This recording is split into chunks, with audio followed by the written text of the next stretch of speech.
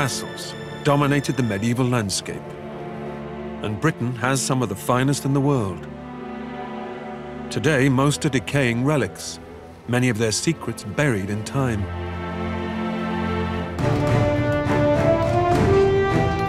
Now, historian Ruth Goodman and archaeologists Tom Pinfold and Peter Ginn are turning the clock back to relearn the secrets of the medieval castle builders. This is the ultimate in medieval technology. The origin of our castles is distinctly French, introduced to Britain at the time of the Norman conquest of 1066. One, two, un, tirez! Here in the Burgundy region of France is Guédelon Castle, the world's biggest archaeological experiment. A 25-year project to build a castle from scratch, using the same tools, techniques and materials available in the 13th century. It's a lot of hard work at the coalface because this is industry. For the next six months, Ruth, Peter and Tom will experience the daily rigors of medieval construction Drop down. Yeah. Yep. And everyday life. Looking really good, you know. How workers dressed Oh, and ate, you can really smell your food. And the art of combat. Ah.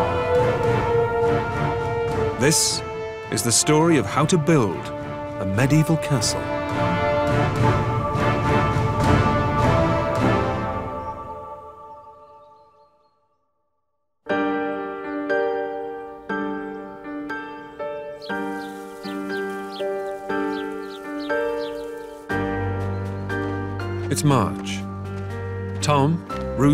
Peter have traveled to Saint-Fargeau, a hundred miles south of Paris, where Guédelon Castle is being built. They're now 17 years into a 25-year project, and over the next few months, its most defining features, the towers, will take shape. Uh, it's just Huge, something isn't else. Really? Look at those things up there. Oh my goodness. Makes you dizzy. The team are meeting members of Guédelon's workforce. Master Mason, Florian Ranucci, and site administrator, Sarah Preston. This is amazing. Well, thank you so much for coming so far to see our castle in the making. I'd like to introduce you first of all to Florian. Florian is our master mason, so he's going to be guiding you throughout your stay here. You oversee this entire project. That is amazing. That really is. Well, it, it's really simple. I just have to know very well the castle. But you're almost like the puppet master. You have the people working in the quarry, the people working as masons, the carpenters. You've got to control everyone. Well, I prefer the image of a, a musical uh, conductor. We have to, to be in the same time walking. this is very important. The rhythm Find of a work. rhythm. Yeah, the rhythm. So it's like music. well, if you're the conductor and you've got the strings over there and the percussion over there and the timpani over there, I can play a triangle.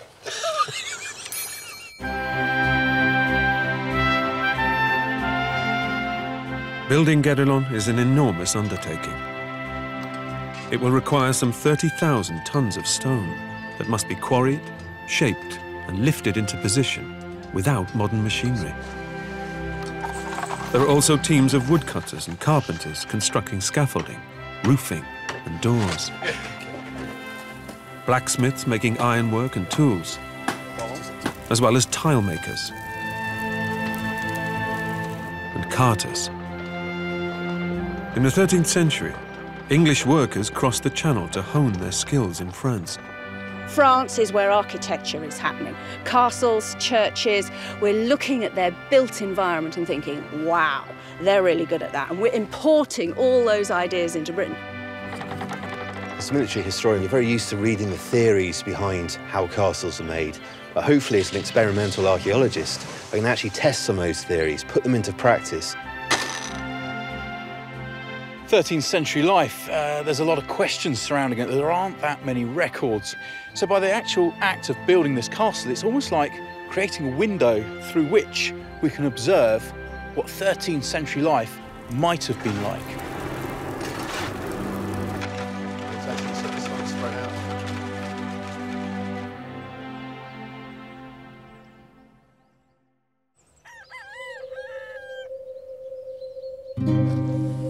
Building a medieval castle began with a wooden model. So what is this model used for? In medieval times, they don't have a paper plan. Right. So they used to have a wood model. And I guess this is a way of the Lord saying, this is what I want my castle to look like. Yes, and, and the Lord, he can uh, change things uh, with the model. It's uh, very easy for him. So I suppose a medieval building sites uh, like you have here, you can easily have over 100 masons. They all can look at this and know the angles they need to be doing and the, and the, the wall that they're working on. Guédelon's design is typical of the 13th century. Many British castles, such as Harlech, Conway, and Carnarvon, have a similar layout. Castles were not only for defense, they were a show of strength, a lord putting his stamp on the landscape. Inside the walls, there were grand houses with great halls, kitchens, and even chapels. A thick wall surrounded by a dry moat protects an inner courtyard, which itself is protected by six towers. Wow, this is the Great Tower. This is what Florian wants us to work on. When completed, the Great Tower will be almost 30 meters high, providing a lookout for approaching enemies. And with walls four meters thick, it's the castle's ultimate stronghold. So if we, if we, if we were the wall, If I stand here, I'm inside. you're inside. That's four. I mean, that's massive. It just brings home how many tens of thousands of tons of stone will be in this castle when it's finished. Back then, the only way of transporting stone over land was using horse-drawn carts. Minimizing the distance it had to be moved was paramount. So, like many castles of the time, Guédelon is actually built in a quarry. In the quarry, we have the sandstone, the primary building fabric. We also have the sand and the water that can be used to make the mortar. We have ochre, which again can be used to making pigments. We're on a clay lens here, and the clay can be used for firing tiles, roof tiles, floor tiles, and we're surrounded by forest, which is a source of timber. It's a source of fuel, so it can keep the blacksmiths going. Almost everything we need to build a castle is just a stone's throw away.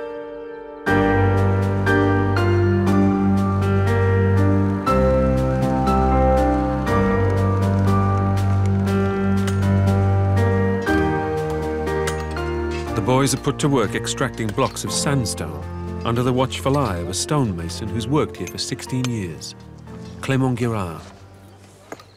The first job, mm. le premier travail pour vous, Yeah. c'est de faire des petits trous dans la pierre. Make the small stone. It's Very difficult. You learn. Minute de travail. Clément's teaching the boys how to cut huge stones from the quarry into usable building blocks, using just a hammer, a chisel, and a wedge. I don't think I've got the skills to do this. I'll, I'll give it a go. Pressure's on. I'm glad it's you and not me.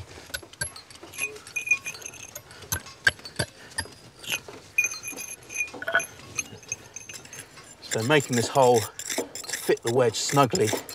But obviously, Clement, with his years and years of experience, knows exactly how to orientate this. So the wedge goes into this one hole, you hit it, and that's going to cause a fracture in the already pre-existing sediment lines, and it will split in half. Clément, is he good? Oui, c'est bientôt fini. Bonne musique. Good music. Good music. And now, uh, sledgehammer. Now a sledgehammer. Wow, you can just see the fracture starting to appear. This is not about brute force, it's about listening, it's about looking, precision engineering.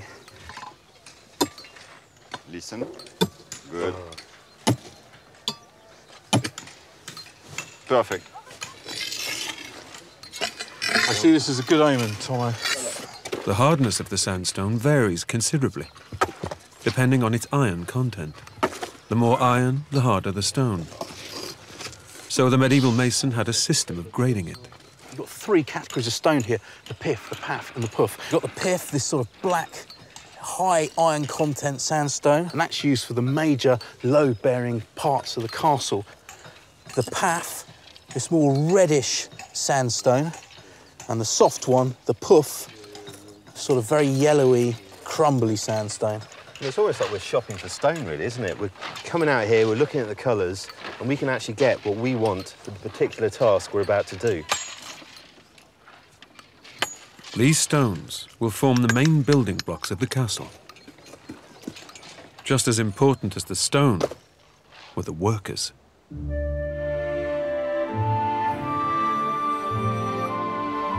In the woods surrounding the castle, Ruth's setting up home.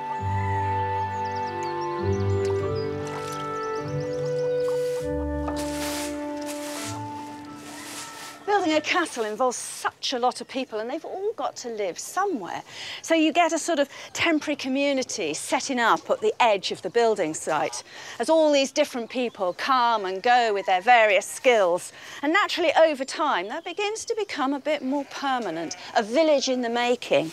Indeed, many villages right across Europe, in Britain as well as in France, can actually trace their origin to being camps for workers on a building site.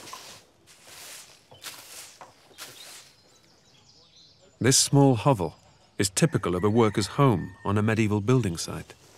The workers' cottages somewhere like this were always going to be thrown up in a hurry and fairly sort of basic. But then so were those of most 13th century people. And this is our everything. This is all there is. Here is our kitchen, our living room, our sleeping quarters, just this one single space.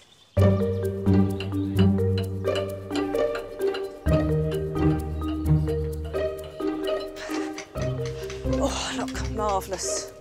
Off-cut limestone, this will do perfect. The centerpiece of every medieval home was the fireplace. The fire was not just used for cooking, it also provided heat and light. In grand houses, obviously, they sort of like cobbled this whole area. But we know from lots of archaeological digs that ordinary houses, it's just a patch on the ground. And also, I use a couple of bigger stones to balance pots on a bit.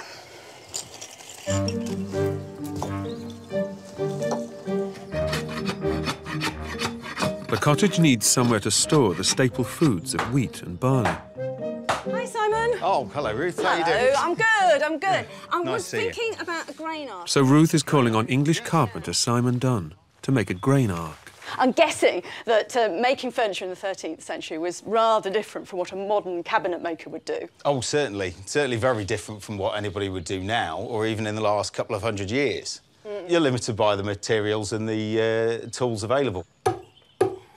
In the 13th century, saws were expensive, so carpenters used them only when absolutely necessary. Instead, wood was split using wooden wedges. Whoa, wow, look at that. Split all the way round down to there. Yeah, and then turn it over and work a bit further down. Gosh, this is faster than Uh, you- sawing, isn't it? Oh, absolutely.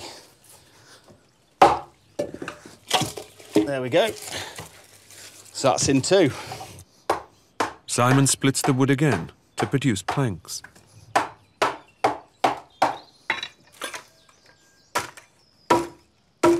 So that's, you know, I mean, that piece particularly is a really good piece of plank. Yeah, it's pretty flat. You can work with it. And that's a couple of minutes. I mean, I hate to think how long that would take to have sawn. The rough planks must now be smoothed off. This is a, a side axe. Um, it's just ground on one, one edge, so it's flat on the other. So you can just trim up the surface a bit.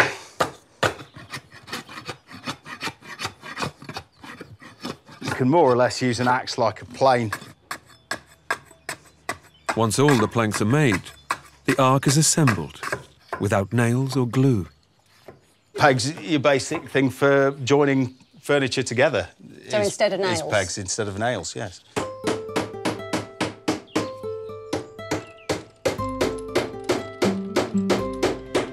So there are some things you do need a saw for. So we'll just cut the uh, pegs off to size. Right. There's no glue or anything in here. So it's just wood. So it's just the wood holding the wood together, wood and holding it's, wood together. it's yeah. not going anywhere.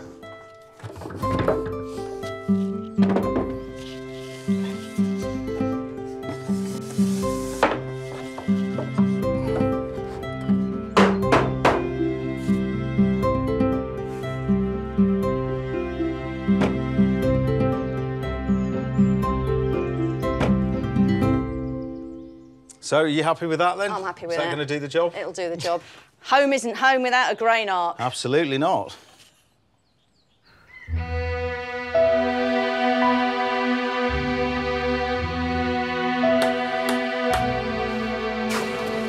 Water was another vital resource to the building of a castle, and hundreds of gallons would have been used every day to make mortar alone. So castles were always built near a plentiful supply. Tom and Peter have been sent to repair the castle's well. To hoist the bucket, it needs a new rope and pulley. How deep do you reckon that is? We're going to make rope, I reckon it's 10 metres down, give or take a metre. But I suspect they sunk this to a depth where they're never going to run out of water. Exactly. It's crucial for defence. It's crucial for life inside the castle once the castle's operational. You need to have that constant supply. And obviously, we need it now for our building. You're on rope, I'm on pulley. Peter's commissioning a pulley from wood turner Gary Baker.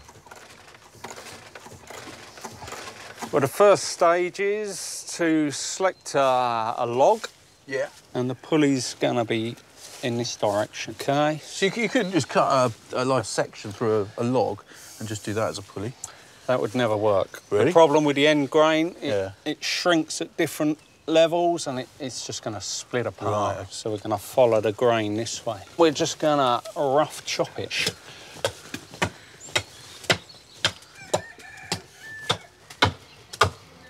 What's the wood that you're using then? This is uh, ash. Ash is very a very dry wood, and therefore when it dries, it doesn't doesn't move that much. It's not going to warp and crack. A mandrel is hammered into the centre of the roughly shaped wood, so it can be turned on a pole lathe.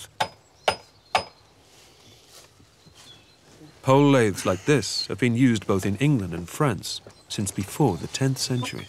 So it's just a pedal, pulling the string around the mandrel Yeah. onto. And a flexible pole. And a pole basically all it does is lift the pedal back up. The roughly shaped ash is turned to make a cylinder.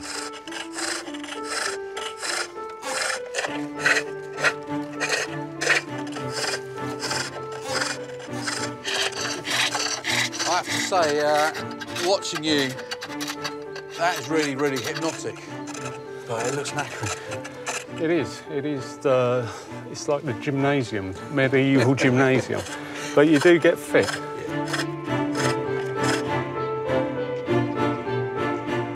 As well as a pulley, they'll need a rope for the well.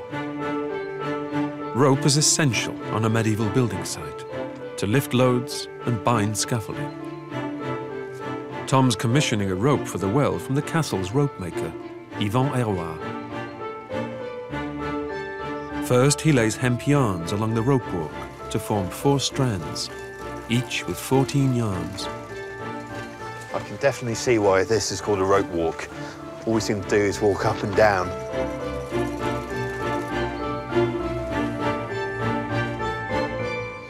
For this 15 metre rope, he's actually walked half a mile, which is extraordinary. The four strands are now complete. Next, they must be twisted together. First stage of the twisting will actually reduce the length of these strands by about 10%, so that's about 1.5 metres. So I'm estimating that's about there. When the traveller hits this mark, Yvonne knows the rope has been twisted the optimum number of times. Very slowly, the traveller's moving in, but with each turn that Yvonne does, we get something that I see as being rope.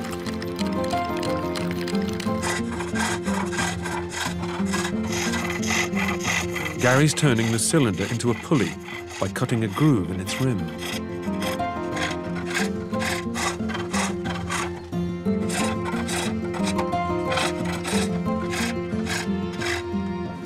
It off. There we go. So smooth and so fast. Stop. The yarns have been twisted to form strands. Then the strands are twisted in the opposite direction to form the finished rope.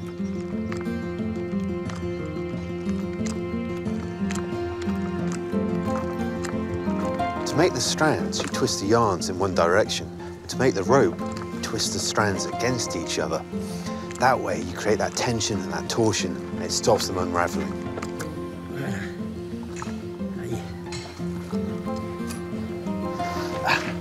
Merci beaucoup. C'est terminé. C'est parfait.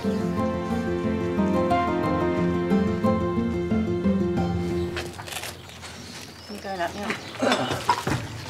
Try thread this through before you haul it up. Now Ruth and Peter can fit the pulley and rope to the well in the castle's courtyard. You know, traditionally, this is where people gossip, don't you? Standing round the well. Well, still is. Standing around the water cooler. Drop it down. Yeah.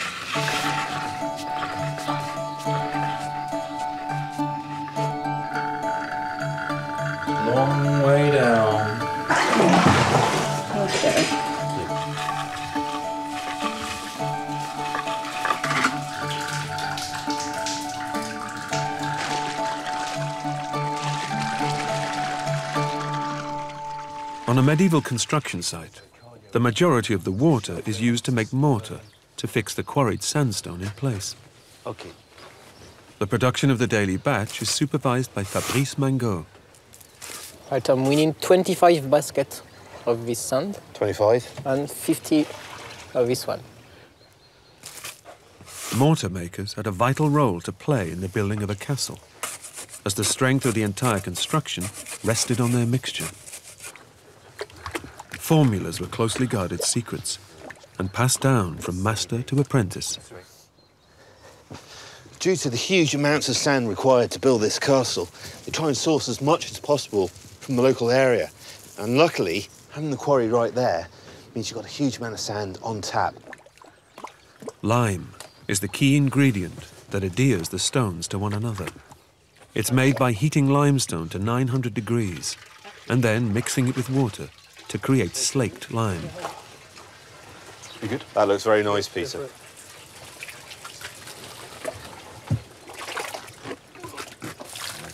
Right now, I think the uh, experience is showing for the French guys. They're really putting me to shame. It's uh, it's enjoyable work though. I actually do feel like I'm now a bit more connected to the castle.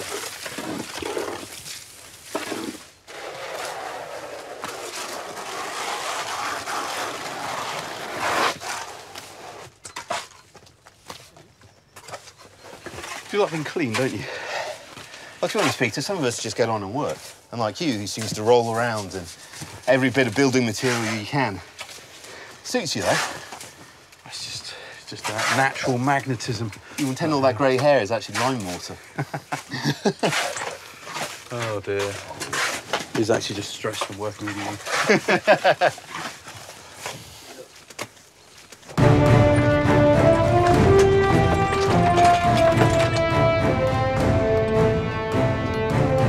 Today's batch of mortar and sandstone are destined for the Great Tower. So far, it's reached a height of 18 meters, but when complete, it will be 30 meters high. The materials are hoisted to the top using a treadmill winch. The forerunner of the modern crane, it takes two people to power it and can lift over half a ton. I mean, these things are an absolute, well, godsend, aren't they? They are the machine of the medieval building site, bringing up all the stone for the for the walls. When you think, we've got 500 kg of weight we're pulling up, and yet we manoeuvre it so easily, the two of us. My strength, your ballast. And look, there it is. This is the ultimate in medieval technology. To lower the cargo onto the tower, the boys simply walk in the other direction. Okay, so walk slowly, slowly. Yeah.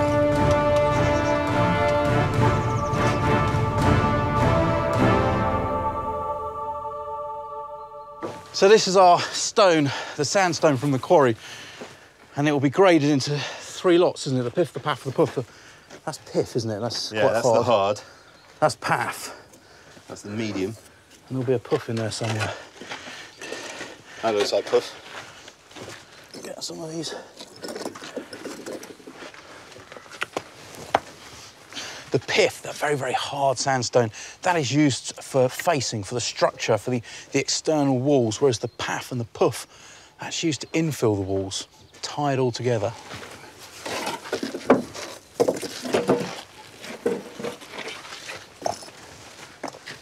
Philippe Delage began his career as a builder over 40 years ago. For the last 10 years, he's worked at Guédelon, where he's perfected his skills as a stonemason. You are going to lay the mortar, but don't crush, yeah, just like this. If you were bricklaying, do you do it that way because it's got a flat surface, but the stone has to go in and the mortar has to go up into the stone. Yeah. So, so don't, don't flatten it. OK. One of the biggest challenges is ensuring the walls are absolutely straight. The integrity of the entire tower depends on it. The solution is simplicity itself. A lead weight on the end of a string, known as a plumb line. On the scaffolding here, you'll notice there's about a two inch gap so you can get your plumb line down there and make sure the wall's absolutely straight. Because if it's not, tower starts going like that, it'll start going like that. Most of these medieval tools and techniques have been around for millennia and are still used on building sites today. Yeah. Like that? Yeah, like that. Just doing the rubble infill to the wall. So we've got the facing stone, the pith, the hard stone, and that is laid horizontally so the grain runs as it is in the, in the ground. Which if you imagine a book, if you lay a book horizontally and you stand on it, it will support your weight, whereas if you lay a book vertically and you stand on it, it will collapse. However, the infill, that actually gets laid vertically, so the grain is going in the opposite direction. And that's because they're all stacked against each other and they push against each other around the tower, making this absolutely solid. All the tricks of the trade. Where's that mortar, Peter? Already in the wall, Tom. Already.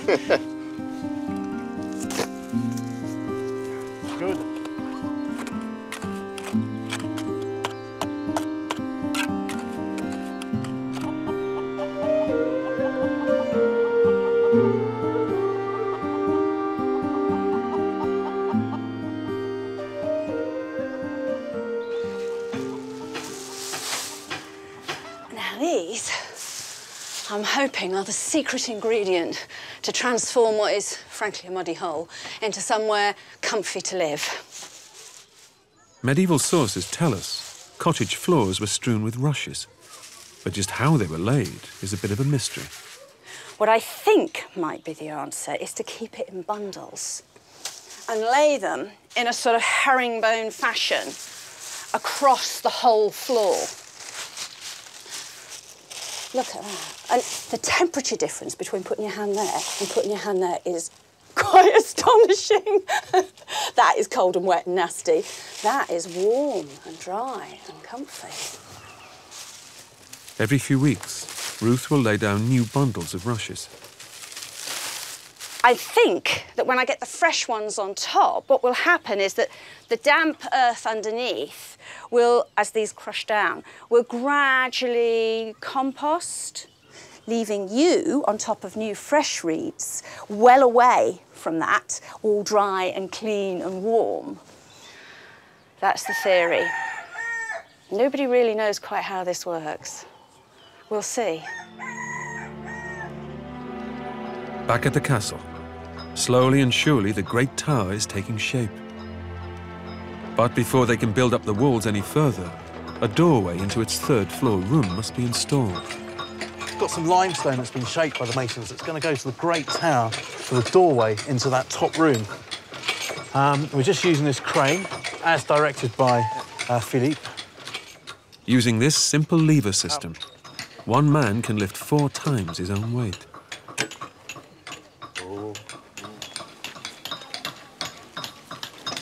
There you go. Yeah, it's okay. It's then raised up the tower using the treadwheel crane. I can see it coming up. Here it comes.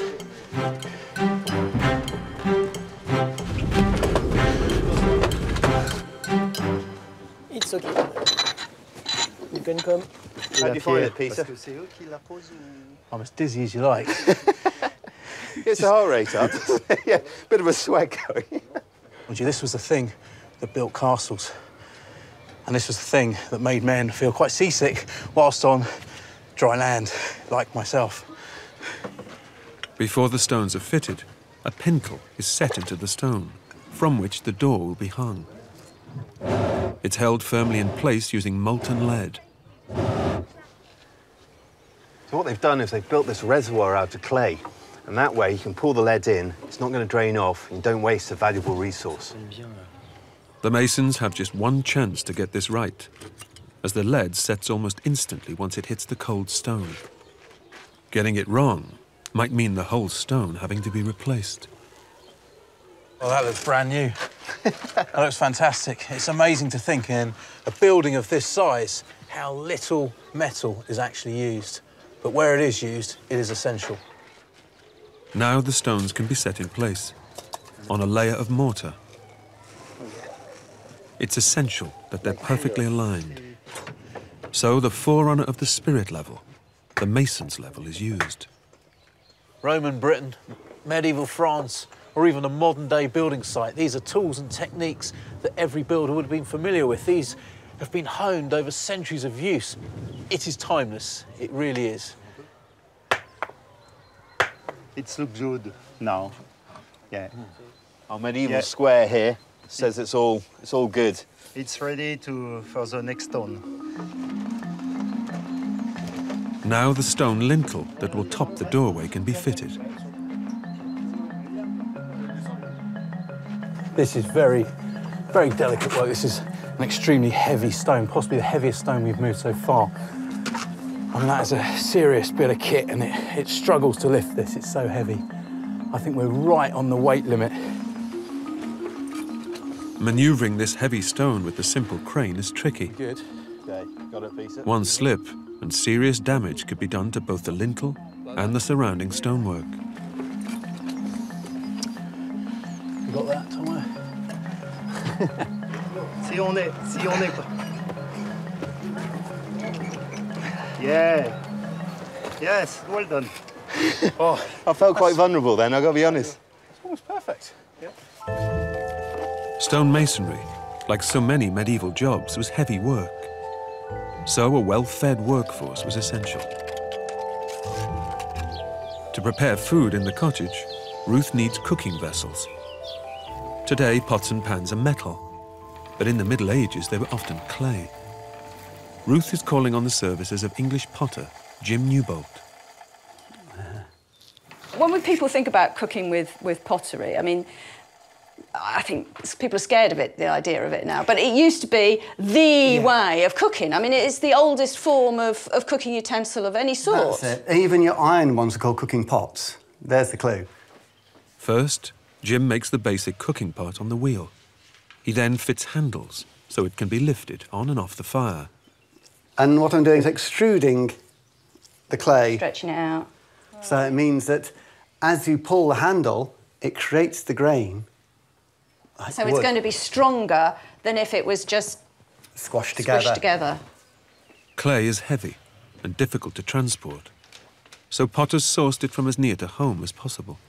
Where do you get your clay from then? From as close as the side of the road as you possibly can. That's a pothole. One way you could lose a wagon and team into it. You, That's fabulous. you pull over. It's a hole where you've dug clay for pots. It's a pothole. you pull over to let another wagon pass and glance past. Whoa, you're Where's going to go. Next, Jim reshapes the base of the pot. So what shape is best then for fire? For cook pots on the fire, big round bottoms. Right, you want to, uh, no sharp corners. No, no, it means that the heat moves around the outside of the pot. And then with a sharp bladed knife, we start taking off the edge there. As long as the pot's made evenly, it'll work better Right, on so the if there's big thick lumps somewhere, That's then you're going to have problems around that. I'm flaring it out. The round bottom means it won't sit on a flat surface. So the medieval pot often had legs. But there's the, the cook pot.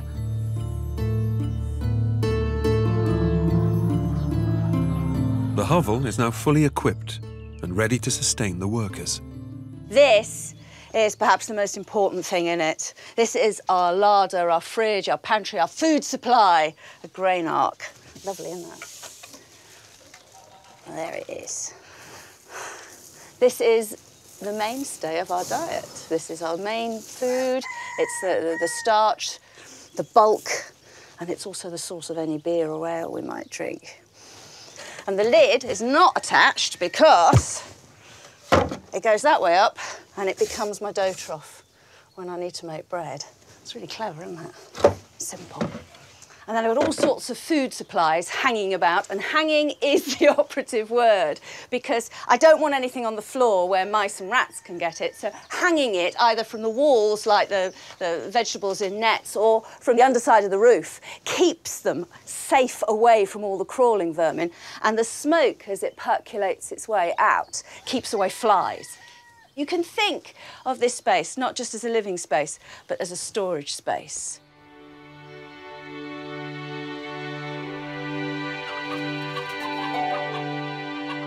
After a day's work, the boys have returned to put Ruth's experimental rush floor to the test. You've spent all day working on the castle, you're tired, just come back. I mean, this is insulating, it's cushioning, it's, It's quite not as comfy. bad as you think, is it's it? not as bad as you think, is it? I mean, when they say they haven't got a bed and that's that's it, you just get a blanket and this is what you sleep on. It sounds a bit horrendous, but it's not. It's all right. It is a tiny space though to live your complete life, just one little space like this, isn't it? Yeah, As but a I'm- whole family. I'd much rather. Well, you say it's a tiny space to live your entire life. I mean, I'd rather be in a small space like this and get the heat in. You know, it's an Yeah, easier, easier good space point. to heat. And also, how much time are you going to spend in here, really? Like these days, you think like you know, a sitting room with a TV and a big sofa because you're going to relax in there. We're going to be working most of the time, and you've got all your jobs and tasks to do. Yeah. So that's sort of like rest and relaxation isn't as important. It's less time for it. Speak for yourself. Cheers. Cheers. Salute. They don't clink, do they? That's about the only thing I've got against drinking bowls. They don't clink.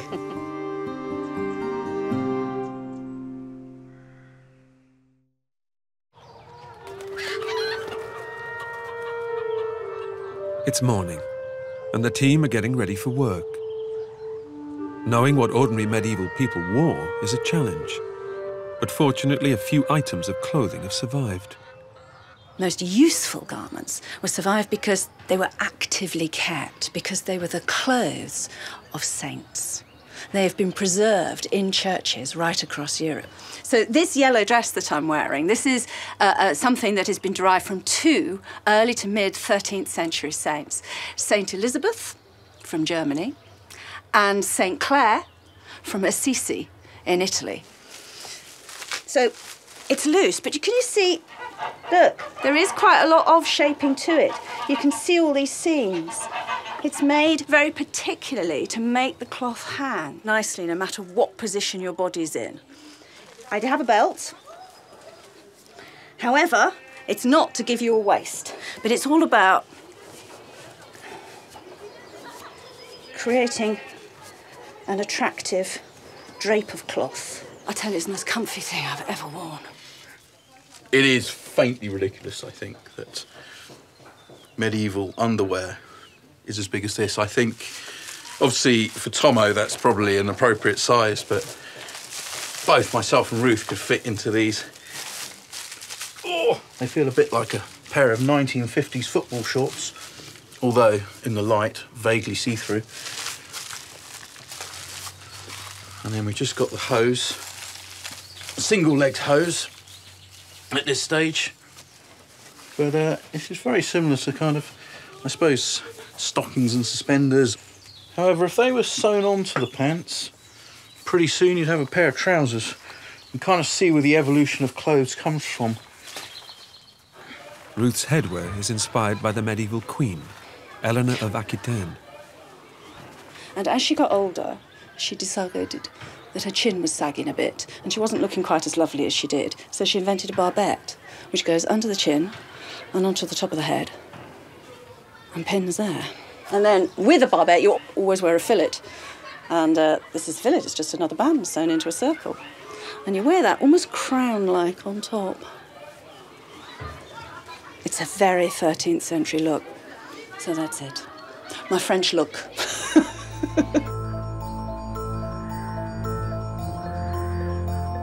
Today, Tom and Peter have been summoned to the Masons' Lodge for the next stage of their apprenticeship carving limestone.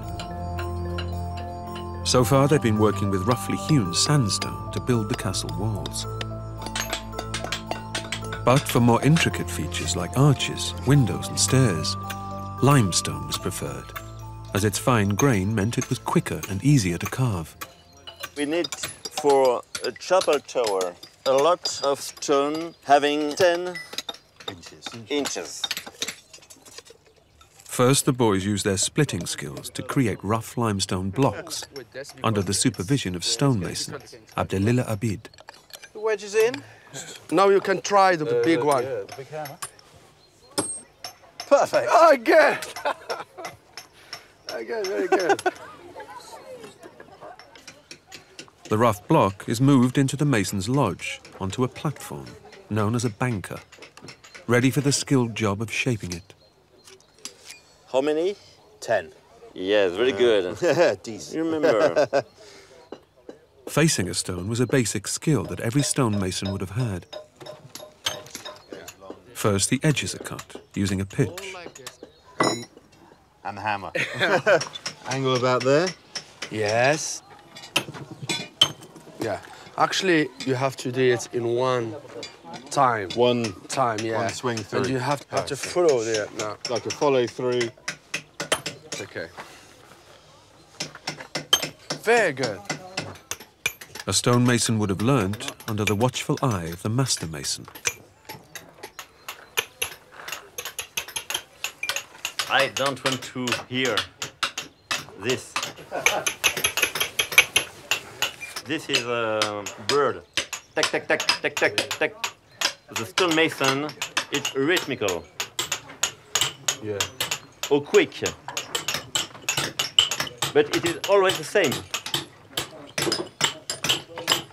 You can do very rhythmical. At, at, at, at, you only think at the rhythmical music, rhythmical, and a few minutes after, you it's finished. okay?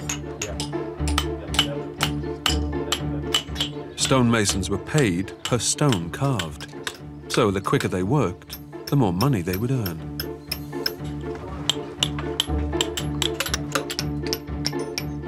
These limestone blocks are for the chapel tower.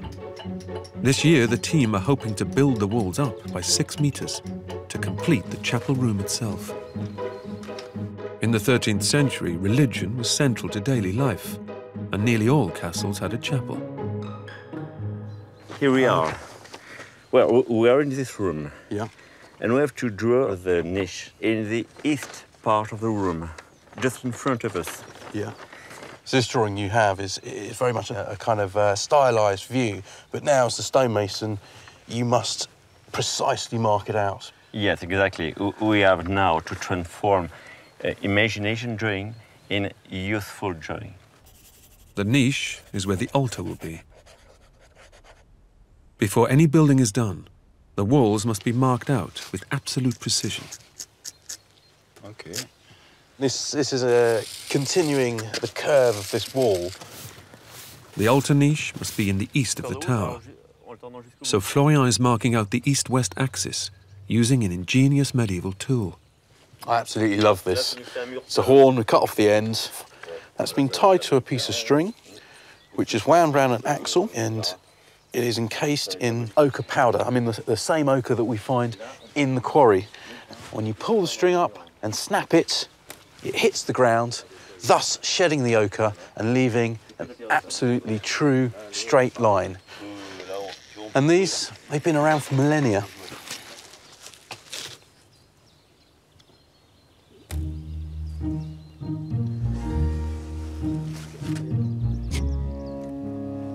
Flip it over. Using just a rope, dividers, and the ochre line, the chapel's walls are marked out. To reach this first floor chapel, a limestone spiral staircase is being built. To design it, Florian and Tom have come to the tracing floor next to the stonemason's lodge. The tracing floor was the nerve center of the medieval building site, where the master mason drew full-scale plans. Bonjour Clément. Bonjour. Bonjour. Bonjour. Bonjour. Using a compass, the circumference of the spiral staircase is drawn, actual size. This is an apprentice job. Always the apprentice, never the master. Florian and Clement are working out the central part of our staircase, and that will form the column that runs up, connecting all the stairs. And now we're going to draw a 12 step. For the medieval mason, geometry was the jewel in the crown of their art. Using just a compass, angles and shapes could be accurately drawn to within a degree, with perfect symmetry. Here, Florian divides the circle into six equal segments, which are then subdivided to create 12 steps. Now we have the steps. We can try the steps in the drawing first. I mean, this is a fantastic way to actually make sure, before you start cutting stone, wasting materials and Yeah. time, that they work. You can see there, they're bigger than my foot length, so that's workable. Now we need to finish one step. Because all the steps are the same, Florian needs to make just one template. This is a precision job now. You mess this up, you're going to mess up your stone in the castle.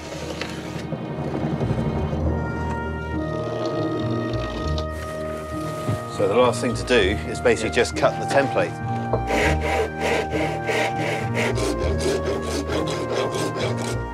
It's ready. Present for you. Thank you very much. We've got our template now placed on top of our large piece of stone. We're marking it out with a bit of slate. Magic. There it is. Now it's ready. Just cutting. Just, just cutting. Five, ten minutes. Two or three days. Two or three days. You can hear how good quality this stone is by the ringing sound when Clement hits it. And I think that's why, to be honest, I'm standing here and not actually being allowed to do anything. Ah, I lie. Right line. Right. Uh, an apprenticeship for a stonemason would have been about seven years. But to be honest, as Clement says, it's actually a lifetime. You're always learning. And Peter and I haven't been here long. And, you know, just so much to take in.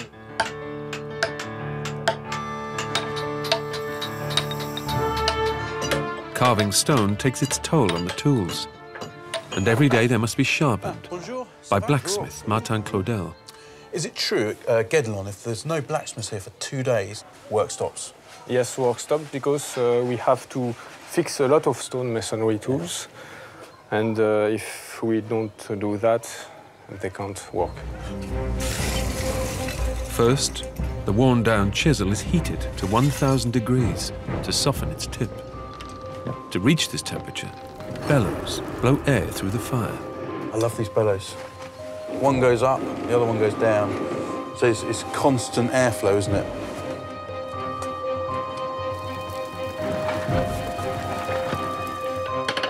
Martin draws the chisel to a point on the anvil, then sharpens it using a file. But the chisel tip will be blunt again in no time, unless it's hardened. Hardening is one of the great discoveries of the ancient world, achieved by heating the metal, then quickly quenching it in water. As it gets hot, the metal changes color, and this tells the blacksmith how hard it will be once quenched. Too soft and it won't cut, too hard and it will shatter. To carve stone, it must get yellow hot.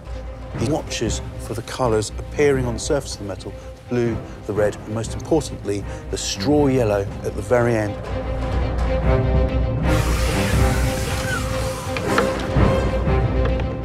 Now, it's ready for the masons.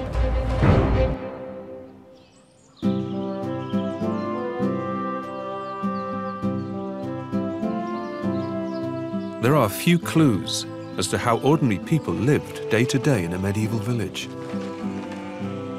But Ruth's pieced together fragments of knowledge to work out how people did the most mundane of everyday tasks, like washing up. I haven't got a scouring pad, but I have got sand. For the pad, well, this time of year there's plenty of fresh grass. I could use straw just as something to rub with. Now, if I've got to deal with grease, that's a different matter altogether. Sand will take the worst of it off, but, you know, I mean, no amount of scrubbing with just some warm water is going to shift the grease out of something. You need a little bit of chemical help. And for that, I turn to wood ash, just straight out the fire. The wood ash combines with water to make caustic soda. When it comes into contact with fat on the dishes, it makes soap, leaving the dishes spotlessly clean. Handful of ash, wipe it round with a bit of grass or straw, rinse it out with hot water, and you get a clean pan. Easy peasy, huh?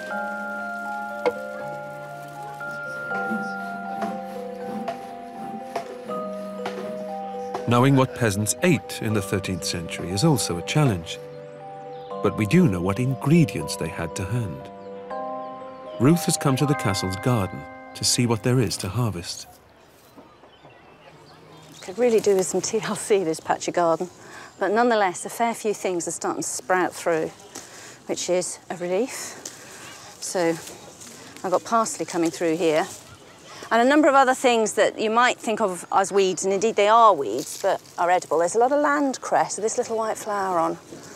So that's quite bitter in flavour. But, you know, anything to give a bit of bite. Plants that we now consider weeds would also have been used. There's quite a lot of dandelions and nettles too, which will help bulk it out. Wheat and barley were also essential ingredients. Flour was expensive, so workers ground their own, using a device that has been around for 10,000 years. The quern. This is the sound of the past.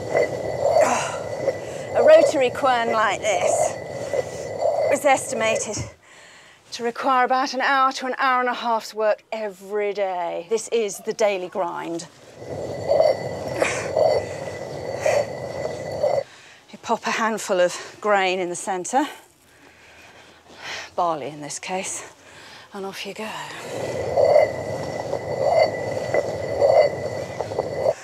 The posher you were, the more refined your food was.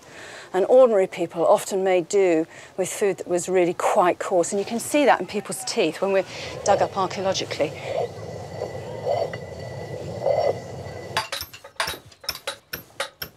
With the tools sharpened, Clement has put the finishing touches to the step. Now comes the delicate task of transporting it to the chapel.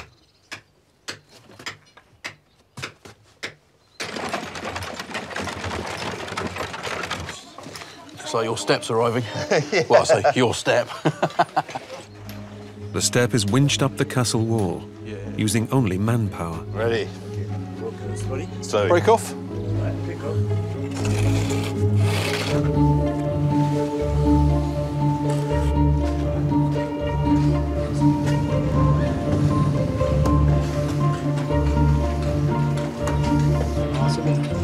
Once on top of the wall, it's moved up the tower using an inclined plane. One slip and the step could fall, wasting three days' work. What do you do, Peter? Rolling. Be careful. Yeah, yeah, yeah. Don't move. Yeah, yeah. Three, one, Thanks. two. These guys have been doing this for 15 years. So they know how to get things like this up here.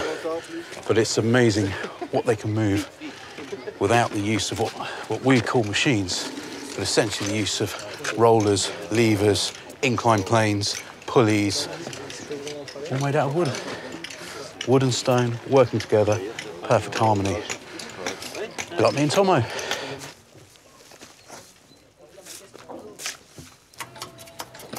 Do you want to nip down first, Ruth? Us. Each step must be absolutely level, or else the staircase will veer to one side. A mason's level and plumb line are used to ensure it's perfectly positioned. I suppose this staircase has still got quite a long way up to go, isn't it? And if this isn't absolutely perfect, the first little bit of skew, and that just gets magnified as you go up. But carrying anything up here, or, God forbid, fighting your way up here, it'd be really difficult, wouldn't it? Yeah. Tomo's not stuck down there, is he? Wedged. Wedged.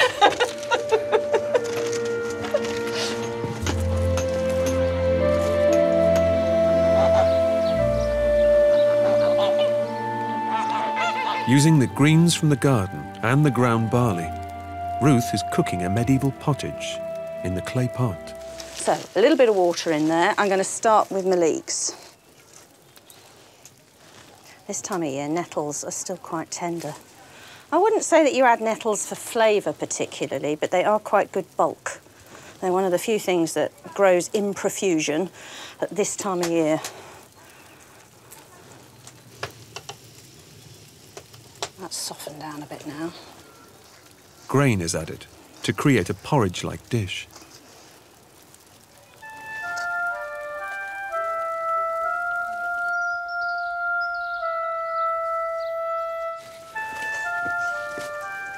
Hello, Ruth. Oh, you're back. How was it today? It's going very, very well. It's amazing how the whole thing is it's all in two-dimensional layers. They're but like- then you like see, cuts yeah, a through. third dimension appear, such as the, the the doorway that we've been working on. Put the lintel on there. Suddenly, wow. Gives me a real feel too of, the, of just how much impact such places must have had Mm. on people. You know, if, if everybody's living in, in this sort of little tiny one room, hearth in the centre, low building, and then there's that funking great thing out there, it's, it's a, quite a shock to the system, really, isn't it? I mean, it makes a huge impact. Well, this is a period when these great, like, military buildings, religious buildings are starting to rise up and really make an impact on the landscape. The team are also getting used to the simple medieval food. This is a triumph. This is an absolute triumph. For barley and vegetables, it's not bad. You're a hungry man. You've been pounding all day at the stone, walking on the treadwheel. Anything is good to eat. Uh, it's not exactly easy either, grinding the darn stuff. I bet it's just as hard work as pounding away all day at the, in, the, in the quarry. There's no easy jobs in the medieval age. No, there aren't, are there? Castles dominated the medieval landscape, and Britain has some of the finest in the world. Today, most are decaying relics, many of their secrets buried in time.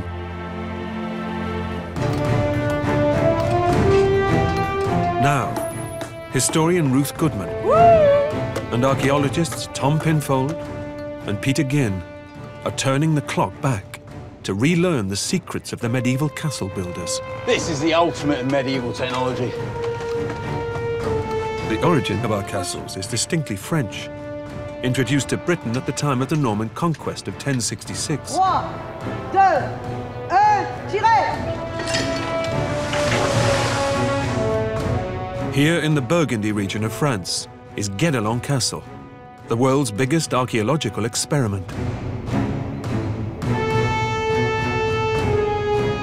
A 25-year project to build a castle from scratch, using the same tools, techniques and materials available in the 13th century. It's a lot of hard work at the coalface because this is industry. For the next six months, Ruth, Peter and Tom will experience the daily rigors of medieval construction Drop down. Yep. and everyday life. How workers dressed and ate, You can really smell your food, Ruth. and the art of combat. This is the story of how to build a medieval castle.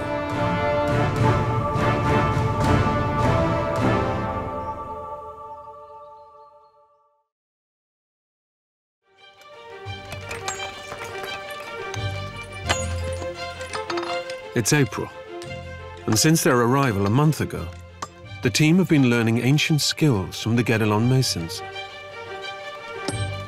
Perfect. Good. They've also set up a base for themselves in the shadow of the castle. Building a castle involves such a lot of people, and they've all got to live somewhere. The 13th century was part of the golden age of castle building. When ever evolving tactics and fortifications were driven by the legacy of bloody crusades and vicious dynastic struggles. Medieval dynasties sought to expand their influence and protect their gains. They built imposing stone castles, not only to assert power, but more fundamentally, to withstand attack. Now the team learn about building the castle's defensive structures. They look at the ingenious features medieval castle builders devised 3, 2, 1, tirez and explore the craft behind the weapons they had to resist.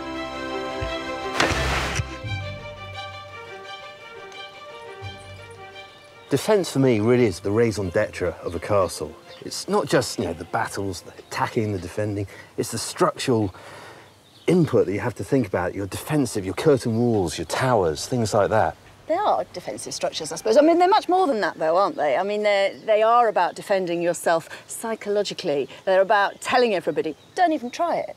And what about the weapons, too? I mean, what could they actually do against a castle? How effective were they? Yeah.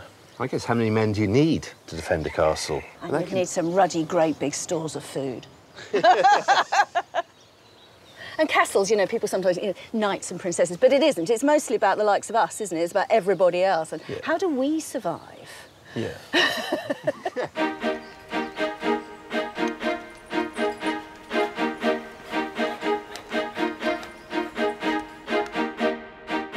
castle like this at Guédelon would have been built for a prosperous lord who wanted to display his wealth and power, and also needed his home to be strong enough to withstand potential attack. And this dictates much of its design, with 36 feet high curtain walls protecting the courtyard and residential spaces. Entry is via a twin-towered gatehouse and at each corner above the crenellated walls, there will be four round towers. The highest of which will be the Great Tower, a superb vantage point at nearly 100 feet high. In charge of the defensive structure of the castle is Master Mason Florian Ranucci. He's traveled the world studying the ancient secrets behind medieval stonework. Now. Walls are over 12 feet thick in places.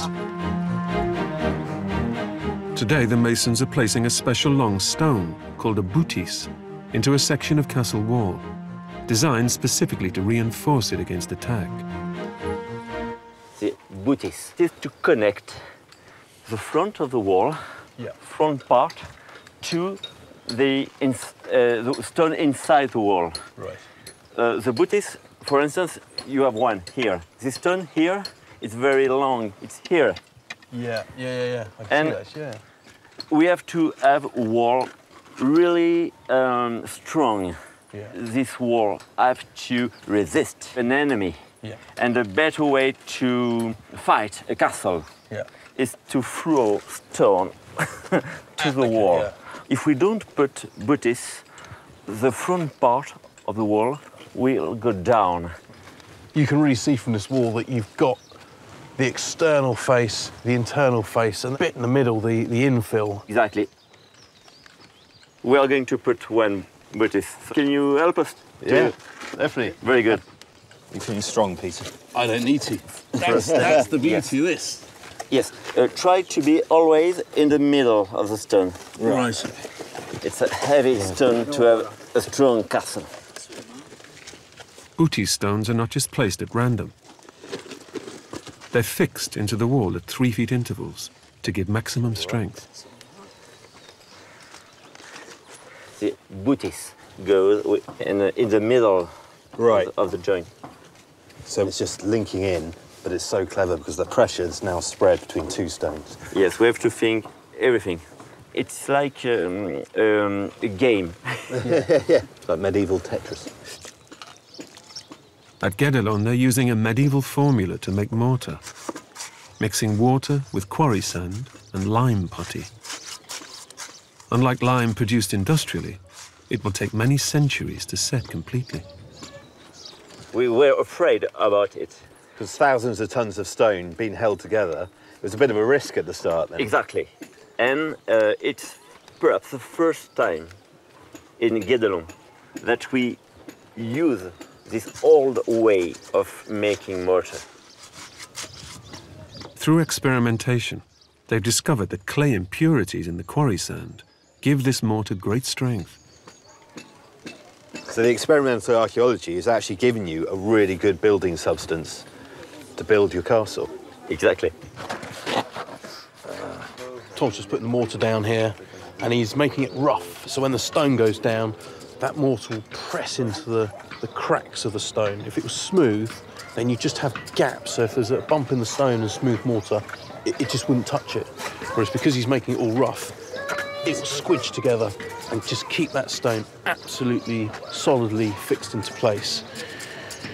It's looking good, Tom. Every stone has to be in line because this is going to go up and up and up, potentially another four meters. These stones are slightly off, your build is slightly off, and eventually it'll collapse. Now the stone will be solid. Solid.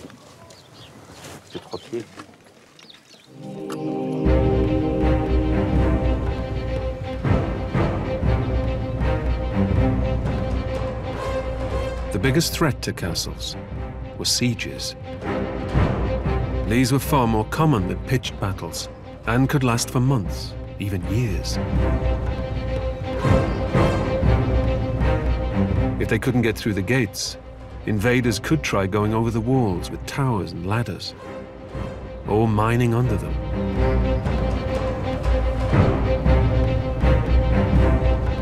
But another, more sophisticated means of attack developed.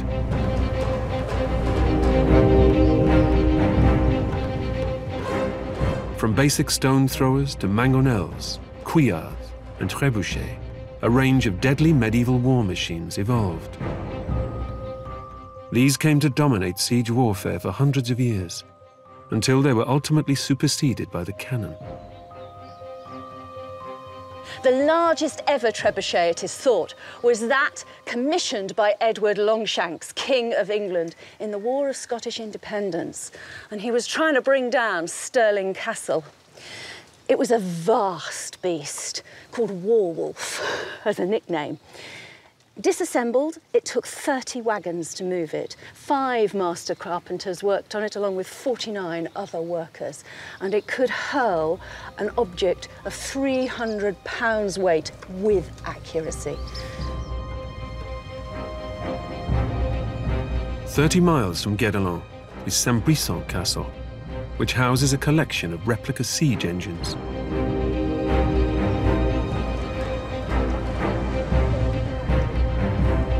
The Romans introduced basic catapults to Britain. But by the 13th century, the development of counterweight technology saw the introduction of deadly, high-powered stone-hurling war machines. They were used in sieges to bombard defending troops and collapse castle walls. The crew wear protective helmets in case the machine malfunctions. How big do you think that counterweight is? How's it going, Tom? It's good, mate. It's amazing how only four people can manoeuvre such a heavy counterweight. Yeah, I mean, what? That's about 500 kilograms. The energy you're putting into that to raise it up is going to be stored as potential energy. And then when it's released, this, which is about 10 kilograms, this ball is going to be swung out and flung into the distance. They reckon it'll go about 100 metres. Looking good. Right, he's just going to lock this off. There we go. Tension's on the pin. Now it's locked off, they can unwind this rope so that when it fires or when it's loosed, the rope doesn't hold it back. So here we go, unwinding the rope. Whoa, watch those handles. Well, this is a well-trained crew. They know what they're doing. I mean, this is uh, it's uh, very different, isn't it, from doing it in peacetime as it would be in the heat of battle. That's the thing about shouting, the noise. Yeah. These ropes can snap, the wood can snap. Here we go. The ball, the projectile, into the sling, and it's ready to go. So we're standing back, standing back. So we're just moving back. Go to the seclusion zone. I imagine if it was in the heat of battle, you'd just be there. Yeah. Yeah, you'd feel quite lonely if you were the guy who's about to pull the rope. Right, we're going to count down. 5, 4, 3, 2, 1, tirez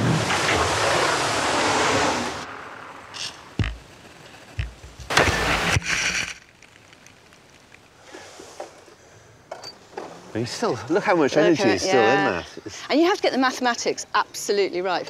The difference between the length of that arm and the length of the rope and the things. If you don't get that spot on, it can fly backwards instead of flying forwards. But if you, de- if you deconstruct this, it's essentially scaffolding. It's a, it's a mason-shaped It ball. is. It's the ropes that and it's exactly site. the same mathematics Yeah. that the masons are Yeah. using. I mean, it's really, it's sort of simple, but it's also really quite sophisticated. If you can build a castle, you can fight a castle. Well, that's the arms race that's happening in our period, isn't it? The castles get more strong, more developed, more technical, and so the siege weapons become stronger, more powerful, more technical. It's Each driving each other further and further onwards. It's not fast, though, is it? No.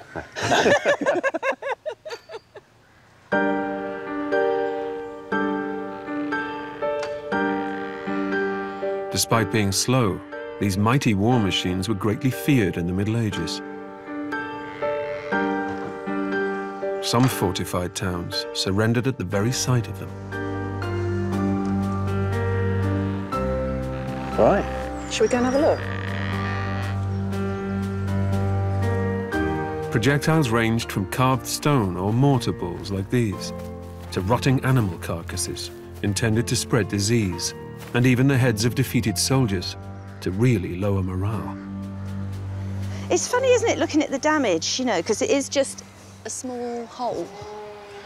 But I suppose when you think again against a stone wall, it's, it's going to keep going until it finds a weakness. This is one the hammer, after isn't it? another. Yeah. Yeah, a hammer doesn't crack It's not a great one blow. explosion. It's The persistent drip, drip, drip until you crack.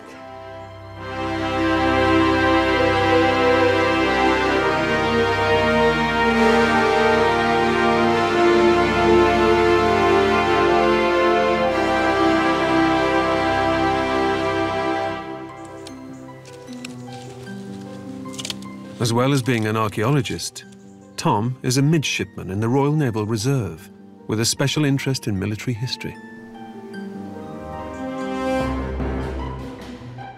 He's been looking into what kind of armour an ordinary soldier might have worn in the 1200s. Not everyone could afford the expensive metal helmets and mail worn by wealthy lords and knights.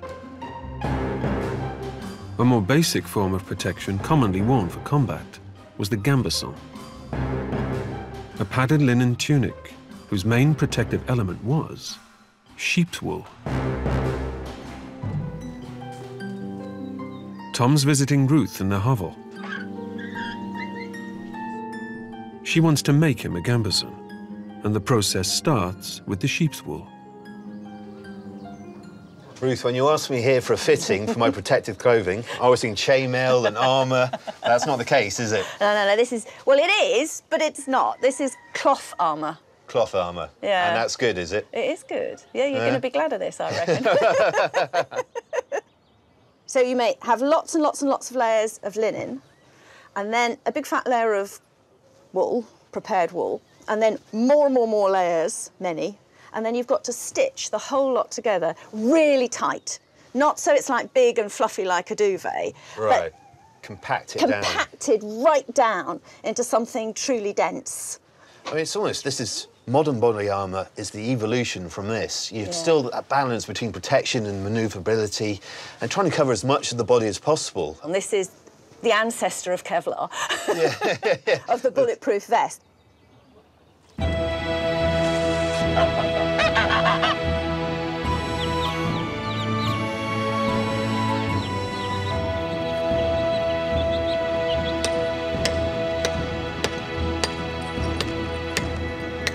It goes.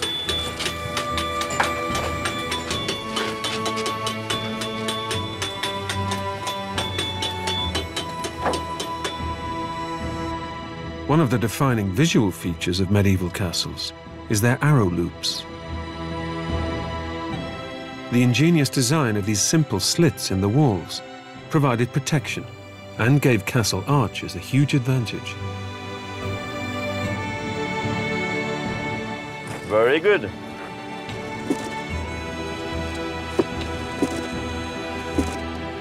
Guédelon mason Constantin Lemel has specially shaped a stone needed for building an arrow loop in a corner tower. Before they mortar the stone in place, they need to be sure it fits. Right, so that's in position. I thought that was going to go the other way around, actually. I thought. Uh, no, uh, uh, we have to alternate. We have to, to, to have a, a long face here and after a short one. Yeah, okay. Uh, and when you have a short one, you have a long here and a short under. It's to, to get something uh, very stronger when you cross uh, the, the stones. Yeah, okay. The funnel-shaped design of the arrow loop, tapering to a mere three-inch gap, gave attackers outside only a tiny slit to aim at, while the defenders could look out without being seen. The arrow loops sloped down, so archers could see invaders, even at the foot of the tower. If it was um, like this, for instance, we can't. right. Uh, only hit people uh, over uh, there. fight and, and shoot people. So Unless you people got stepladder. So, so people can be uh, in front of the tower, no problem for them. Completely safe. And I guess also this is a weak point of the castle, isn't it? You're actually creating a crack in your castle wall, so you need to reinforce it. People say that in the 13th century, the round tower was very useful to resist when stone are thrown on, on the tower.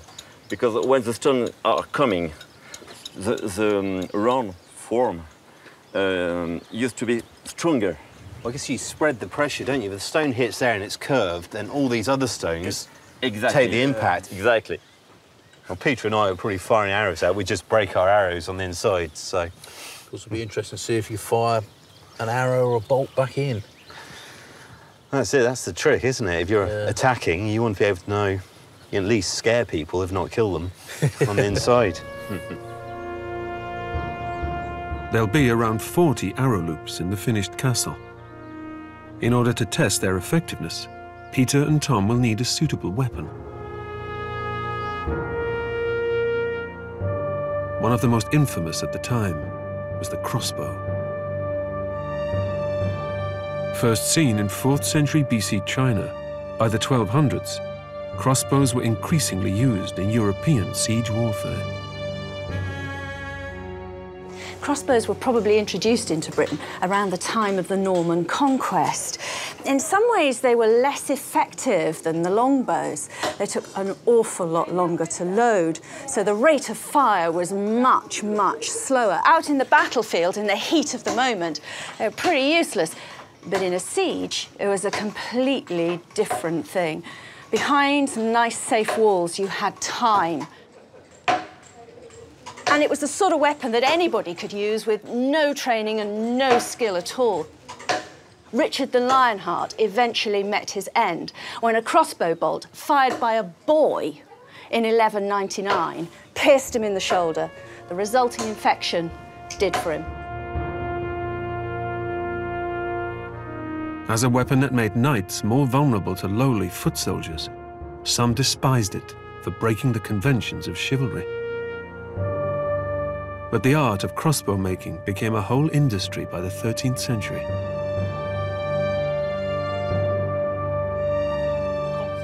In Britain, it survives to this day, among a few specialist craftsmen, like bowyer Chris Jury. This is what's going to be known as a crossbow prod, which is basically the, the bow on a crossbow. What kind of wood is this? This is yew wood. Now, yew wood is probably the best wood for making a bow. In any piece of yew, you get the, the sapwood and the heartwood. The sapwood is good in tension, which means it can stretch, and the heartwood is good in compression, which means it can crush. So the two grow naturally together in a single piece of wood to form uh, a natural spring. Chris uses a spoke shave to take off the bark.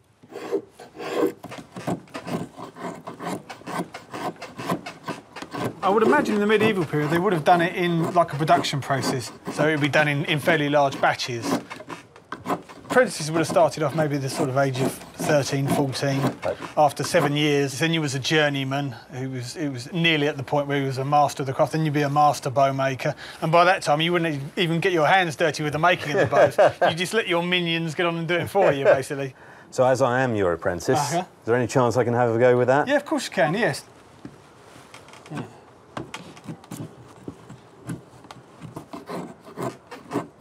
You want to be gentle, but you've also got to put a bit of pressure on, It haven't yeah, it's quite a delicate task because you don't want to be cutting into the sapwood at all.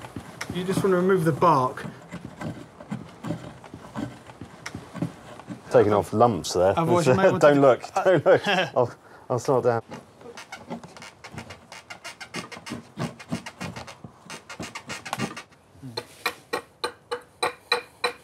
The next stage is to taper the prod with an axe. Yeah, I can tell you've used an axe before. You've definitely got a, a better technique than that than with a spoke shave. if you don't mind me saying so. Well, the more we do this, the more likely it is that I'm going to make a mistake. you need all ten toes, do you? Yeah, you- you- you amputate one of your own legs.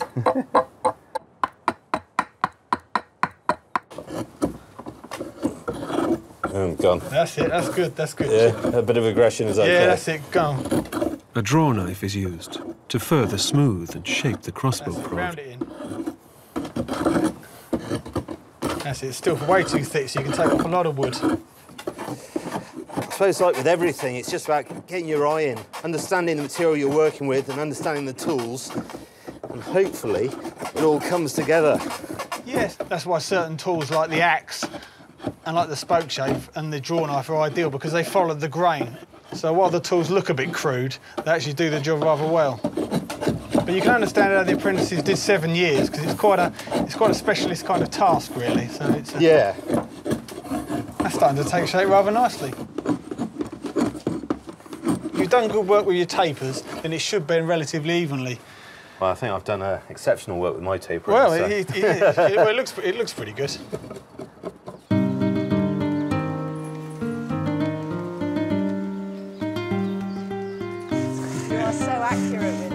Carpenter Sam Rooney has come all the way from New Zealand to work at Guédelon.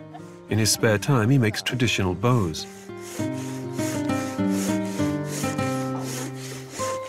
Today, Sam and Ruth are experimenting with making a crossbow arrow, known as a bolt or quarrel, which was shorter, heavier, and more deadly than a regular arrow. You imagine an arrow, whether it be for a crossbow or, or a longbow, and you imagine a little stick.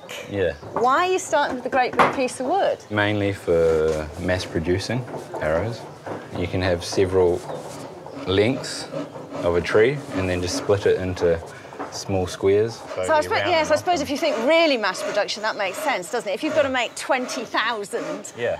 for a castle, Yeah. the amount of time it would take take you to time. find Yeah. 20,000 sticks that were the right size and shape. You have to send an army of people off to gather twigs. Yeah. Yeah, whereas two or three trees would do you your 20,000 arrows. Yeah. Right, that makes Yeah. a lot of sense. You're just squaring this off at the moment, are you? Yeah, I'm just squaring it off Right. using a, uh, a medieval bandsaw. The thin piece of wood is then cut into individual strips, which will be shaped to make each bolt shaft. And it'll Yeah. be practically a circle, going, yeah. like this one here. All right, so yeah. that one's pretty much finished. Yeah, that's as, about as round as you're going to need, isn't it? So we're going to drill a small hole in the end of the bolt. A metal bolt head is then attached. You would not want that pushed through you, would you? Oh, No. what a foul-looking thing. and a slit is cut so it can be fletched. It's recorded that in 1250, a chief English quarrel maker produced 25,000 quarrels a year and could be expected to make 100 in a single day. It is a it huge amount of work, all of this, isn't it? Well, yeah, I guess so. Bows are still really woven into our modern life. I mean, think of the surnames Bowyer, Fletcher, Stringer, Archer. And then all the number of phrases that come from one form of archery or another, things like to pick a quarrel or a, a bolt from the blue or he's got lots of strings to his bow. They're all archery terms. They finish off their bolt by warming up a medieval glue made from an unusual source. It's made from the bladder of a fish. You actually like get the bladder and dry it out. So a bit of glue in here. So it's just a bit of glue on the leather, Yeah, shove it in the here. slot. Yeah. That's it. There we go, one quarrel. Well, thanks very much. I shall um, give it a go. Okay. Good luck. Thanks, Sam.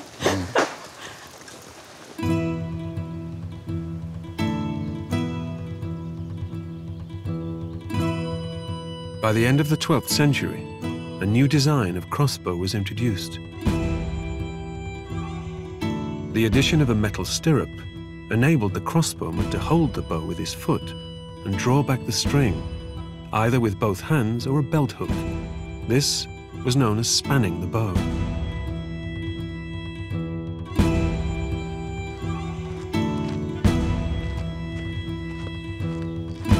Peter has come to make the stirrup with Martin Claudel, who's been a blacksmith at Guédelon for four years. And they use a process called smith and striking. The smith is the blacksmith. He's the guy doing the thinking. He's got the little hammer. He's moving the metal around. He taps it. The striker has the big hammer, and that is me. I always hate doing the striking. I'm not. I've got no rhythm basically. But then he hits, I hit. He hits, I hit. And when he hits the anvil, I stop. Okay, we good? And uh, You're done. all right. Peter and Martin will hammer the iron flat and then bend it at four corners, making a stirrup shape.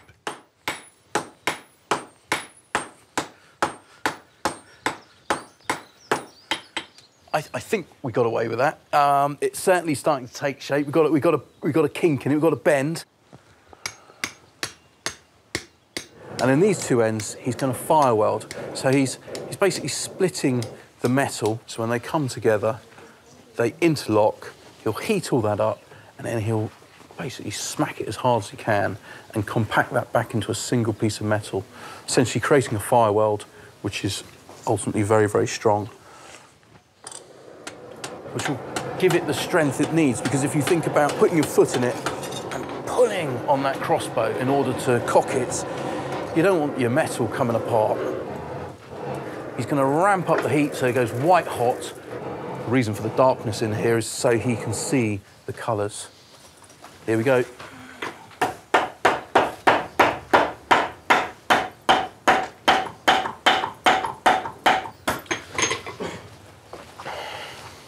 That's fantastic. Are you happy? I'm happy. Yeah.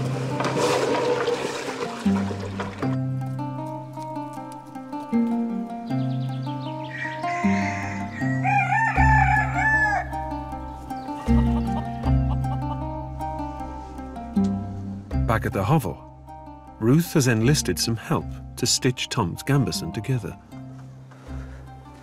Oh, hi, chaps. Oh dear.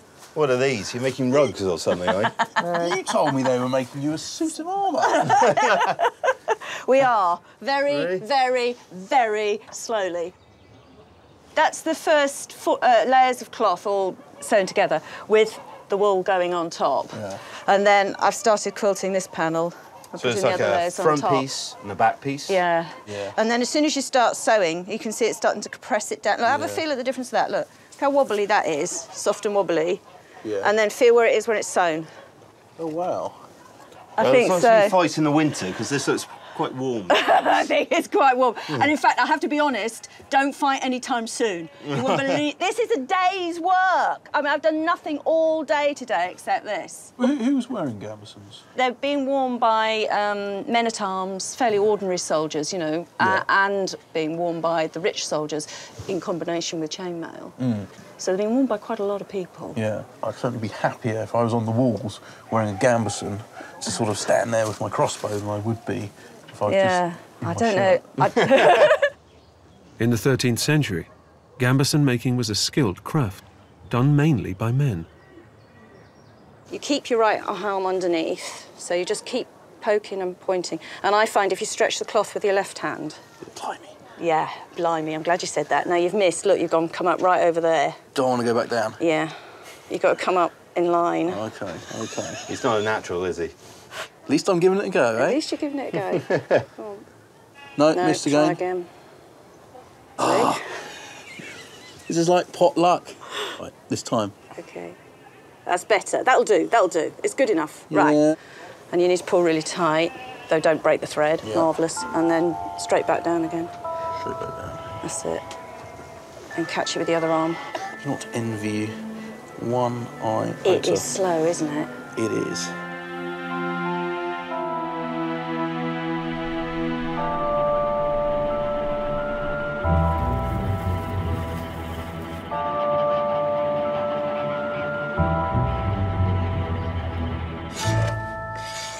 Chris is nearing the final stages of his work on the crossbow. Okay, so here we have your bow, all nicely shaped and uh, expertly tapered and nice and smooth. Um, and now the next stage is to make sure it bends evenly. The prod is ready to be put under tension using a tiller stick. If the bow is not evenly shaped, the prod may snap. So now we've basically examined the curve of the bow. Right. So the, tr- the trick is you need to spot the weak bits before they develop into a problem and shave them away. So even after all this time and all this work, there's still actually jeopardy about whether it'll actually There's be a massive, there's a massive amount of jeopardy involved in doing it. This is the real art of the bow. You need to train your eye to see the curve and to notice any flat spots in the curve. I was going to say because to be honest, it looks pretty good to me. So we're happy with that. That'll, be, that'll make a good shooting bow.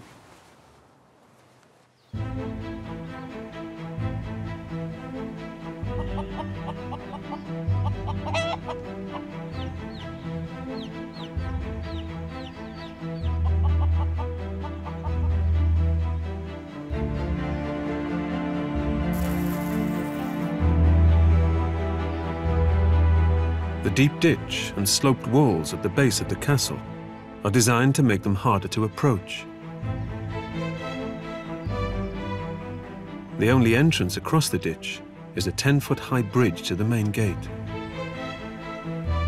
A structure which relies on a very humble element to hold it together.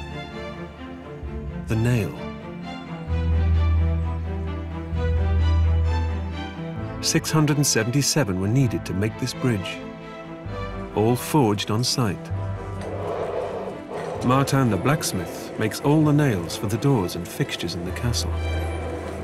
Inspired by a popular story from the Middle Ages, Ruth has come to the blacksmith's forge. I'm going to have a go at making a nail. This, believe it or not, is a really female activity. The story goes that when they needed the nails to crucify Christ, the blacksmith that they asked refused to be involved, and his wife stepped up. I'll make she said. it was a story that had a lot of popularity in the 13th century, and as a result, there are lots and lots of pictures of women working at a blacksmith's forge, nail making. Frequently rather ugly, demonized women. Great big hook noses. But dressed just like me. This one little piece of metal that we're working, how many nails will it make? Maybe between 10 and uh, 20, maybe? It's not many, is it, for this Not much many. work? I mean, I suppose that really explains why things like furniture are made entirely with, no nails. They're all made of wood with wood joints. So you only use your nails where you really need them. It's a, it's a precious thing, the nail. It's a funny thing that when you talk about the past and you list all the crafts, people imagine that that means it's only men. If you look at the lists of guilds people in London and indeed in Paris, it's amazing how many crafts are in fact headed up by a female name. There were female blacksmiths. Once the iron has turned red in the hearth, it softens and can be worked. Almost ready. Almost ready. Ruth is going to try smith and striking with Marta. I can scarcely lift this hammer, let alone do anything useful with it. We'll see. Scary moment. I've got a block of wood to stand on because I'm short.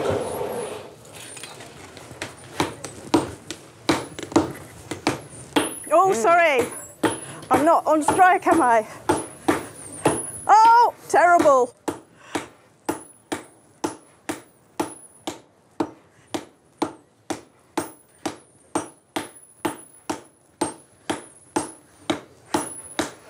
Okay. Woo! Good.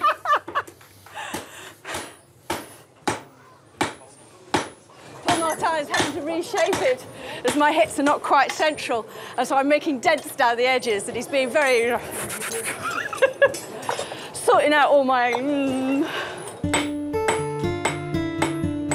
The metal is heated again and again, Nice and sharp on the end. and gradually driven into a point before being squared up.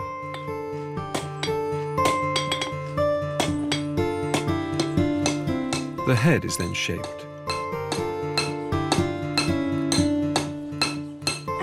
Clouted. That's it. And just straightened out. And plunged in the water to cool it.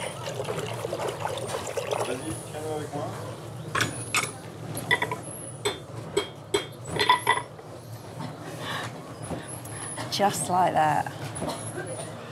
I can really see why 13th century people were finding ways of using as few nails as possible. Such a lot of work.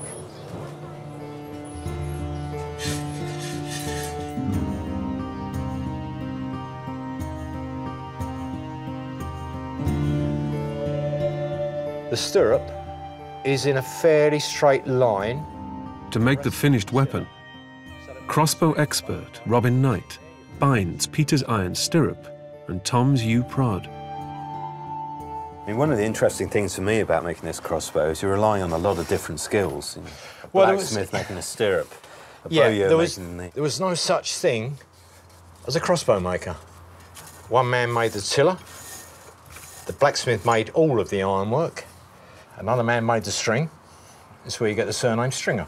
When the, the guy at the end of the process got all the bits together, he didn't know how each individual part was made because to him, and they, the, the trades were, before the guilds, were called mysteries, to him it was a mystery. Right, He that's just, simple. he just wasn't aware of how it was done. Group of individuals with very specific knowledge and skills. Exactly. Bringing together almost like a, a flat pack of a crossbow, and then one Yeah. man One man put it together. Uh, what separates the crossbow from the longbow is really in defence. You don't actually need a huge amount of strength or skill to training. use it. Use training it for training for longbows took from about the age of seven.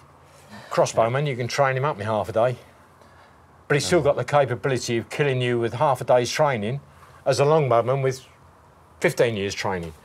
I mean, this is a weapon that But was actually the- banned by the church, wasn't it? It was A that. weapon unfit to be used on Christians, only to be used on heathens and Saracens. Nobody liked crossbows. Unfortunately, you get the oddballs like me that sort of quite like them.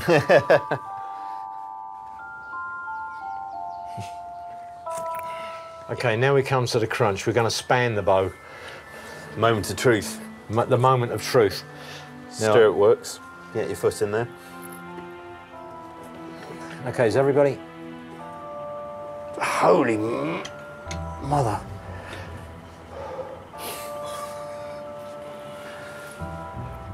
So That looks, that looks pretty good, doesn't it? It looks solid. It's a proper piece of killing machinery, that.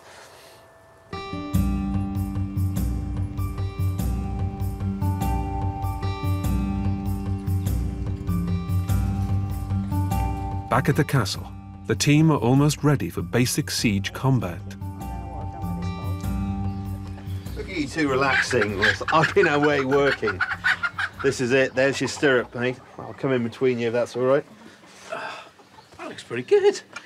Are you surprised? Yes. Fair enough. I'll be honest, it wasn't me that did most of it. this is our medieval killing Oh, I've got machine. the- got the other prevent- bit. That's quite a long trigger there. It's a long trigger. Oh, wow. And that's our ammunition, is it? Oh. Okay. Yeah, it looks quite deadly. God, that, that looks horrible, doesn't it? When you think if you've dipped that in you know, some animal dung or something like that, you've actually got a biological weapon there as well. Mm. You're going to infect someone, even if you don't kill them straight off.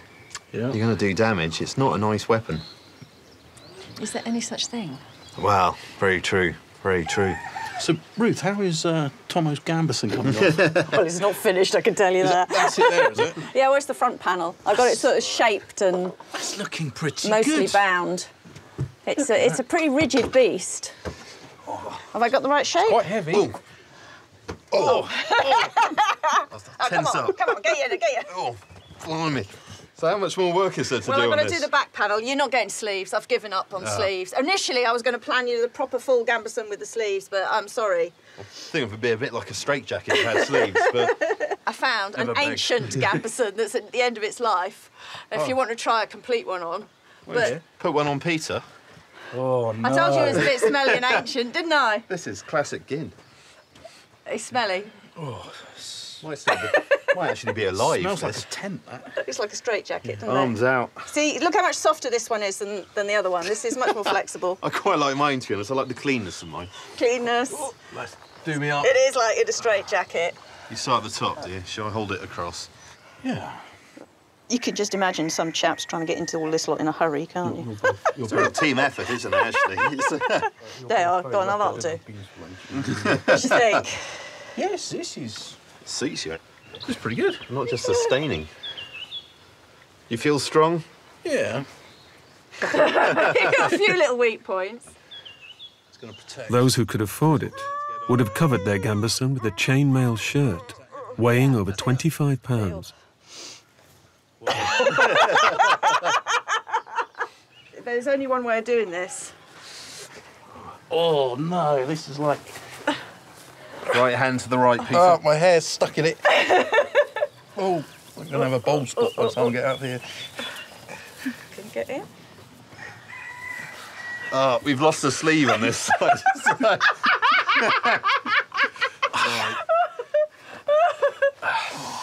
That's so glamorous. Here we Yeah, go. Pull your sleeve up. Ah. There we go. Oh, How's yeah. your movement now? I mean, see, it's a It's bit, good. It's it, bit more restrictive it's- under the arms. It's actually not that restrictive. It's just the weight, you know. It's it heavy. is. It's It's heavy. really heavy. But it's not that heavy. I can still. Do this stuff. Uh, you see the chainmail on, it actually looks like it would give you better protection than I thought originally against something like it this. is quite dense, isn't it? That's fine. That is actually. That's actually fine. I'll take a run up. Close contact. You're going to be Yeah. pretty safe from a sword blow, aren't you? In that? Yeah. Now we get to see him taking that off. We're not going to help him then. No. Oh, sorry, Peter. No, no, this is going to be the amusing moment. Oh, here we go. I've seen some, I've we seen some wonderful period images of blokes trying to get out of their, their mail shirts. Go on. Here we go. Here we go. The years I spent in the asylum. This is exactly what the pictures show.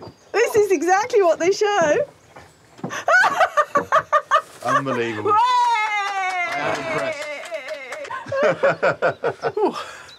Wow, that's a weight off your shoulders.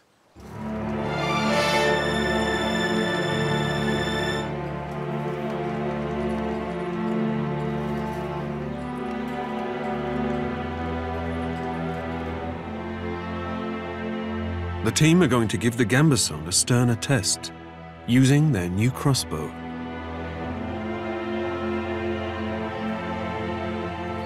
I can't tell was you how glad I'm not really in the 13th century facing an invading army. Already. I just can't imagine how horrible that would be. Bolts shot from a high-powered crossbow could be as deadly as bullets and shell fire. Okay, you can duck down so you can rest. Hide. Thumbs on there.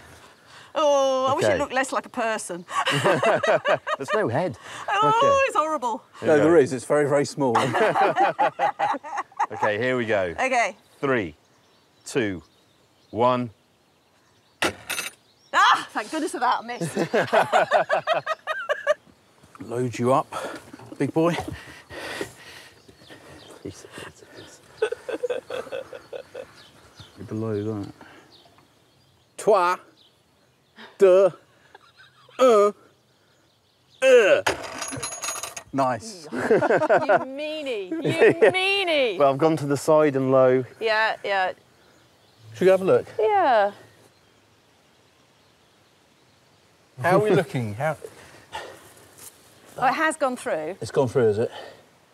That okay, much. Yeah. I really right. expected that to be, you know, up to. Yeah, up to I flight. thought it was going to be spaded into you. Yeah. But let's not forget the, uh, the quality of the gambeson. You know, that layered approach has obviously worked.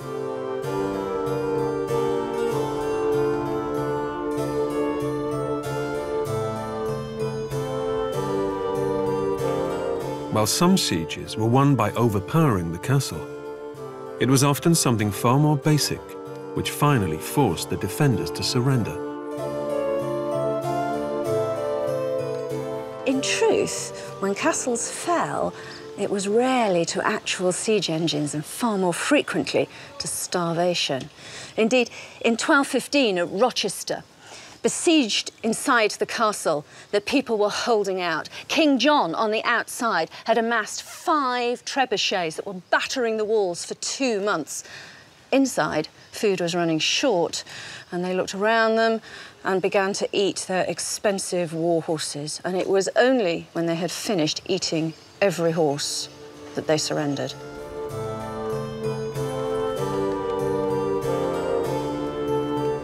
Defending your food was a vital aspect of strategic castle design. With this in mind, Guédelon's Great Tower contains its own food store and a well. It's the castle's ultimate stronghold. If the walls were breached, it would be possible to fall back to the Great Tower. Next to the Great Tower is the kitchen, where Ruth begins preparing a meal fit for fighting men.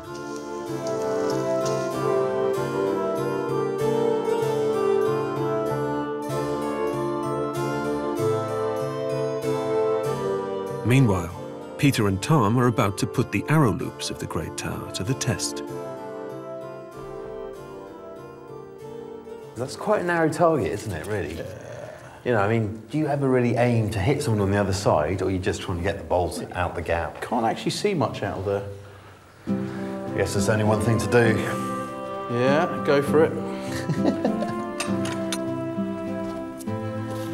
Are you aiming for anything out there, or are you just... Aiming for the gap, my friend. Aiming for the gap. Right, bolts in, touching string. Okay.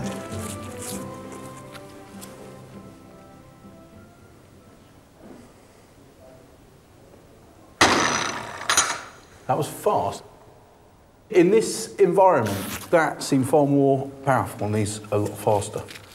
Well, I guess from a defensive point of view, then, something like that, shooting out the, the loop, you know, it's a bit of a fear factor straight away, isn't it?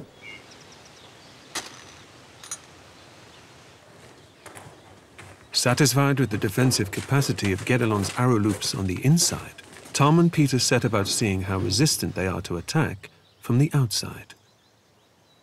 Do you think we can get a, a bolt through that gap? Luckily, we're not under fire. Um, we're not uh, a rockstone at us. I reckon we could definitely do it in six. Should we give it a go then? Yeah, let's give it a go. Okay. So you're going to load for me? I'll load. Arrow in the groove.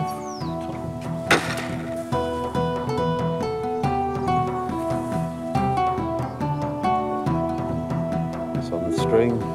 It's loaded. Oh, that was terrible. That no, it wasn't.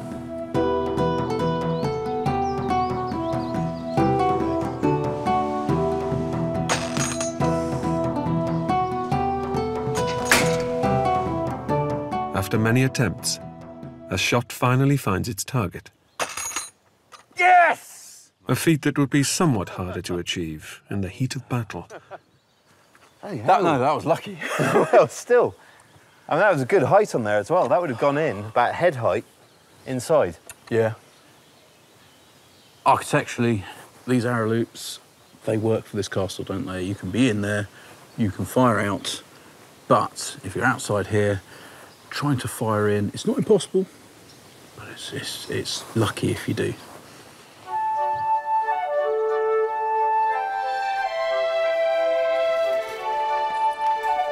While Peter and Tom return to the building work, in the castle kitchen, Ruth is preparing food for medieval men at arms.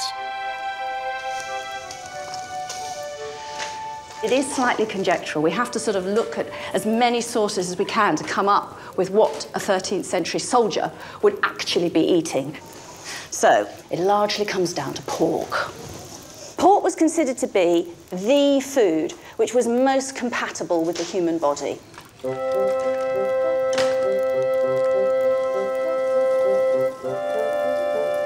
Medieval thinking was that the body of someone of high social standing digested and responded to food differently to that of a common man. So their food needed to be cooked differently. For the common soldiery, it just all goes in. Fat, skin, marrow, all good for building strong fighting bodies. This broth or pottage simply contains pork, onions, beans and some herbs. So that should just quietly cook for the next couple of hours. So almost the same ingredients. Pork, the beans and the onions are also going to form the basis of dishes suitable for the Lord. But it is the cooking methods that make the difference. 13th century medical ideas thought of the stomach as a cauldron that had to cook through the food. They thought that by cooking food itself, you could be helping the stomach to do that process. So for the Lord, we start by boiling the meat. It's parboiled, part cooked by boiling it.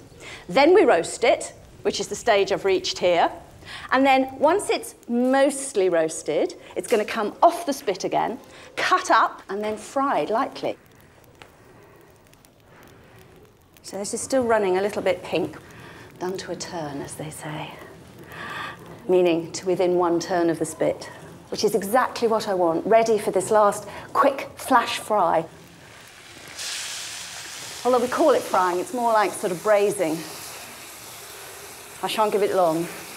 About two minutes, and it'll be done. And that with the beans and a sprinkle of dandelion leaves should make him one of the most fearsome warriors in Christendom.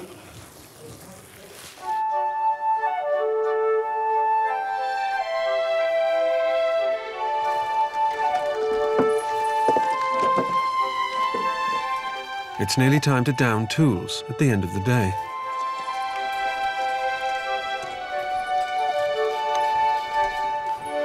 But first, there's a special delivery to the top of the tower.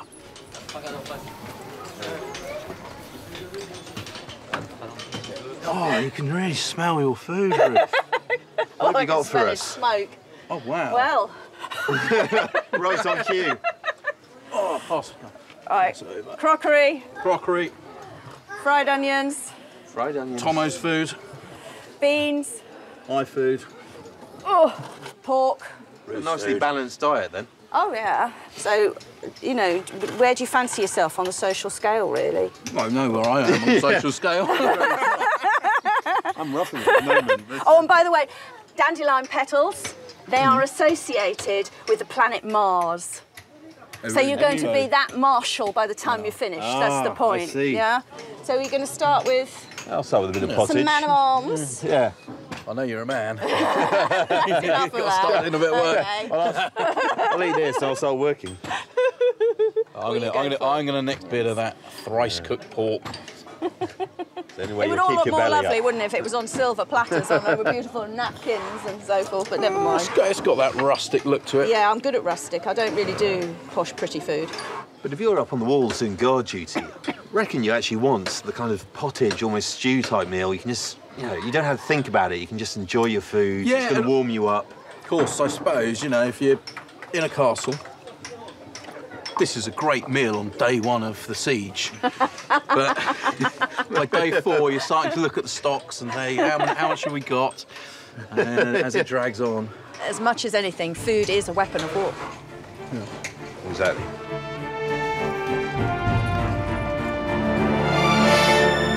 Castles dominated the medieval landscape, and Britain has some of the finest in the world.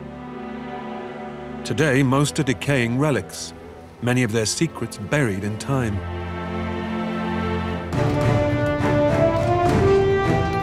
Now, historian Ruth Goodman and archaeologists Tom Pinfold and Peter Ginn are turning the clock back to relearn the secrets of the medieval castle builders. This is the ultimate in medieval technology. The origin of our castles is distinctly French, introduced to Britain at the time of the Norman conquest of 1066. 3, 2, 1,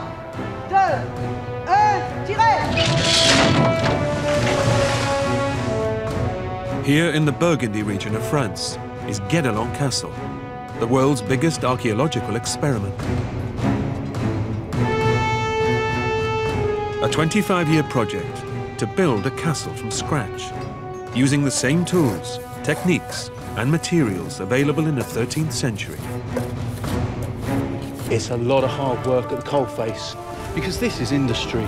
For the next six months, Ruth, Peter and Tom will experience the daily rigors of medieval construction Drop down. Yep. and everyday life. Looking really good, you know. How workers dressed Oh, and ate you can really smell your food. Ruth. and the art of combat. This is the story of how to build a medieval castle.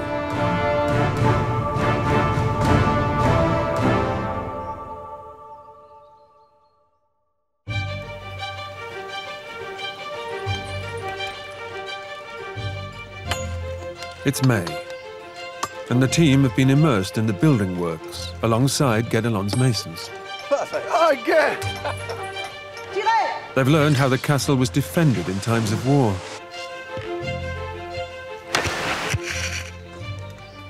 Every stone has to be in line because this is going to go up and up and up. Now the team discover the surprisingly colourful world of 13th century castle interiors.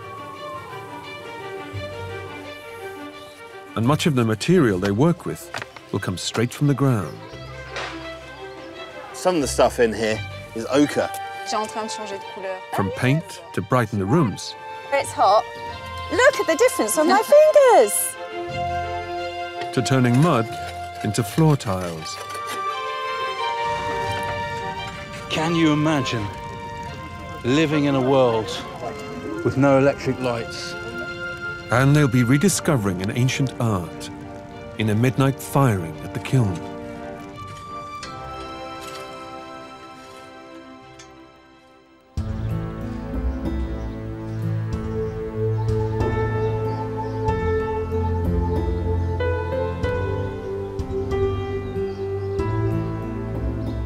The medieval castles we're used to seeing today are scarred by centuries of warfare and weather erosion.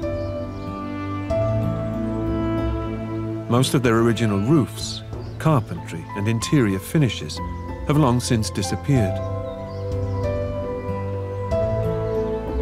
But these drab walls are a far cry from how they looked in their heyday. This is how many of us think of the interior of castles.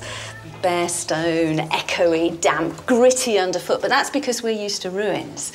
When they were in use back in the 13th century, they were rather different. You have to imagine tiled floors and plaster on the walls, perhaps painted, whitewashed, and then hangings of fabric over the top. Filled with furniture, and that too is covered in fabrics, cushions, all sorts. An entirely different beast.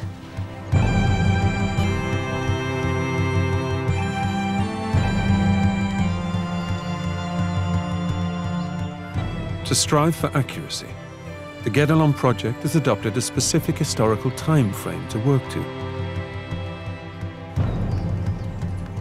The castle is being designed and built as it would have been in the France of the 1230s and 40s, during the reign of King Louis IX.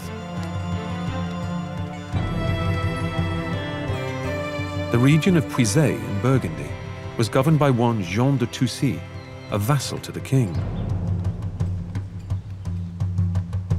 In turn, de Toucy was the overlord of several other lower-ranking noblemen.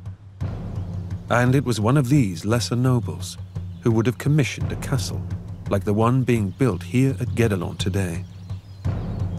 It's not a grand royal castle, bristling with military might and enormous wealth, but a fortified residence of relatively modest taste and design, according to the rank and means of the imaginary lord of Guédelon.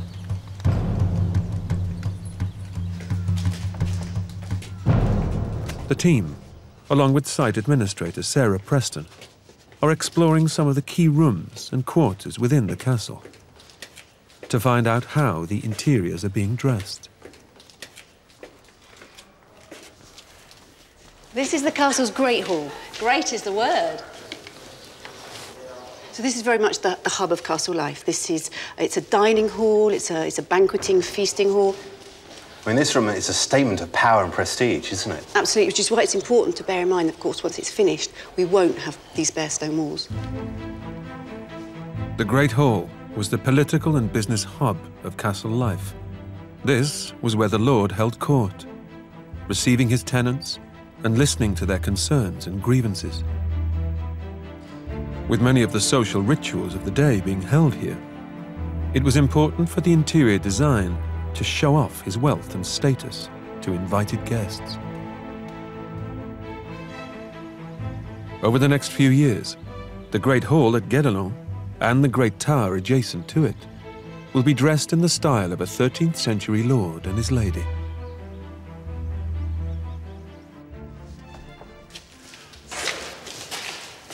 So this is currently the Lord's chamber. This is where the Lord would sleep with his wife and his children. It's certainly a residential chamber. You can see that from the fireplace on the wall behind us.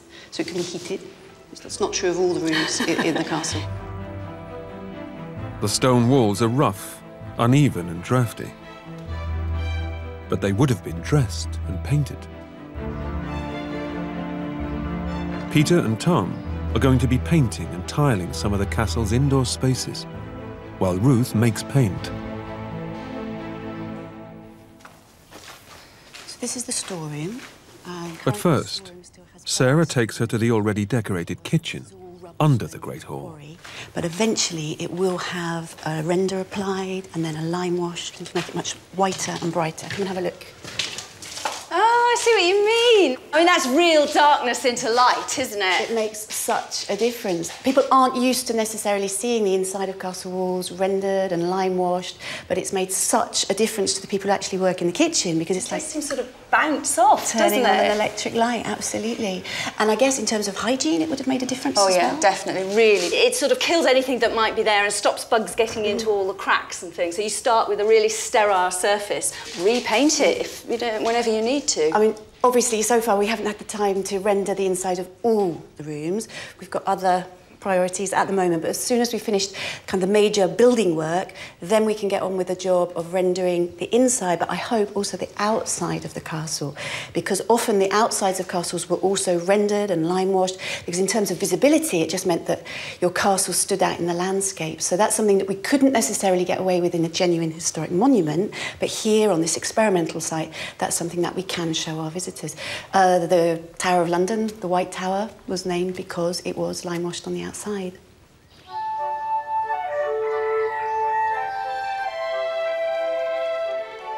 The tower nearest the quarry known as the Quarry Tower, would have been a guard room or shooting gallery. Even this would have been brightly decorated. The boys have been tasked by stonemason Fabrice Mangot with rendering the interior wall with lime mortar, the medieval equivalent of plaster. We're going to use two and a half buckets of sand and one lime and water and mix it in. What we're looking for here is the right consistency. Keep on adding a little mo- moisture, turn it in, turn it in. A bit more. It's okay. Are you happy? Is that good enough? It's good. Yeah. Cozy workspace. Fabrice demonstrates how a medieval wall is rendered. Put some water. We're not drenching it though, are we? Just dampening the stone. If you don't put water, mortar. Uh, just, it just won't stick. Right. Okay. Archaeological research has revealed that rendering wouldn't have been applied in several smooth layers, but with a single rough coat, using a technique similar to spreading butter. Interesting technique, isn't it? Keeping the board close to the wall, pushing the, the render up. You understand? Right. Shall I go first? You want to try? Yeah, give it a go. Let me get it wrong. yeah, I'm going to learn from your mistakes, my friend. Um, so to do a turret like this, how long do you think it would take? Two, three days. Two, three days. That's 10 days for, you, For Thomas. two mason. At least 10 days for me. Good luck. we'll need it. See you later. As the lime mortar is relatively porous, it will draw out any dampness in the wall, and so help to preserve the masonry underneath. It's interesting, isn't it, that we're only putting on one coat, that butter coat. But this is an established practice, isn't it? You always think when you go to the ruined castles in the UK or around Europe, these bare walls are what they were looking at. However, not the case. It was a prestige thing to get a layer render up, decorate it. Yeah, I mean, castles, uh, majority of castles, they are just ruins, aren't they? You're coming to them very long after their lives.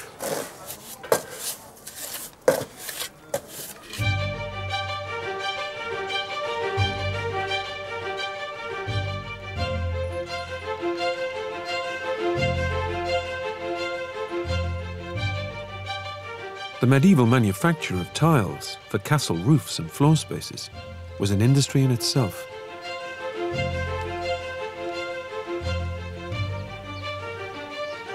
So far, at Guédelon, 28,000 tiles have been created for the roof of the Great Hall building alone, a job which took four years to achieve. It's estimated that a total of 80,000 tiles will be needed to cover the roofs of the castle in its entirety.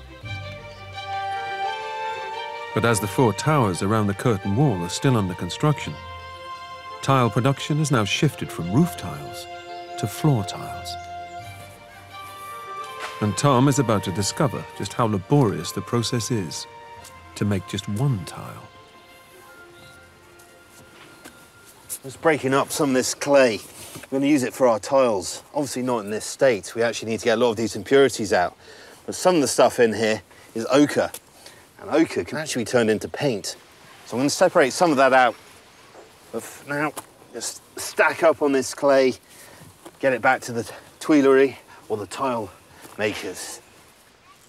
In the 11th century, many hamlets and villages in France specialized in tile production to meet increasing demand from the local nobility. And as the medieval tile trade grew, so did the strict regulations it was governed by, designed to standardize production. Ah, that's the thing about clay, isn't it? It's not easy to work. You can feel all the muscles getting involved. You take some there. In 1280, a decree from Toulouse stipulated that good tiles may only be made from well-pugged clay, well trampled underfoot, and not over dry. It feels nice, though. Is this good for the hands, good for the skin? Very nice for the skin, yeah. Some people are paying for this. Lucky us. I've always wanted soft hands. Tom and tilemaker Emeric Guyot are now removing any twigs and stones and making the clay homogeneous and malleable. Ah, so this hard lump here, this could be ochre. Yes.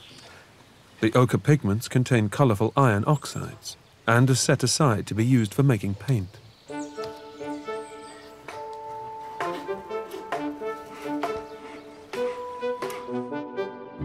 An integral feature of castle design were the toilets. They were known as garde-robe, the French word for wardrobe.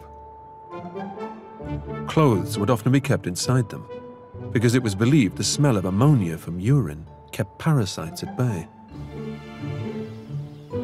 Garde-robe were often built out of the castle walls to allow the waste to drop down through the hole to the ground or moat below. Guédelon keeps a wooden grill over the holes to dissuade any modern-day visitors from attempting to spend a penny. It's a big question, isn't it, how people use garde-robes? There is little bits of evidence in the earliest of the manners books, which are aimed at pages who are serving a knight and they're hoping to become a squire, become a knight. So it's, it's for little lads, you know. Their first job of the day, before their lord is up, is to prepare the privy. And he's told to make it extremely clean. He's got to sweep it out and make it clean. He's also got to put cloths in there. Not quite sure how the cloths were used, but they're to go in there. And sweet-smelling herbs. Yeah. So that it's somewhere comfortable and pleasant to be. So at least for those at the very top of society, going to the toilet ought to have been Quite a nice experience. Yeah, I, th I think, I mean, it wouldn't have smelt too bad. I mean, I know the poo's going down, and yes, if it's not getting moved, there might be a bit of wafting up. But those herbs would certainly have taken the edge off. And there is, of course, the question of toilet paper. There is. I mean, many people think leaves and moss, but let's face it, deforestation. Where the heck are you going to get a leaf of the right size in the middle of January? I mean, honestly. And then you also you think, well, moss, but you'd, you'd have to have moss plantations, Yeah. wouldn't you, to keep a big community going? It gets very, very dry in summer. So, I mean, there's nothing to say that people didn't use. I mean, you know as well as I do that archaeologically all sorts of things turn up in cesspits. So, probably people used whatever was to hand. But I do wonder if maybe the more normal system, especially in a castle, would have been to have your own cloth or rag or flannel to wash yourself with. Or even a communal rag. Quite Or possibly. washed out in a bucket. Washed out in a bucket. It, it's perfectly possible. For these privies, that well, it certainly needs a coat of render, coat of lime wash, probably a loose seat. I think a door might be a good idea too. And a door.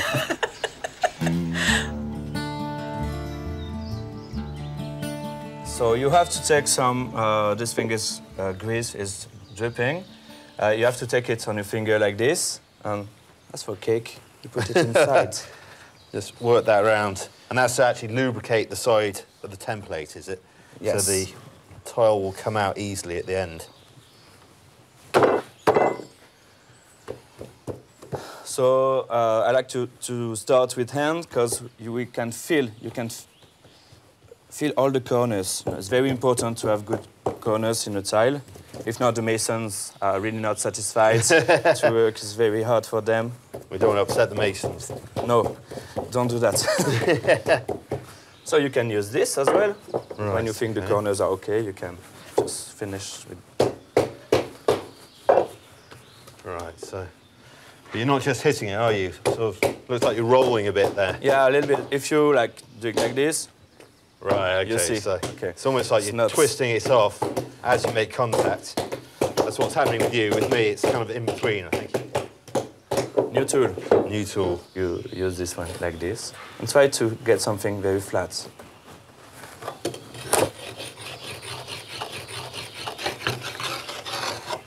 So we have to to see if it's okay on the other side. When there's a problem, it's always with the corners, always something with the corners. Okay, so So we up. have to check the corners. Okay, my corners are good. What do you think? This is perfect. Oh, yeah? Very good. Yes, yes. Masons will be happy. Okay, you put it there and you do like this. With the grease poke, normally it is going. But you have to sign with the name of this place. And basically, that's like quality control. Yes. And if we've done once, we've got another 69 to do. Yes. Go back to work.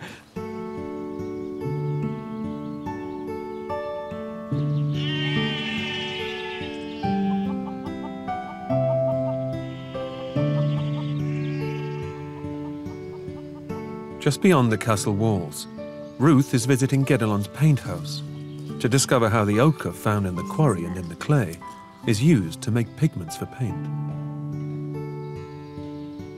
I'm going to start by grinding down the earths.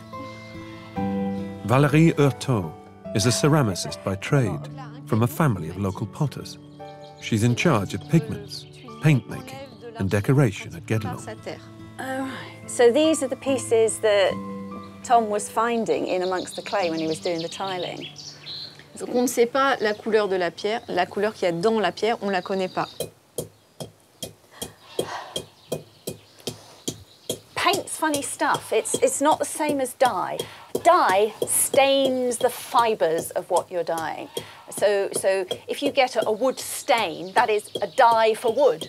Um, because it, it, it's dyeing the wood fibres in the same way as cloth is a dye that stains the fibres. Paint is different. Paint is bits of coloured stuff that are glued onto a surface. And so if they're very big lumps, the amount of light coming off is quite small, the colour looks patchy and thin. If you can make the particles very, very tiny, the light will refract off them in a great burst and you'll get a really strong, intense colour. I mean, I shouldn't think a 13th century person thought about light refraction, but they did know that if you grind it thoroughly, you get a much better paint. It's not a bad colour, is it? Look good against the yellow. I've got the yellow still on there. Yellow ochre is the other key colour found in the natural Guédelon ah, environment. Ah, tout à l'heure, je n'aurais pas dire, mais bon, c'est pas grave. Donc on mélange. This really is the colour of Guédelon. Oui. Look at that. When you're around here, everything's this colour. Absolutely everything. That is the dust that we breathe in whenever you go anywhere near the castle. It's what grinds underfoot. It's the, you know, just look at the place. This is the colour of the ground. So having sort of crushed it up a bit and dissolved it, we're now sieving it. We want small particles. As the mixture settles, the heavier ochre particles fall to the bottom, and the remaining liquid is left out in the sun to dry. The finer particles left behind are then ground down into a powder. It's an enormous amount of work to grind this down to the fineness that you need, but when you just see the range of colours that have been produced just out of the earth of Guédelon, you can see why people would bother. Just look at it.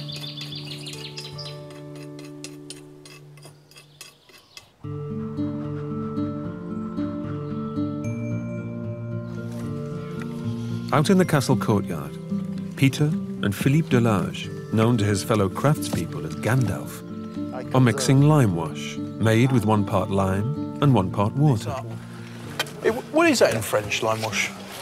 D- Is it is- lait de chaux. Lait de chaux? Oh, milk, milk of lime. How, how can you tell it's good consistency? There's more. on the Oh, it's really good. Is that that's good? Yeah, that's yeah. good. Oh, should be enough. Yeah. I'll grab that bucket. Yes. Come on. Up the tower. Peter heads towards the Lord and Lady's bedchamber in the Great Tower. To brighten things up in the garderobe,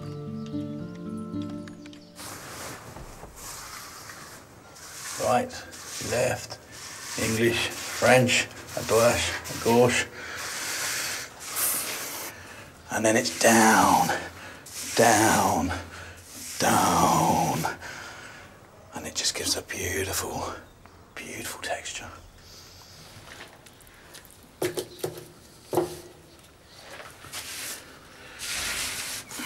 I know at Guédelon there was a massive debate as to whether, you know, they should leave the stones, the walls bare, because all this work had gone in by the masons to, to put the stone there. And they say if you cover it up with mortar, if, with render, and paint it with lime wash, the public won't see it.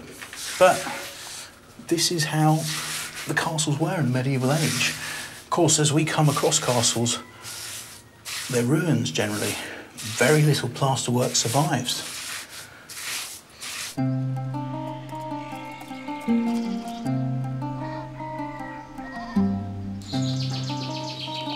Ruth and Valerie experiment with a bit of 13th century chemistry. So this is the local yellow ochre earth. Oui, oui. And we're cooking it. Parce qu'il va devenir rouge. So we're trying to turn it red. Oui. It's quite exciting, isn't it, that this just comes out of the ground all yellow. And you can get this range of colours. Là, il est déjà, il est déjà en train de changer de couleur Oh yes. sur le bord. Yes, you're right. I can see there where it's hot. Look at the difference on my fingers. Yellow ochre is a hydrated iron oxide, known as limonite. As it heated over the fire, some of the limonite turns into hematite, turning the ochre into rich, darker shades, such as burnt sienna and burnt umber. Pigments like this are really ancient. Right across Europe, if you think of those cave paintings right at the dawn of human history, this is the sort of paint that they were using to make them. And if you think of Britain, the Picts, think those people are known or described in the ancient Roman texts as being covered in red paint, the red men, and the Irish talk about it too. It seems to have been a really Celtic thing to do, to paint yourself with red and yellow ochres. Vraiment rouge. Oh, uh, look at that.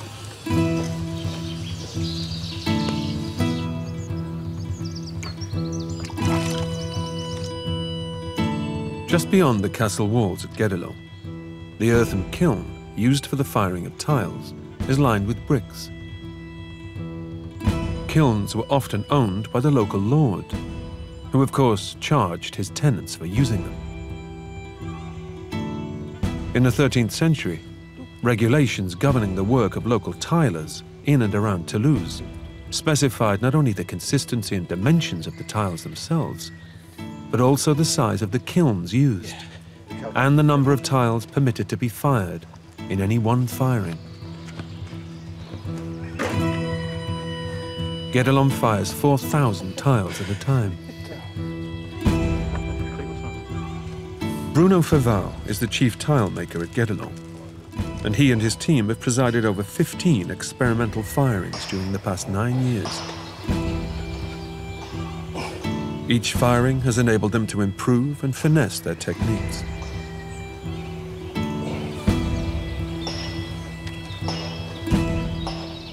The way they're placing them in the kiln, they're leaving gaps so that when they fire this, the flames can work their way up through every single tile and hopefully be an even temperature, making each one hard, each one a very similar colour and, and, and making sure there's no losses. Um, mean, one of the problems with these tiles, when you dry them out, if there's any water in there and you fire it too quickly, the kiln, that water will expand because it will turn into a gas. It will blow the tile apart. You'll hear a pop. And if these are stacked incorrectly, if one tile goes, several tiles could go. They've been doing this for a number of years. They know what they're doing. It's, a lot of this is trial and error, uh, experimental archaeology. They, they, they know what these kilns look like from excavations that have been done in the UK, that have been done in France. Now they know how these kilns actually work because they've been working these kilns.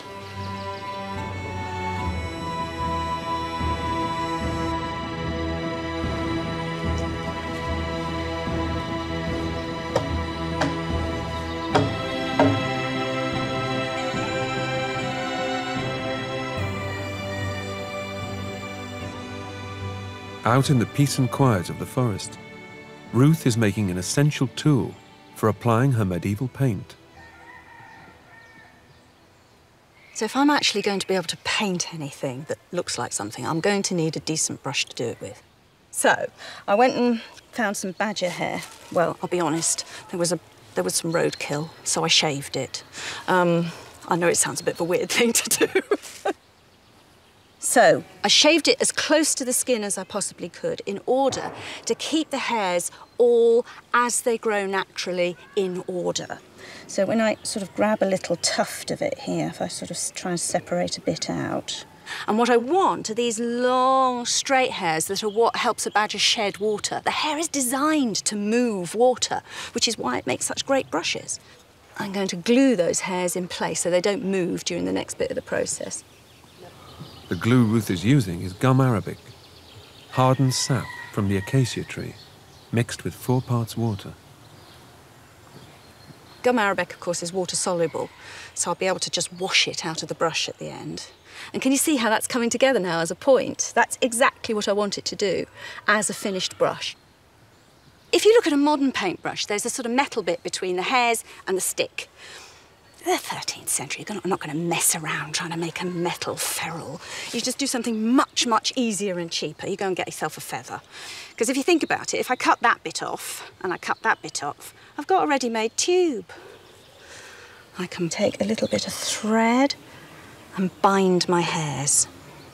Just whipping them into place. As tight as I can manage. And I've got a nice firmly held little paintbrush head, which I should be able to poke through. There we go, you can see how firmly that's in there now. See? Paintbrush head. All I need now is jam a stick in the other end. Done. That looks like it'll work, doesn't it? The pressure's on at the tile kiln. The 13th of May in medieval France was regarded as the day of the holy ice. It was believed to be the last day of spring in which a hailstorm would occur, sent by God as a sign of his omnipotence before the arrival of summer. And as hail often turns quickly to heavy rain, that could have disastrous consequences for the fate of this batch of tiles. This firing has already been held up for several days, owing to heavy storms. And once again, dark clouds are looming overhead.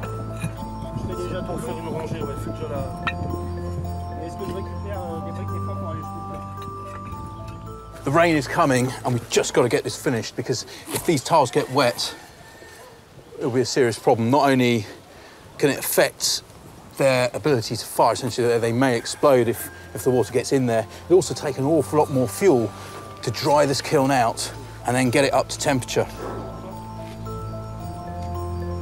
Medieval tile makers would probably have used mud, earth or wooden boards to weatherproof the tops of their kilns. But for reasons of practicality and efficiency, Guédelon relies on sheets of 21st century corrugated iron. There isn't a moment to lose. Here it comes, the holy ice. The hail. The last time of the year you'll get hail. And almost as if on cue. As feared, the hail quickly turns into a downpour. The kiln will remain covered for several days to allow the soil around it and the wood required for firing time to thoroughly dry out. Only once Bruno has assessed that the ground and climate conditions are optimum will the firing finally take place.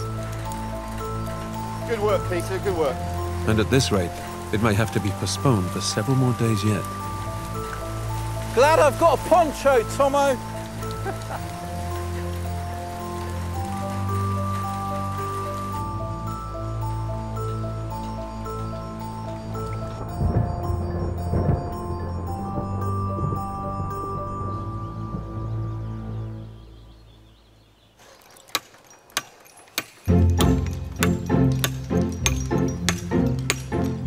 While the tile firing is on hold, progress is made on the chapel tower.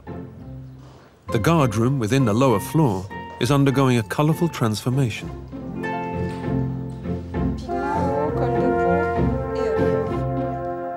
Valerie and her colleague Aurélie Payard are using the Guédelon ochre to paint a design on the walls, known as fictive masonry. This was a popular style of artwork among the nobility and royalty throughout Europe in the mid 13th century.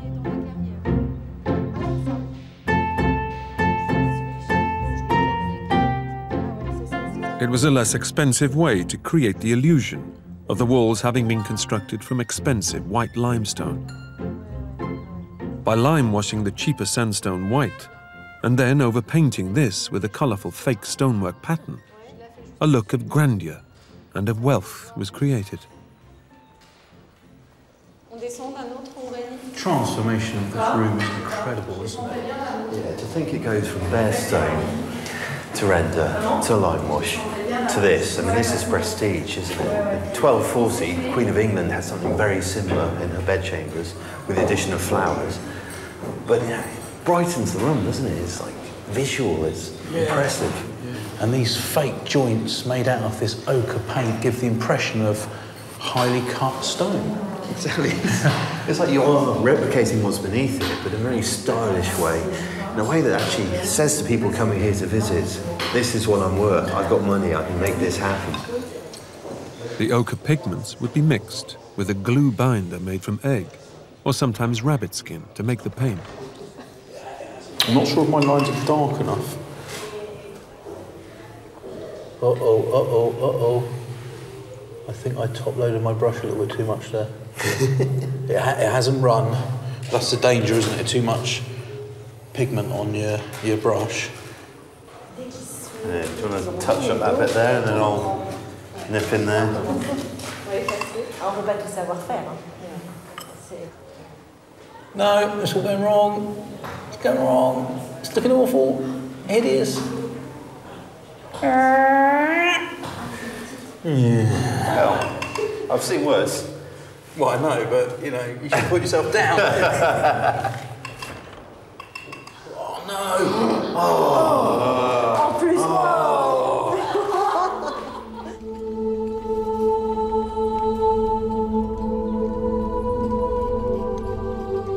Every aspect of Guédelon's design is planned by a scientific committee of experts. They work closely with the staff so that every feature is based on authentic primary sources of historical evidence.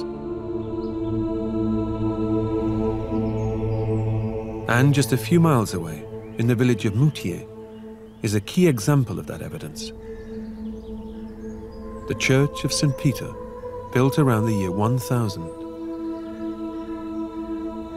The Church of the Middle Ages was a huge and wealthy landowner, which exerted a powerful influence over people's lives. And the interiors of its buildings often set a benchmark for the tastes and trends of the era.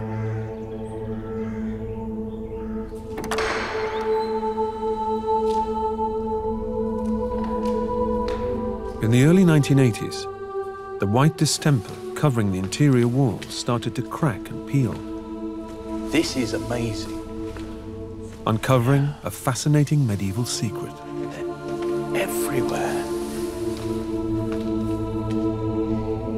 A painstaking conservation over the next 10 years revealed these stunning ochre murals from the 13th century. They've provided Guédelon with an authentic and illuminating resource from which to draw inspiration for the interior decor of the castle. This is the panel that we're particularly interested in in terms of the work we're doing at Guédelon. It's amazing. You can you can pick out there. You can see the frieze Yeah. and these five petal flowers. You find these all over the place. Very pop art, but it's pure 13th century. Of course, the church would have been absolutely central in people's lives. Hmm. Everyone locally would have had to have come to this church. So the paintings on these walls aren't just decoration, they are here to tell stories. They can be read very much like a cartoon strip. Right. It's almost the entertainment of the age. The biblical story just laid out in scenes. And I like the way that the artists have also taken uh, the opportunity to retell the story uh, in their way. If there was any kind of friction between them and the church, look, we've got Eve here, Yeah. sashaying away, being very cheeky, Yeah. giving the wink to Adam, just Yeah. behind here. They have a, a wink. We can't see what happens behind the pillar, and then afterwards they've got a harvest and a child. So I wonder what the reaction was, because presumably the villagers would be in on the joke. Only we knew.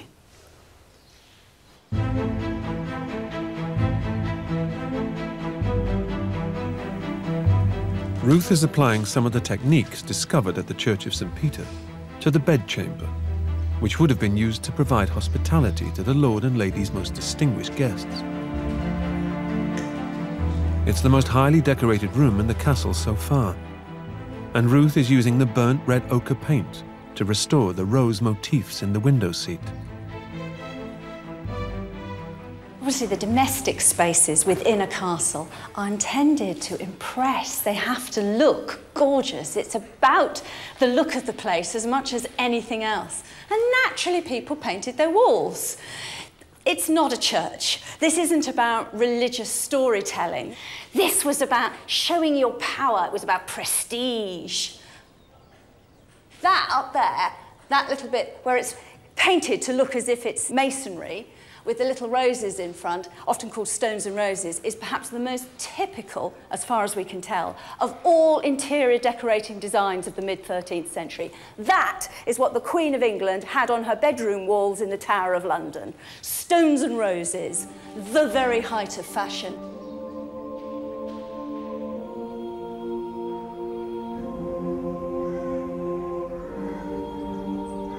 Back at the Church of St. Peter in Moutier, Sarah explains how the paintings on these walls have informed the way in which Guédelon's interiors are decorated.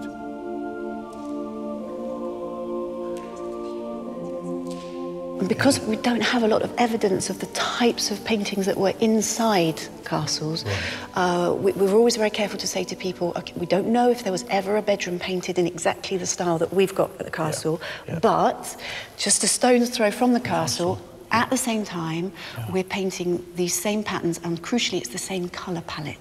This is just like walking out of the quarry, isn't it? We've got the red ochre, the, the yellow ochres, the browns. I have to say, I mean, you look at the masons when they come out of the quarry and that kind of the dust and the ochre that's on them.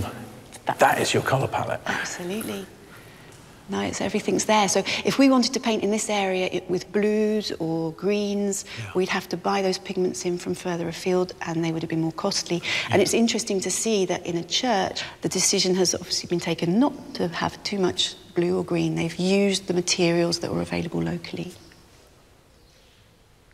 Artwork like this just doesn't really survive in castles. Castles are generally ruins, but churches, they're such a, an important historical reference. No, that was a, that was a, certainly a, a challenge for us, in that we were aware that there are very few models of the types of paintings that there would have been inside castles at this time. It was a very deliberate decision not to use the human figures, Right. because obviously these are depicting uh, biblical stories.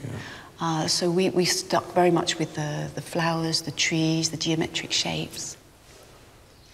But what we, we're wanting to do is offer people a vision of what a 13th century visitor might have seen and to get over the fact that the castles weren't bare stone, empty places. They were decorated and they were full of colour.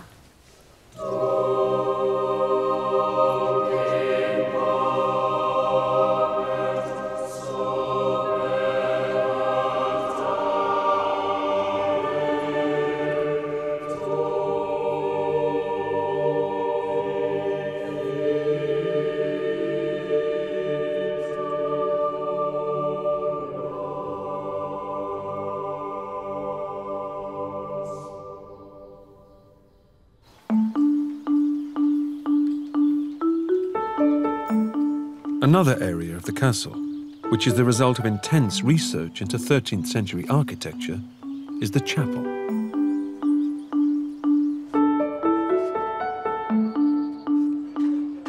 Clement Girard, the chief stone carver at Guédelon, is a highly experienced draftsman, but he's about to undertake his most ambitious project to date.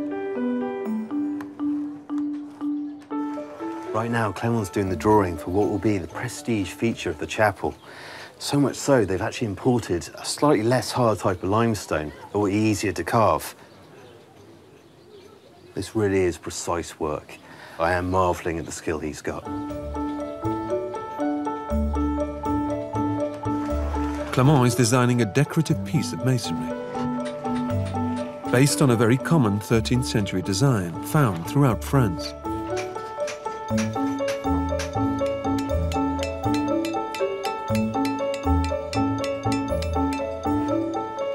It's a niche for the chapel wall, with a trefoil-shaped head, which will sit upon pillars, rising from two small basins called piscines.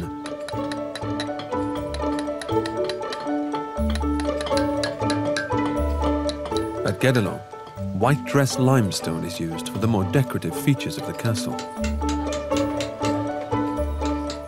Although it's quicker to dress than the quarry's hard sandstone, it's easier to chip, so great precision is required, and mistakes could prove costly.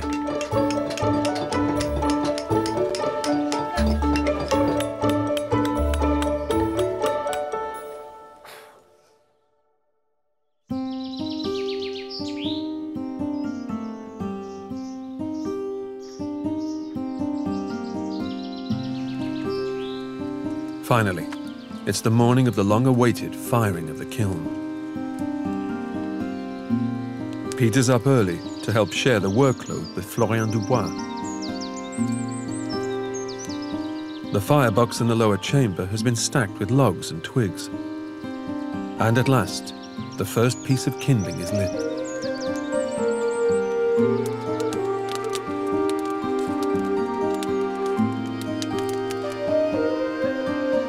Within seconds, clouds of wood smoke are billowing out of the top of the firing chamber.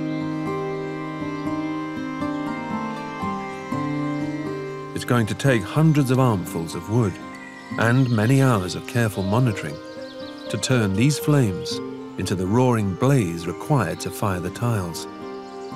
A long, hot, and exhausting day lies ahead.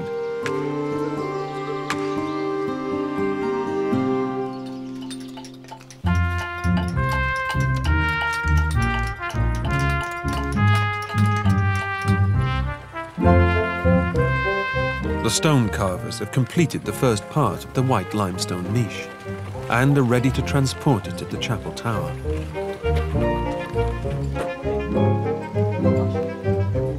The hoisting of the stone requires care and attention. The Lord, and all of those working for him, would have set great store by this sacred work of art.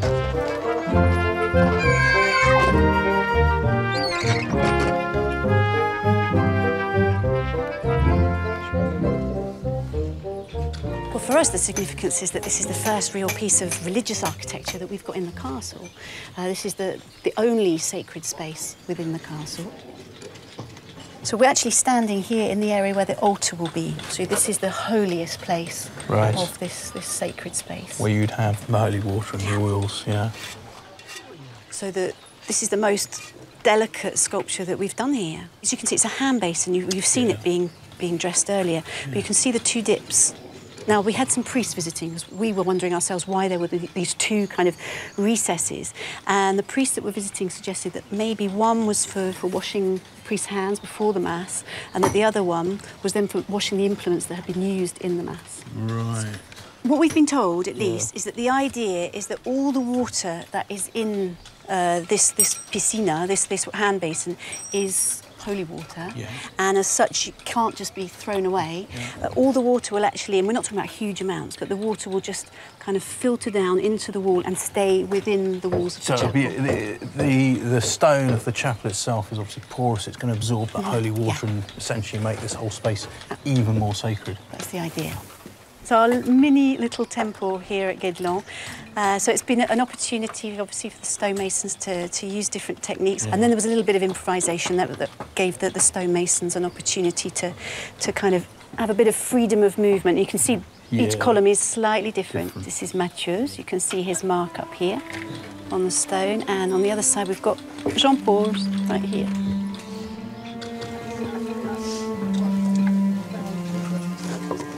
The mason's marks on dressed stones are a permanent reminder of the ancient skills and techniques of the medieval masons. Each one presents us with a unique signature of the craftsman who carved a particular piece.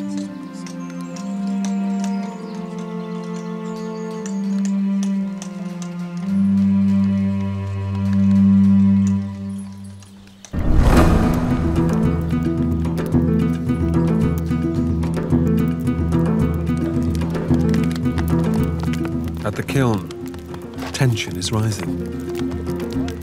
A month's rain has taken its toll, and the firing is not going to plan. Everything got wet. The kiln got wet. The wood got wet. So it's just taken that a little bit longer to dry everything out, get rid of the moisture. The blaze is still several hundred degrees below what it needs to be. Peter leads a frantic effort to try to save the 4,000 tiles inside. We know today the optimum temperature for successful firing is around 1,000 degrees centigrade. 13th century tilers relied on their experience, their senses, and costly trial and error.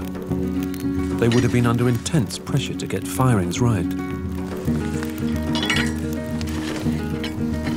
The kiln, it's just about getting up to temperature now. Ready to really feed up, and it's pretty soon those tiles will be getting close to firing. But it does mean it's going to be a longer day. I mean, the sun is setting in the sky. We're going to go late into the night. A tiler's trade depended on the local nobility's trust and the reliability of his product. And the strict laws governing the standards of production were rigidly enforced. Tiles must be correctly stacked. The temperature must not be too high or too low. The heat must be distributed evenly throughout the kiln. If not, the results could be underfired, overfired, or otherwise damaged tiles. And a medieval lord would neither accept nor pay for a single substandard tile. Failed firing had serious consequences for a tiler's livelihood.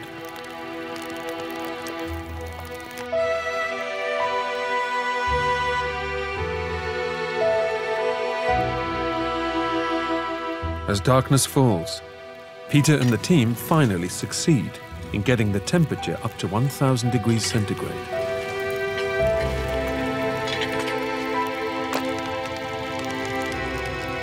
We've been working since this morning without stopping, and uh, now we are a bit tired.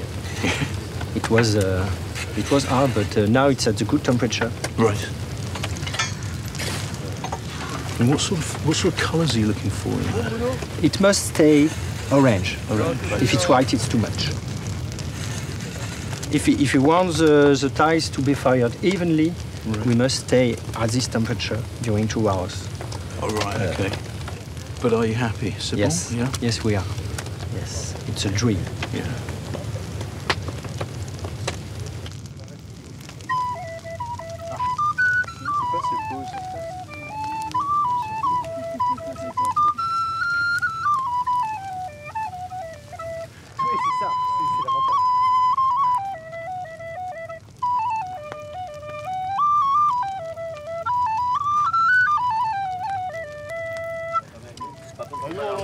Can you imagine living in a world with no electric lights?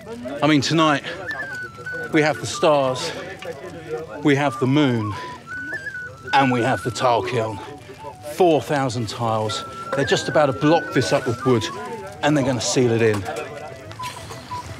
It's a lot of hard work at the coalface because this is industry.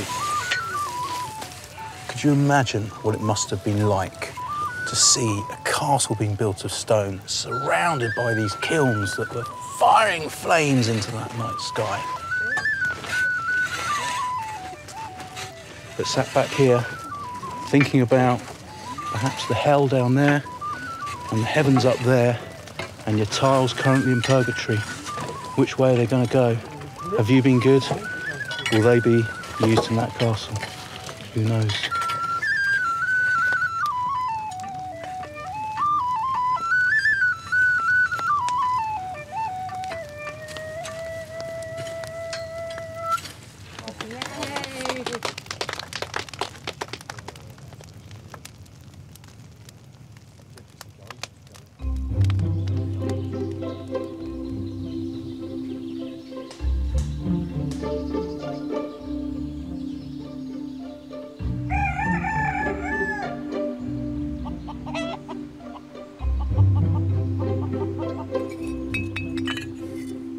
It takes several days for the kiln to cool down. Peter's helping to unload the tiles and examine the results.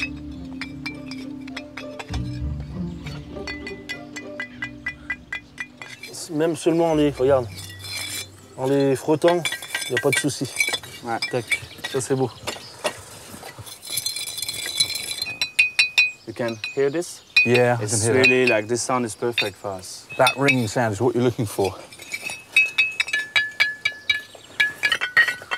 Hey, perfect sound. Ah, it's a, it's a good sound. So, um,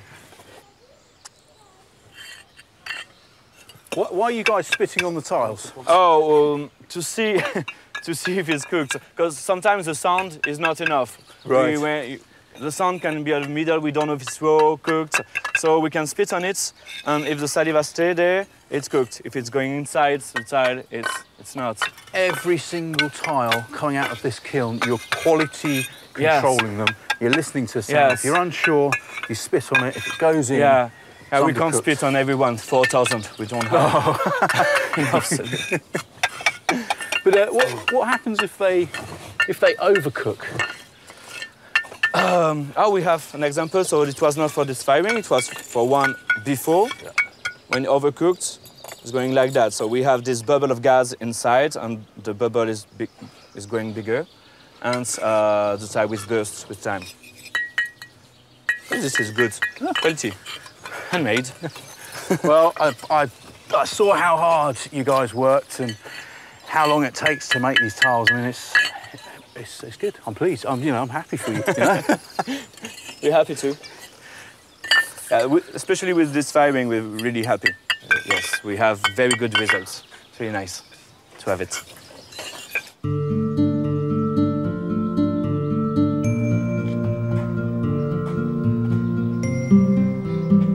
The fired tiles are now used to floor the fully rendered and lime-washed quarry tower.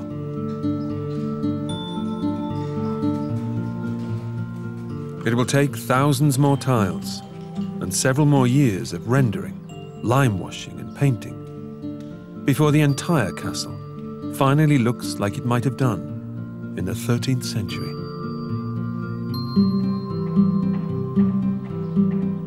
This is really starting to look like a finished castle, isn't it? You know, with the tiles and the walls all plastered and painted. It's starting to get that feel of a living space.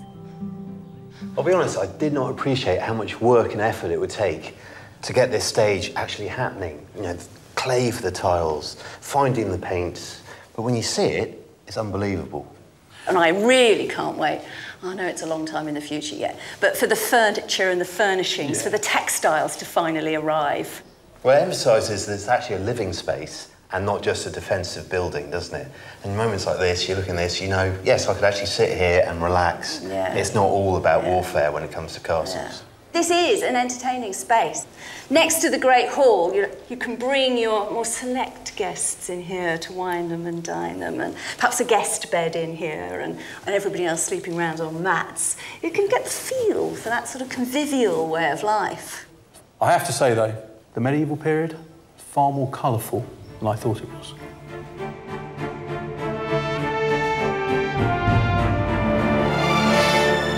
Castles dominated the medieval landscape, and Britain has some of the finest in the world.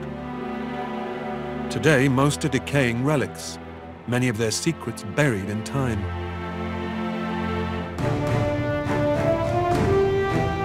Now, historian Ruth Goodman and archaeologists Tom Pinfold and Peter Ginn are turning the clock back to relearn the secrets of the medieval castle builders. This is the ultimate in medieval technology.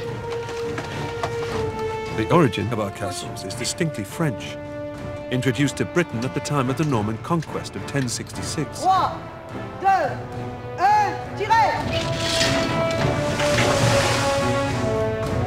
Here in the Burgundy region of France is Guédelon Castle, the world's biggest archaeological experiment. A 25-year project to build a castle from scratch, using the same tools, techniques and materials available in the 13th century. It's a lot of hard work at the coalface because this is industry. For the next six months, Ruth, Peter and Tom will experience the daily rigors of medieval construction Drop down. Yep, there. and everyday life. How workers dressed and ate You can really smell your food, and the art of combat.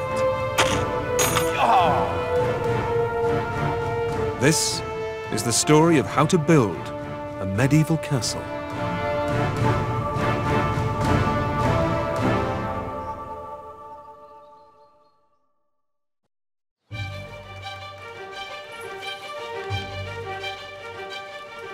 Four months into their adventure, the team have been immersed in the building work alongside Guédelon's masons.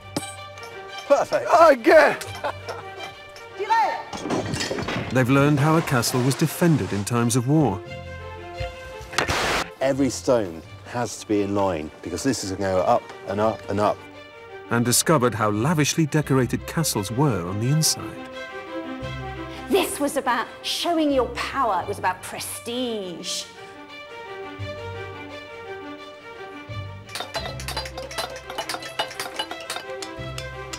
Now the team delved deeper to discover the secrets of the skilled communities whose combined expertise made such mighty castles. It's just this mass of molten metal.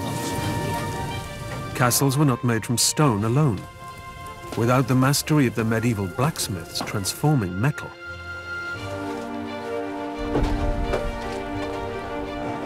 and the carpenter's sophisticated grasp of geometry, Wow, is all I can say. the castle could never be built at all.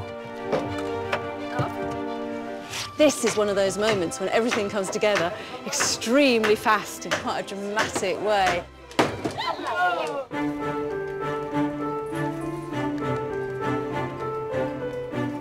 The first castles introduced to Britain by the Normans were mostly built not of stone, but of wood, making them quicker and cheaper to construct.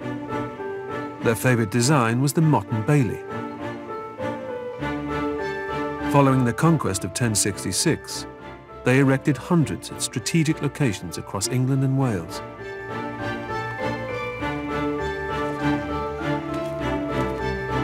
One of the first structures completed here at Guédelon is an example of a classic wooden Motte and Bailey.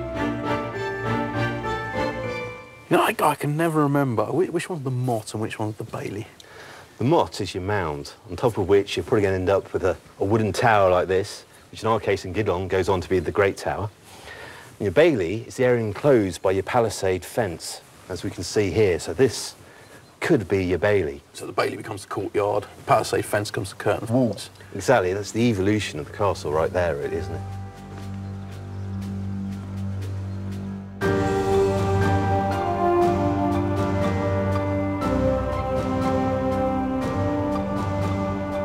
While most early castles were made of timber, at key sites, the Normans invested in stone, expanding on the Motte and Bailey principle of high tower and defensive surrounding wall, but using materials that were far more imposing and durable. William the Conqueror built stone castles to make a statement. Norman rule was here to stay. The fact so many of these castles are still standing after almost a thousand years is testament to the precision and skill of their builders. It's this remarkable standard of craftsmanship they're seeking to recapture at Guédelon.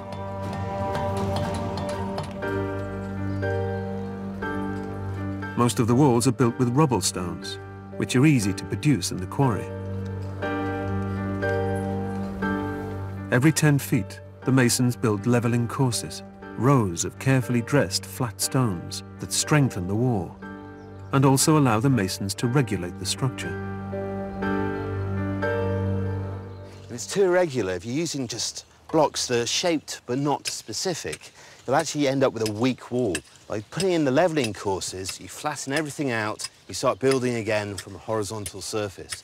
And so you'll do that again and again right up to the top. And that just keeps the strength of the wall and allows you just to basically balance out and work from a flat surface.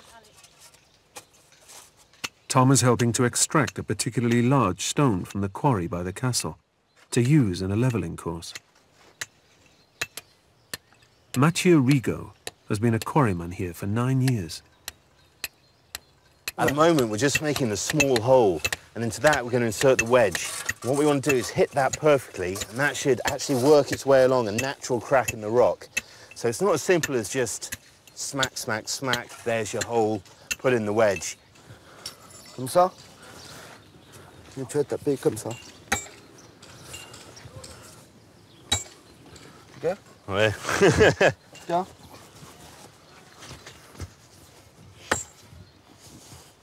Each different type of rock has its own extraction method, and quarrymen's skills were handed down from father to son.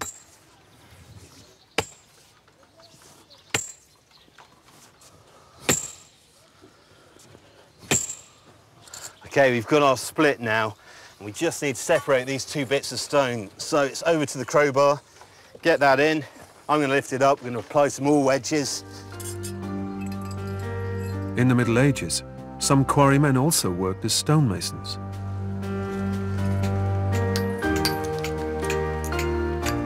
Masons were well-paid free men who enjoyed exceptional status among the workers of the age.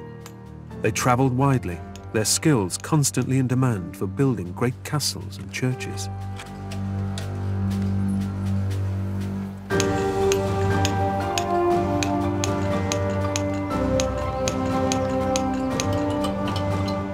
Construction site, the stonemasons' lodge is where they gathered to eat, drink, and discuss ideas and designs. Lodges became regarded as strongly symbolic buildings, where the closely guarded secrets of the mason's craft were shared and geometry was taught. In an age where there was little scientific knowledge and a great deal of superstition, it's easy to see why a Mason's Lodge acquired an almost mystical status.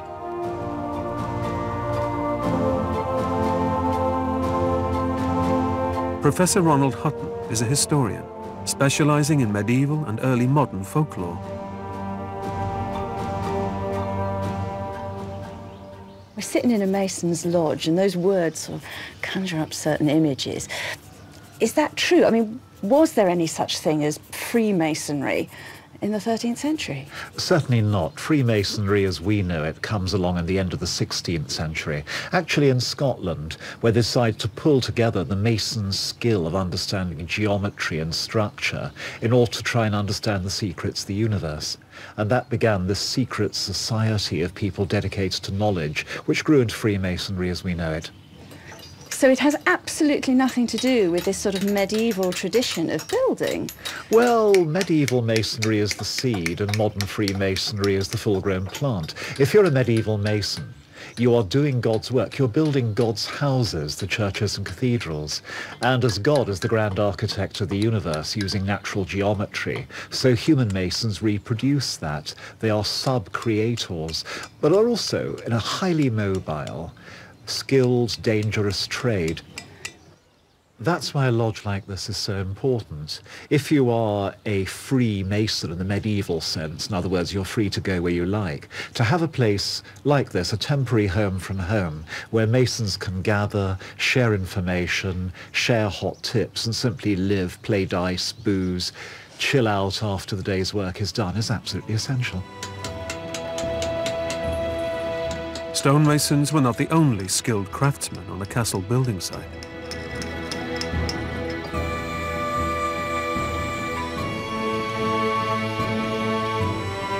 Castles required huge amounts of wood, and this called for carpenters. Roof structures, doors, walkways and drawbridges were all made from timber.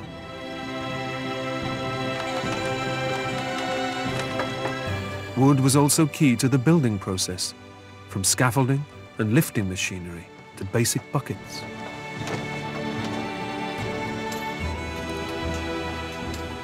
Here at Guédelon, the wooden scaffolding is a really visible part of the build. It's also one of the most precarious and potentially dangerous. Indeed, we know that in 1138 at Canterbury Cathedral, William Sens, the master builder, was up inspecting the high vaults when he fell from the scaffolding and was paralysed.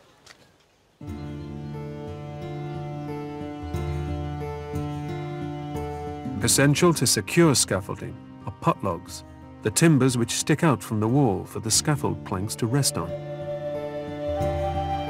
The timbers are deeply embedded in the walls in putlog holes, into which the logs are inserted. By planning putlog holes at regular intervals, the timbers can be continually raised in line with the stonework, avoiding the need to build a scaffold up from the ground. Carpenter and stonemason have problem. Florian Ranucci is the master mason, overseeing all construction on the site. He's ultimately responsible for workers' safety here at Guédelon. Obviously, we don't want anybody to die when we're building this castle. So there are certain compromises. You're having to have some modern health and safety issues with the scaffolding. How close is the scaffolding you're using to being 13th century scaffolding and how much is because you need modern health and safety? Well, the 21st century technique uh, for us to work is only to put uh, iron right. and also modern wood. So when we look around us, the 13th century scaffolding wouldn't have looked very different. Mm. The wood would have been hand produced, not machine produced. And instead of the bolts, what would it have been instead of the bolts? Ropes. Rope. Ropes. It would have just been tied. Yes. Yeah. So we have to do a uh, bit of compromise. A, compromise for our safety and yeah. for uh, building in a good way. Yeah. But we don't change the way of building. We yeah. use wood.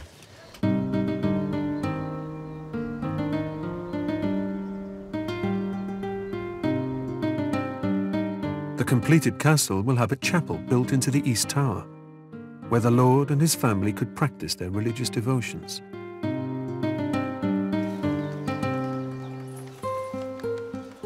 Even laymen would have heard Mass at least once a day, so a chapel was considered essential.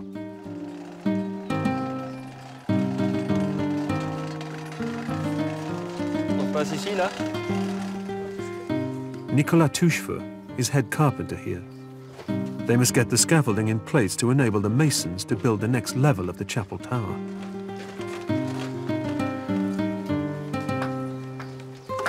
The masons have made a putlog hole, and the carpenters have prepared the wood in advance. Complete with a mortise and tenon joint, something still favoured by carpenters today. There we go.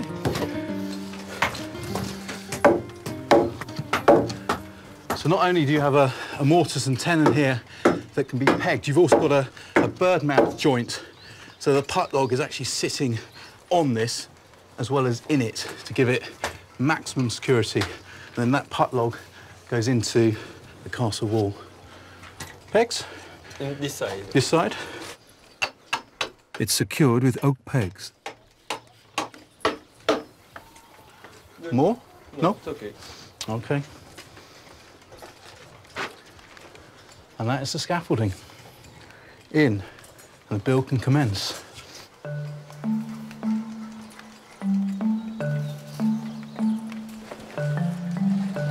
As well as the stonemasons being largely dependent on the carpenters, both were also reliant on another set of craftsmen.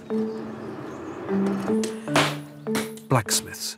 From hinges on doors to bars on windows or the chains that raised a drawbridge, metal was crucial. At the foot of the castle is a blacksmith's forge.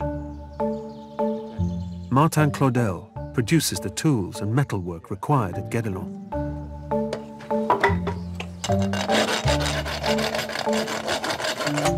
Peter and Tom are helping mix crushed clay with sand and water. They're going to help build a furnace, or bloomery, to smelt iron for tool making.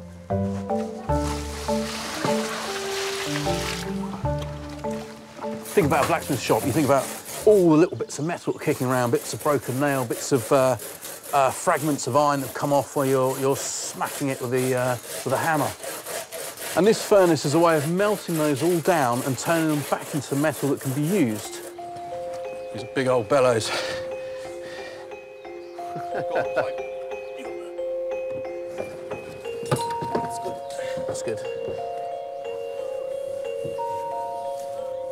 Once the furnace is complete, they just need to put in the door, held in with an ash paste so they can easily open it.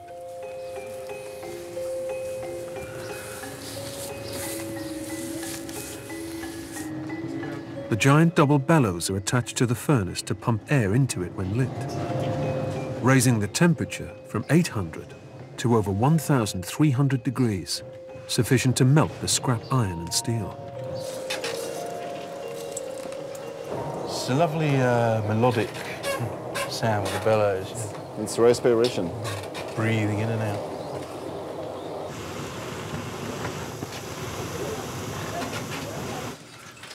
We've made the bloomery, we've made the furnace.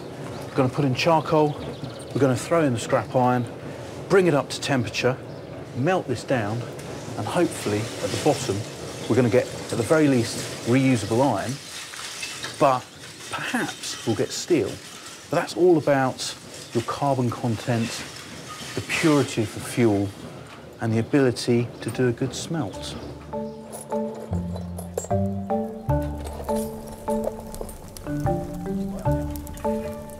Steel is iron with a specific amount of carbon dissolved inside its structure.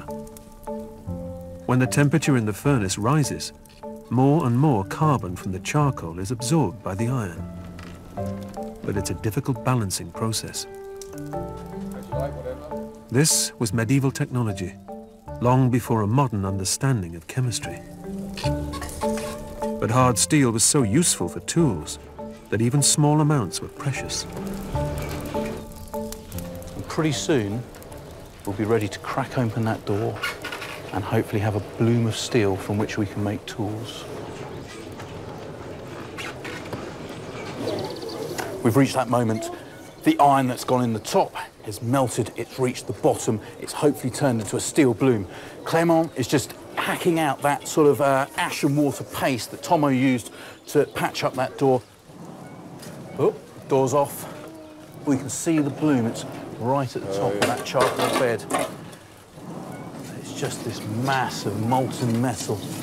All those scrap bits of metal melted down. Ah.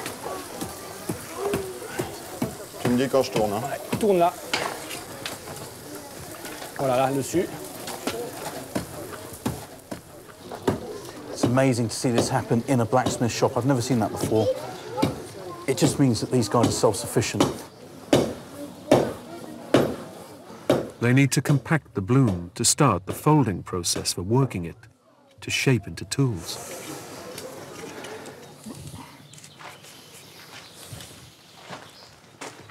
Next, the metal is rapidly cooled or quenched in water to lock in its hardness.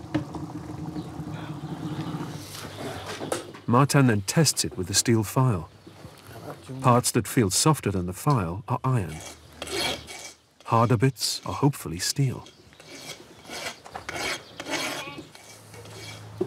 But if we got steel, we just have to, to work it to see. Being able to produce hard steel enabled blacksmiths to make sharp cutting edges of tools like axes, which is what Marta is going to forge later.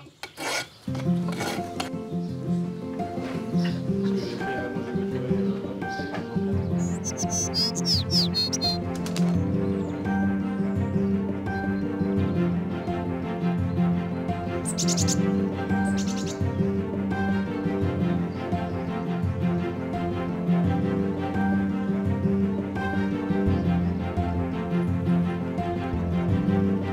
the Middle Ages, the lords of castles like this one were part of the driving force behind the clearance of woodland to make way for crops and to provide timber and firewood.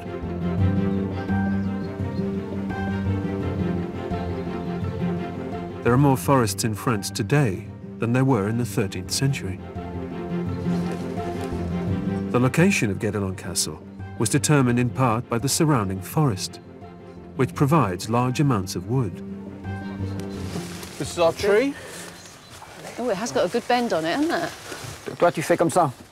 Jean-Michel Houret is the head woodsman. Oh, relax, relax, regarde, la He gives the team a lesson in using medieval-style wood axes to fell a tree.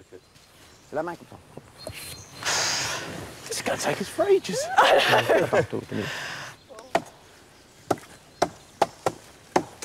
Trees were selected with specific uses in mind, depending on their size and shape. Hein, euh, faut leur expliquer qu'il faut que ça soit comme un gros crayon en fait. Hein. So you're trying to make it look like a big pencil at the bottom. Sarah Preston, the site administrator, is helping overcome the language barrier. Ah, les bras, attention. Il a qu'à la fois, il faut un bras quand même. Euh, ça mériterait d'être plus, euh, plus lisse. Là, là il a tapé là, tapé là, pour que ça soit yeah, plus... euh, sure. ouais, ouais. Don't, don't look over this side then. It's a terrible mess.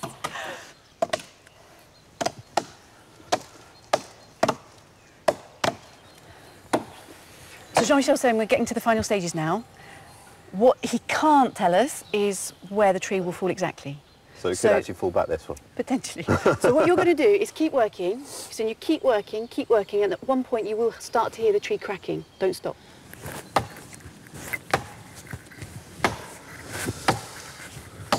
It's so easy now to go and get your lump of wood or get your bit of stone or the, the raw materials of life are easy to acquire. Yeah. When you see how much work is involved in the simplest of things. And not just that, it's the tools to get those raw Yeah. materials. And you're looking at the complete tool set of the woodsman. Yeah.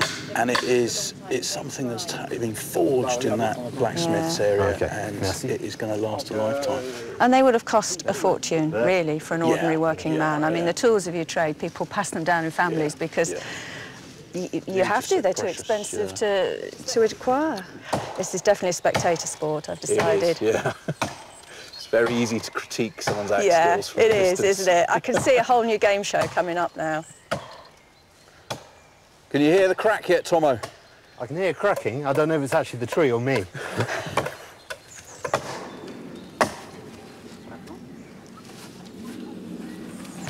It is always one of the things I like about these experiments, is seeing how much skill there is in the simplest of things and how much intelligence and cleverness there is. Are you calling Tomo simple? and I was uh, trying to do that. Uh, maybe seems simple. That- maybe, maybe that's more accurate. Part of the woodsman's skill is to plan so the tree falls safely in the right place, without breaking on impact. Vas-y, vas-y, vas-y, vas-y, vas-y, vas-y, vas-y, ouais, ouais, ouais, ouais, vas-y, vas-y, vas-y, vas-y, vas-y, continue, continue, continue, continue, continue. Eh, c'est bon, c'est bon. Oh!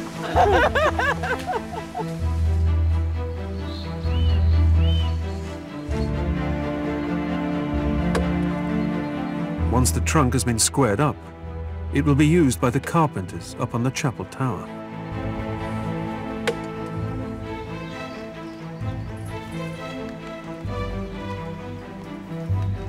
Much of a castle owner's wealth came from exploiting his land and its tenants.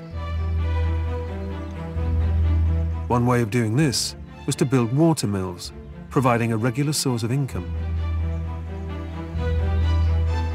These mills would have made a huge difference to the lives of local villagers and labourers. Producing flour for their bread required up to two hours a day of hand grinding. But one mill could produce as much grain as around 40 people grinding by hand.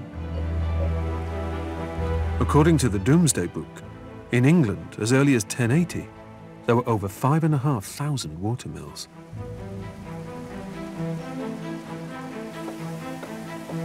Little is known about the mills of this time.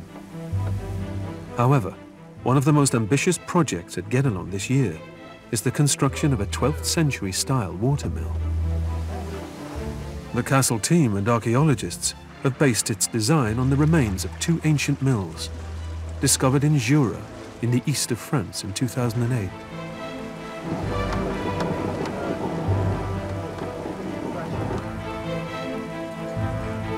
Sophie Windsor is one of a team of carpenters who've painstakingly worked on the watermill over a two-year period. Today is the moment of truth.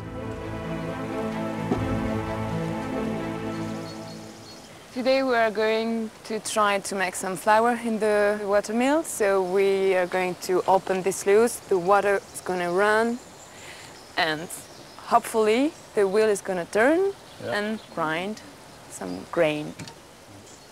So this, this, uh, being able to do this, you can actually see it working and relate it back to the, the evidence you found in the archaeological record. Yeah, Yeah. yeah, So this is why it's absolutely experimental archaeology. Is that why, that's why we tried several times and each time we have maybe to change some pieces and to do some modification. So I think you can start by opening the sluice. Get Then- the water down there. Yes, Yeah. and then we will need someone to watch if the wheel is all right with the paddles and everything stays. So there is Right. a emergency stop here with somebody you know, ready to close it. Because if there is something in the mechanism, it Yeah, destroys yeah. everything in a minute. and that's a lot of work, Uh, really, very quickly. So we can say that. emergency sluice, that yes. sluice, people making sure those paddles are Yeah, fine. yeah, and checking if there is no big trouble in the gear. Yeah. Boom. Right. Stepping across, bridging it. Oh, wow. Right. Better get down to our second station. But there's a problem. The mill wheel isn't turning nearly as quickly as it ought to be. It means that we don't have enough pressure. Right. So the grain isn't coming out. And... No, it's not going down. It's, it's all from wood, so it's a lot of friction Yeah. everywhere. So resistance, and we have to find solutions. You can hear the noise, can't you? The Yeah. noise of the woods. It's, yeah. And also, it's true that the stones have to get uh, a bit used, Yeah, and then it will be a bit smoother. Everything is too new as well. It needs Yeah. to be used a bit. Yeah. And this is experimental archaeology, so everything that's going on here is all about trying to work out exactly how these worked. I mean, it's easy to think of a watermill in terms of water management, and the water is coming down the sluice and it is going into this wheel. But the problem is, it's not sufficient to drive this mill. There's too much friction currently in the in the mechanism. So although the stones are going round, they're only going round because we're helping them out. So we just need to fine tune this a little bit more to get this working perfectly. But we're very close, very close. Two years of painstaking research and building could be in vain if the problems can't be remedied. But Peter and Tom are hopeful that some simple modifications and liberal application of lubricating pig fat will solve the teething problems and get the mill working properly.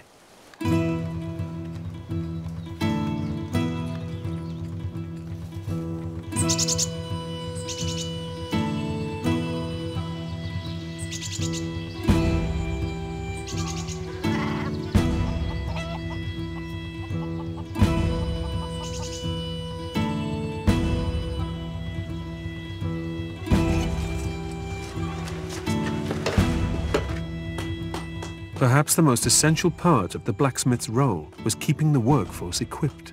The stonemason's tools become blunt after a few days' work.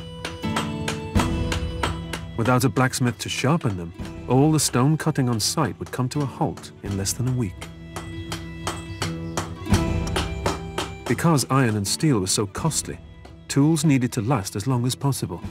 But today the blacksmiths are making a new side axe. You work together as a team. You hit, Vincent hits, but you don't talk. It's all quiet. Is that just experience, or you're listening to the sound? Yes, it's exper experience. We used to work together and uh, we have a code. When I uh, let my hammer strike uh, uh, on the anvil, it, it means stop. That's it. So in the, all the noise of working in the forge, it doesn't actually matter. It's a visual sign as well. That's it. Par contre, je vais changer. A piece of hard steel will be welded onto an iron axe head to make a hard cutting edge.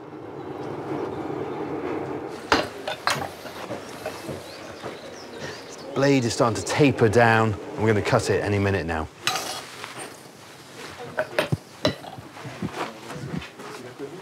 Right? Okay.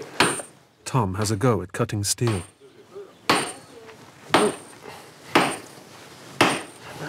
It's not as easy as I thought it would be. Oh, I'm making some progress.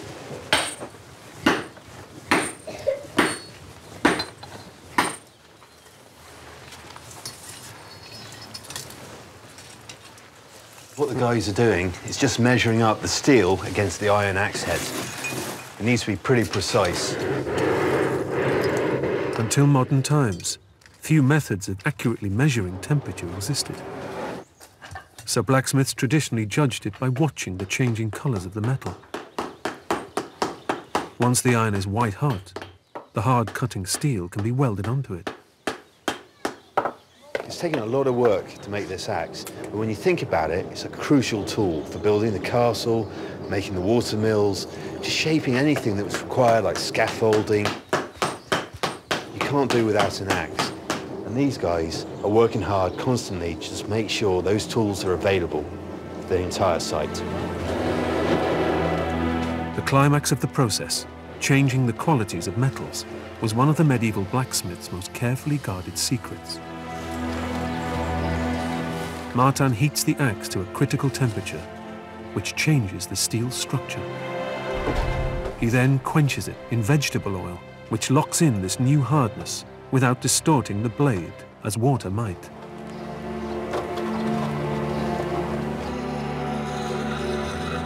The side axe is finally sharpened on stone.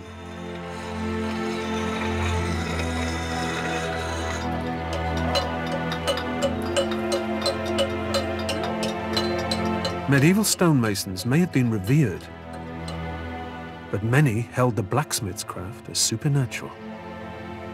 Blacksmiths were intensely magical because since uh, prehistory they'd performed this extraordinary sorcery of conjuring metal from rock and then fashioning it into beautiful things. Medieval blacksmiths were regarded as great healers. Uh, a pregnant woman afraid of labour, a sick child, uh, an adult with a lingering illness would be laid upon a blacksmith's anvil and the blacksmith would pretend to hammer them, to hammer the illness out of them. And people really believed that like royalty, they had the power to heal by touch. Was that something that was considered to be dangerous magic, or was it just part of life and nobody batted an eyelid? It's pretty scary. Uh, blacksmiths are often believed to make pacts with the devil, uh, ironically, in which the blacksmith usually comes off better. For example, blacksmiths are believed to be the only people who can do jobs for the devil, like shoeing his black horses, without paying the price of their soul. And there are even tales of blacksmiths, some of them saints, who are capable of grabbing the devil's nose in their red-hot pincers and tweaking it to get rid of him if he's annoying. How on earth did the church respond to that? The church canonised some of these blacksmiths. St Dunstan in uh, England is a classic case. Otherwise, they simply got along with it. Blacksmiths were too useful. And as long as they went to Mass and didn't have an alternative kind of religion, there's no problem.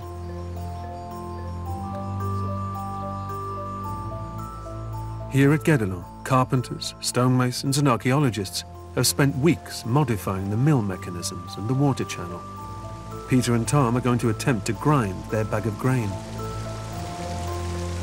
We are going to start with the wheel. Philippe Delage has been closely involved in the mill project from the beginning. We are going to, to turn. And he's going to help them try it out. Wow. You can hear that stone singing. It's unbelievable how many pieces, man-made, each one of them, actually involved in this wheel alone, let alone the rest of the actual building. Yeah. It's, it's a lot of wood. It's a lot of wood. All right, good. We got enough water. Uh, Thomas, maybe you can open the vanne. Uh, the sluice gate here? Yeah, that's it.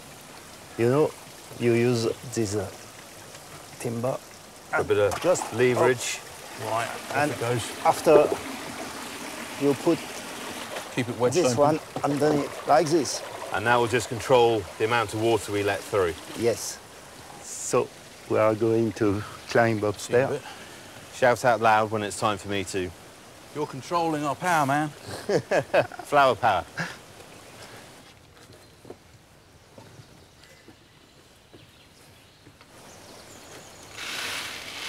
Fill the hopper with grain. It's ready to be made into flour. Yeah. I suppose all we need is Tom to open that gate. Yeah. You are ready, Thomas? Ready. Can open. Here it comes. Tom's opening the sluice gates. The Water's coming down. About to hit the wheel. It's about to hit the wheel. Hit the wheel.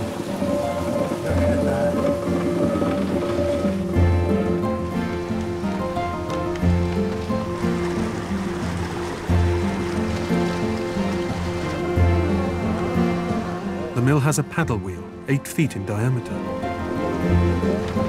This turns an axle, turning the smaller pit wheel.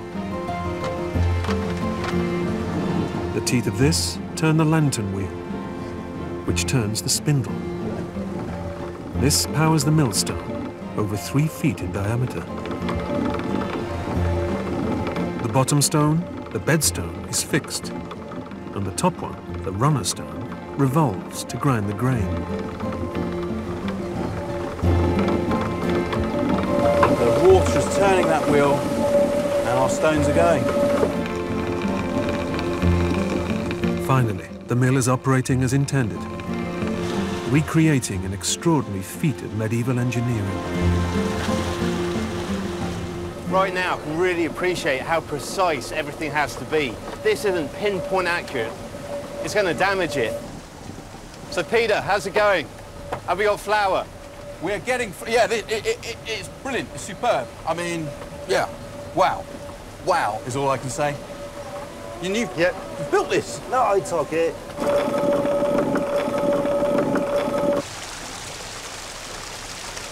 I can't believe uh, such a low head. I mean, that, that water is falling maybe a metre, going under a, a wheel. You're managing to turn a stone that is 200 kilograms, and you're managing to grind your grain into flour. This is the beginning of industry, I suppose. And to have this associated with a castle, you can free up people from the daily grind to do other things. It's amazing.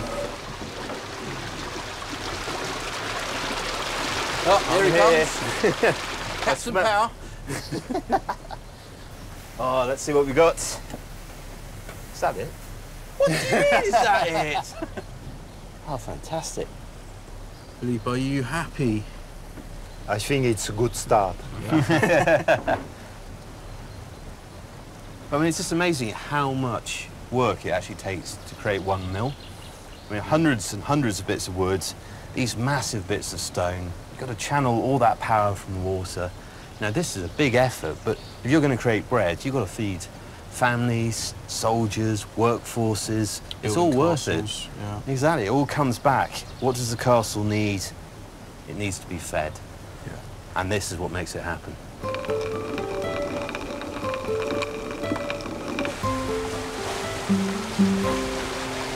And once it was up and running, as well as producing food for the inhabitants of his castle, the lord could start making money from his mill. Tenants on his land would have been obliged to use it and pay for the privilege.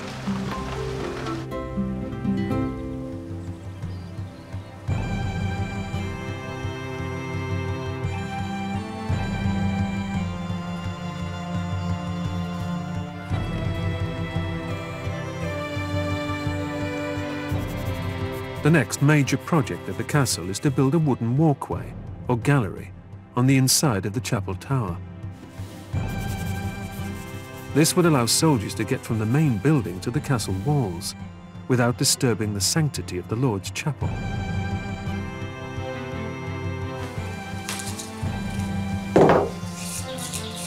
In the Middle Ages, carpenters used geometry to plan their wooden structures. They drew on the floor because parchment was expensive and paper still very rare. The carpenters are planning a section of the gallery. by marking out a full-scale plan. Every piece of wood in Guédelon Castle starts its life here on the tracing floor. First of all, the plans. They are drawn on the floor to a one-to-one scale. Medieval units of measurement were not standardized, varying from place to place. Isn't it interesting watching them work to how few numbers come into it? It's mathematics, but it's mathematics of proportion, it's geometry, it's, you know, two of this, three of that, halve it, double it, quarter it, third it. It's not 0.652. In French, the word for thumb, pouce, is the same as the word for inch. Every site would have its own units of measurement. That's a thumb, isn't it? It's an inch. The pouce. Pouce. Palm. Which I suppose is the length of your palm. Arm. So that's your hand span. I like the fact the inch corresponds to the word for thumb. I really like that. I rather like the fact that feet in inches and yards is something that used to be right across Europe. You know, we tend to think of it as a very British thing these days. It's just that we hung on to it when everybody else left it behind. Yeah. But it used to be that there were all these little inches, all these little feet all over the place, everywhere different. But the, the system of measurement here at Guédelon is based on a, a medieval castle that's very close by. And if we were to turn up there at the start of the build in the 13th century, on a board, it would say, this is what an inch is on this site, this is what Yeah. the Based on one person's is, body. We don't know quite which is. person's body, but based on somebody's body. And if they were to pass away, those would have been written down to be used until the end of the build.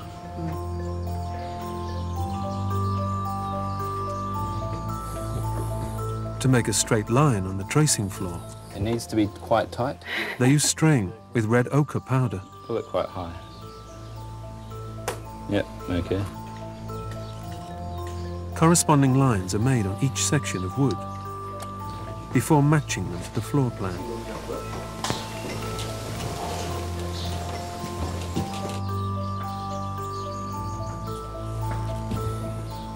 and then they are leveled out and then they're plumbed up.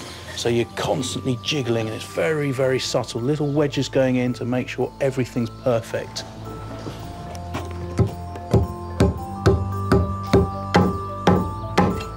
Once everything is lined up, they can cut the joints.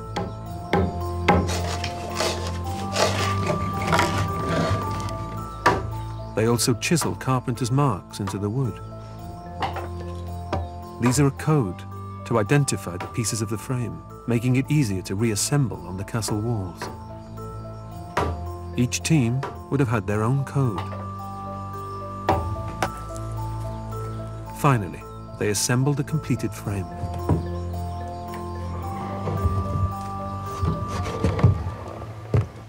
This is the gallery.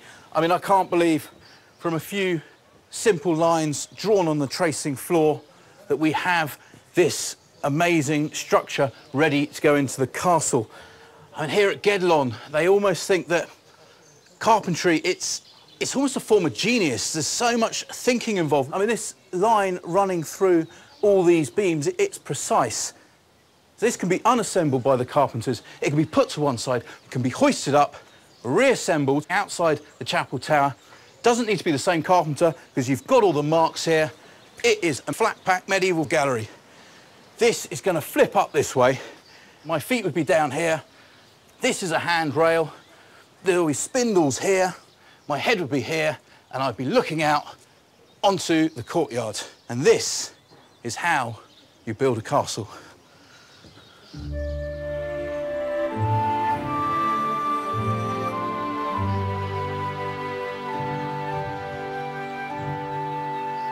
It's thought about 30 people would live in a castle like this, from the lord and his family down to servants and guards.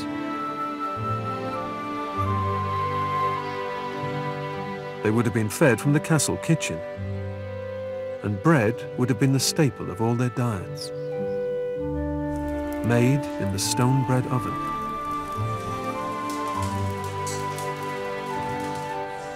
So it's spongy and quite nice, look at that. Ruth and Tom are going to try making a basic bread with flour from the new mill. Ruth is using a rising agent, which was popular in the Middle Ages. Oh, I mean, it smells a little alcoholic. Yeah. And sourdough is probably the most ancient method of raising bread because there's next to nothing involved. You know, you're just saving a bit from the previous day's batch. When I made the last batch of bread, I just broke a little bit of dough off and put it to one side. And I popped it in some water with a fresh little bit of flour. And this is the result. So sourdough is literally sourdough. Yeah, it is. There's no trick. There's no trick. There's no trick at, at all. So I've not added any yeast, and I won't add. And this is going to be an awesome carbohydrate for us, a real staple diet. It is. I mean, this is your real basic working man's bread. I mean, I'll be honest, at the moment it doesn't look that appealing, but I guess you've, uh, you've got work for me to do. Well, do you want to give it a knead? Go on. I'm, I'm a I big add any of this? Yeah, add a little bit at a time and just start working it in. So it is fingers in, like you're mixing lime putty, you know, that sort of thing. Turning it in. Like Turning making it in. cement. That's it. I mean, it's starting to look a bit more how I imagine uh, bread would look Bread at this to make, yeah. I thought I was coming in for a break. Come into Yeah, the kitchen, you said. That's not my fault you admitted you'd never made bread. And were these like family affairs or you know, a proper big business? How would a, a baker make his money? Well, the majority of bread was made at home on a, on a family scale. Right, okay, so women. you wouldn't go out and buy, you'd actually have it in-house. In the 13th century, most of it is being homemade. Okay, that's behaving much more like a lump now, isn't it? When you think, you know, work is involved in this at every stage, it's massive It is, effort, isn't it? isn't it? It is a bit big effort. So you're happy with that? So just roll it into a nice loaf shape.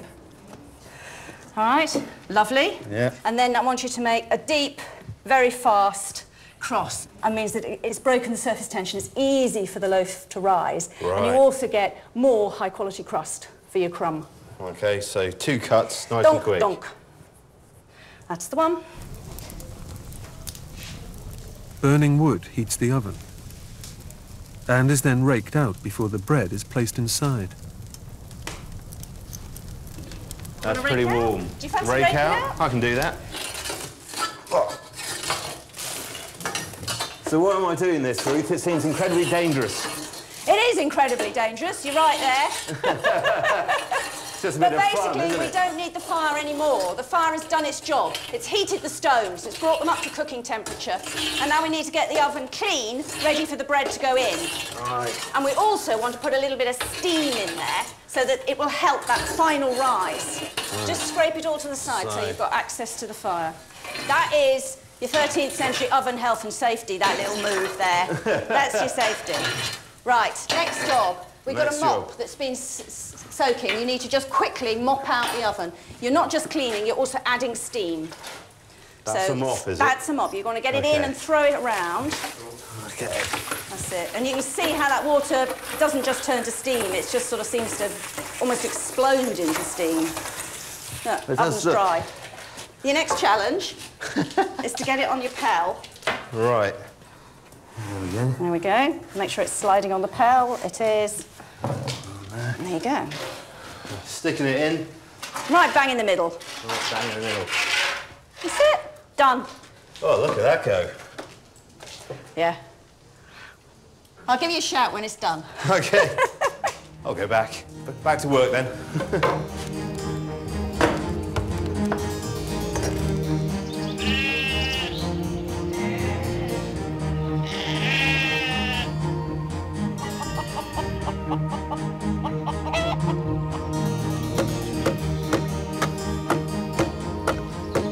While the bread bakes, Tom tries out the side axe Martin made to square up wood, creating flat faces from a rounded trunk. This is the weirdest axe I've ever used.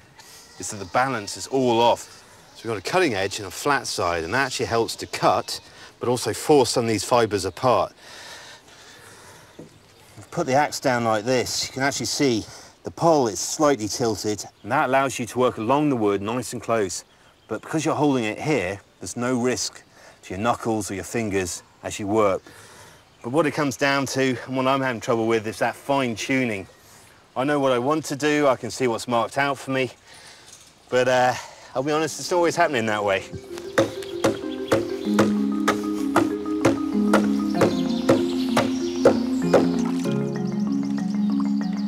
Okay,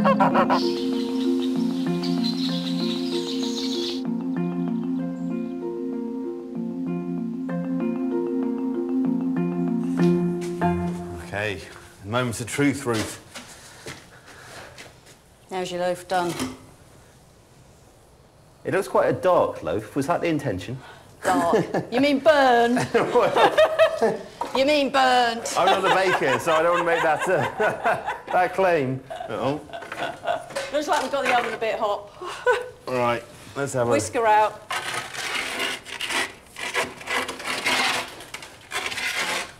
That is definitely burnt. Well, it's like a sausage at a barbecue, isn't it? You could probably still eat it. Oh, that's on fire on the bottom. Oh, it's cooked, definitely. That definitely. sounds healthy. That oven was too hot. It shouldn't scorch like that in that time. Oh well, we'll scrape it off and hey. Exactly. My first loaf of bread. I'm going to eat it.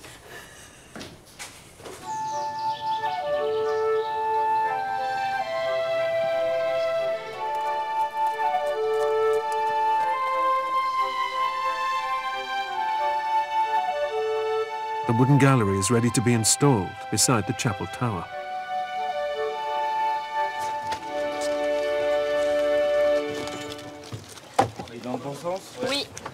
Picking a pocket. time for Yeah.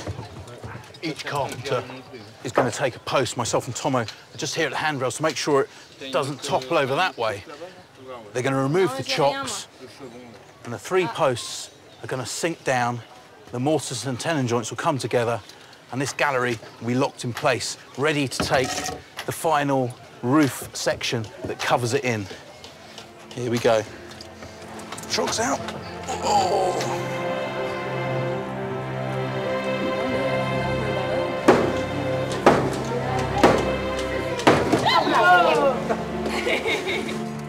C'est bon, Nicolas And the gallery's in place.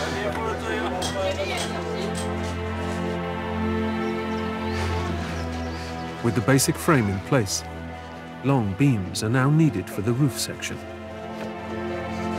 Tomo. Sorry, mate. Pu- Push. Sorry. Up. Straight up, yeah? Yeah. Okay. After all that slow work where people seem to work for hours and hours and hours and produce very little, this is one of those moments when everything comes together extremely fast in quite a dramatic way. And that, Uh, when you are ready. Up.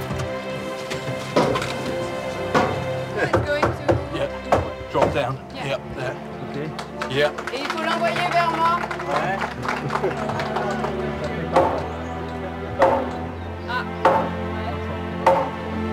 With a bit of force, the joints go into place and are pegged into position.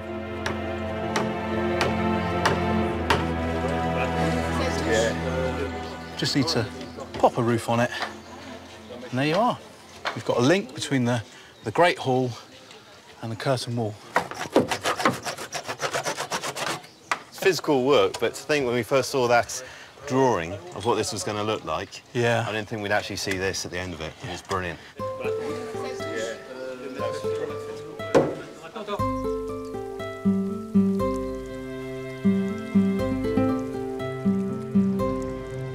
A water mill would also have a mill pond, owned by the Lord, which was a source of fish.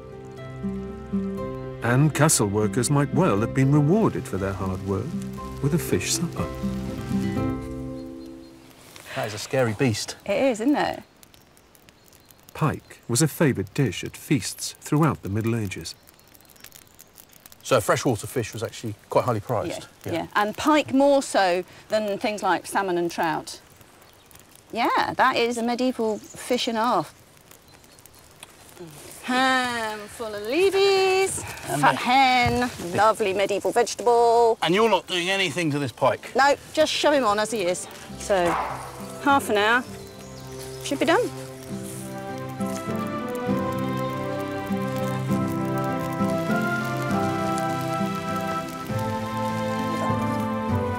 Oh, yes, yes, yes, yes. Oh, don't drop the fish. You smell good.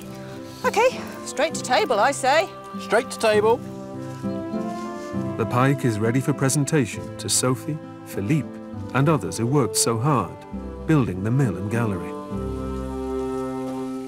Here we go. Wow, look at that. That's very impressive. Nice catch.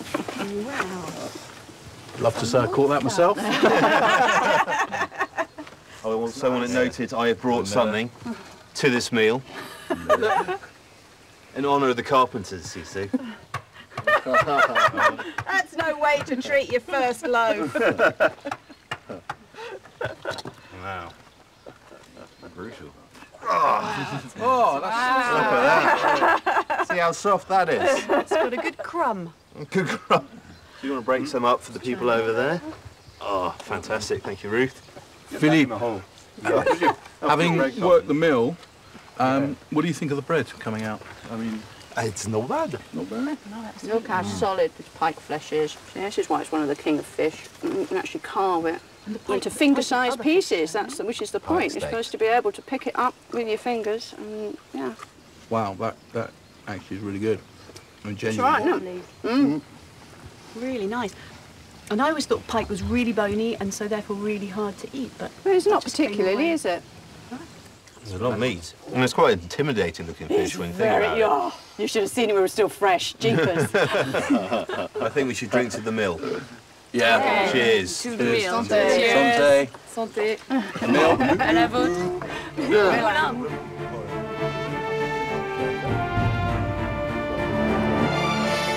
Castles dominated the medieval landscape. And Britain has some of the finest in the world. Most today are decaying relics, many of their secrets buried in time.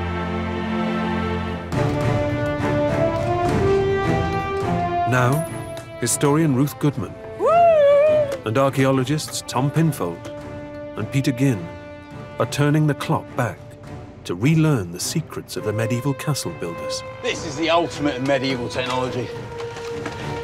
The origins of our castles are French, introduced to Britain at the time of the Norman conquests of 1066. 3, 2,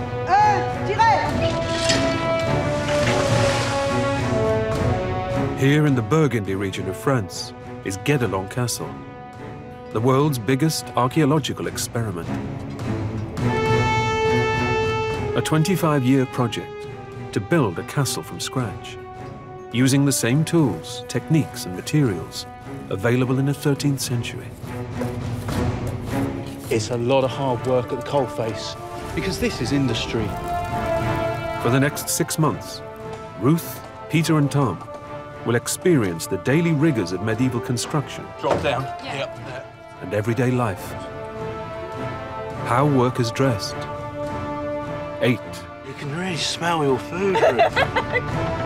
And the art of combat. This is the story of how to build a medieval castle.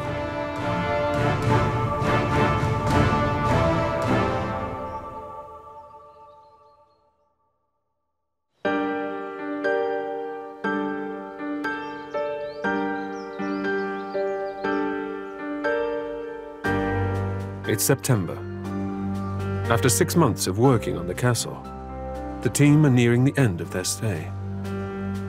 They're up at dawn to start their day on the Great Tower.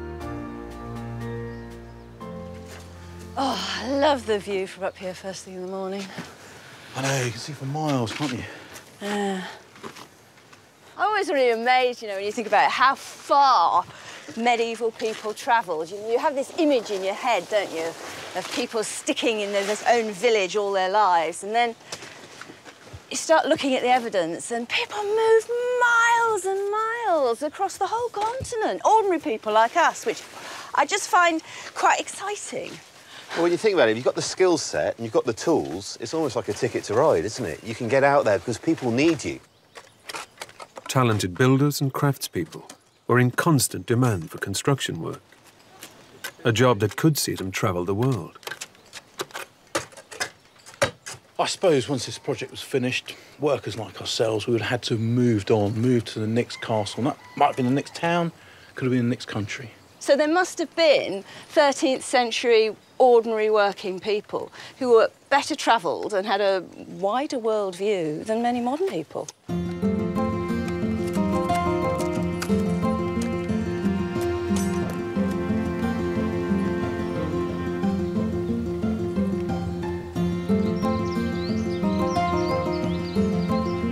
One group of craftsmen that travelled widely from project to project were the stonecutters, elite members of the construction team.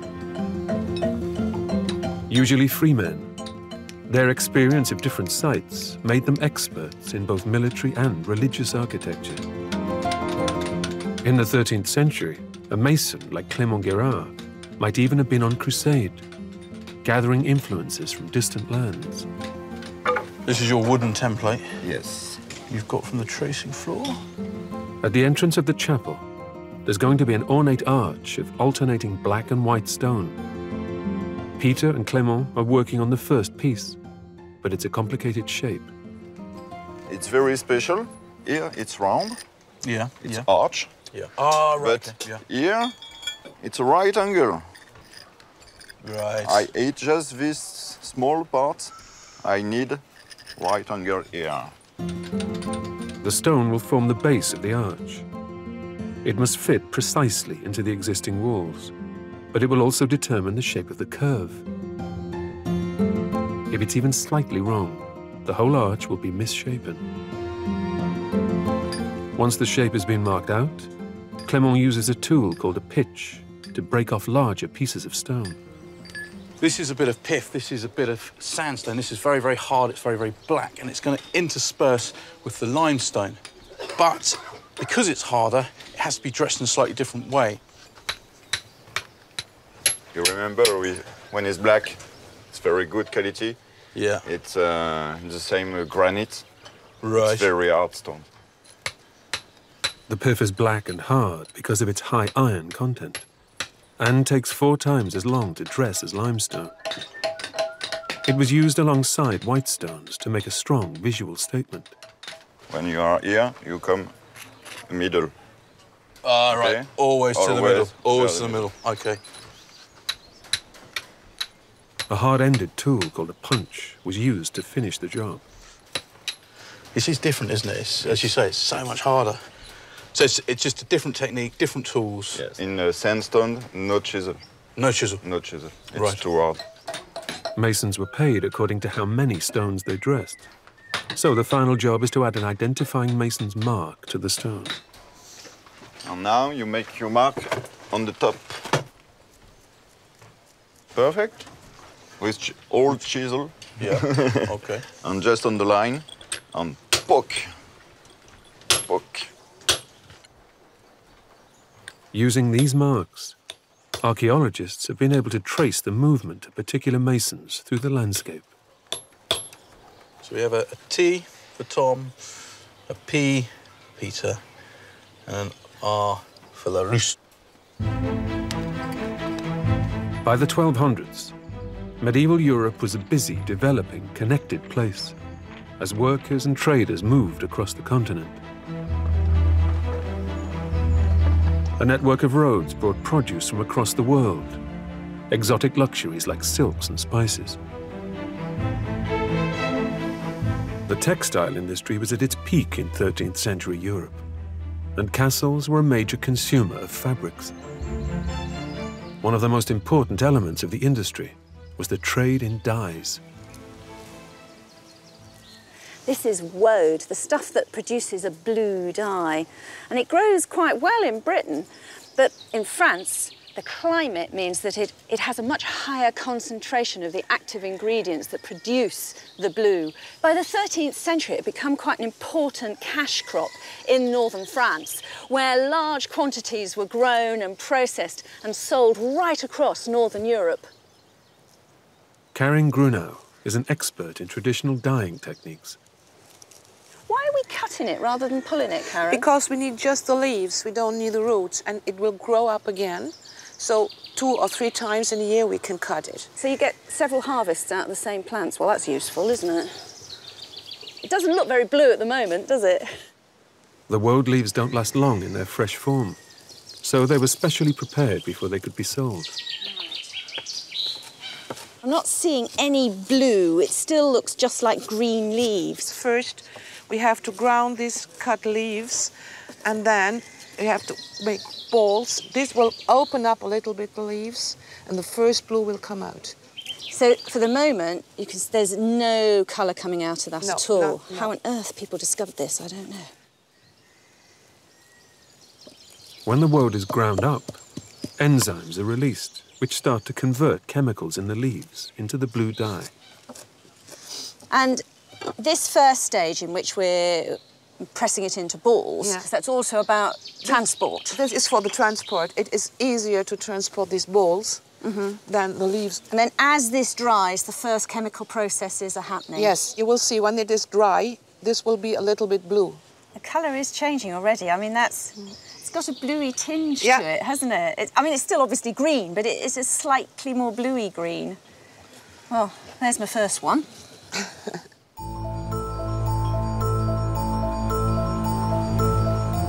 Today, the forests at Guédelon provide a plentiful source of wood for building the castle. But this wasn't always the case. From the 11th century, huge forest clearances occurred across Europe as farms and towns expanded and new castles were built. Tom is helping to fetch some wood to make a new door. One of the great things about spending time at Guédelon is actually getting to work with the horses. And when you think about the amount of wood needed to build a castle, there is no better way than to get out here with a horse, tie it up, and off we go. The forest at Guédelon spanned 12 hectares. Oh, oh, oh, but today, as in the 13th century, wood is a valuable commodity and must be treated with care. Right now, taking this log out we're allowed to drag it because basically it's not been shaped yet, it's not been worked. So the ground, it doesn't matter if it comes into contact with the bark. Medieval woodcutters would have been based out in the forest, felling and processing the wood for the carpenters. A new door is needed for the castle, and the first stage is to split a tree trunk into planks. Jean-Michel showed me these natural splits in the wood. And this is what we need to work off. We need to follow these to get our planks. Using wedges means it's possible to split timber of any size. They're hammered into a small cut at the top of the trunk, following the natural weaknesses in the wood. I can actually start to hear the crackling of the wood as it's starting to split.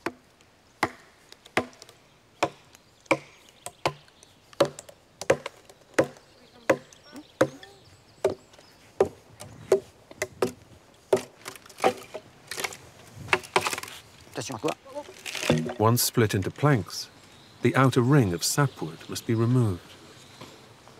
You see here, this sapwood up to the bark, this is going to be infested with insects and also maintain the moisture a bit more. We want to work with this. This is solid, this is hard, it won't rot. This has to go. The planks in the door will be held together using a mortise and loose tenon joint.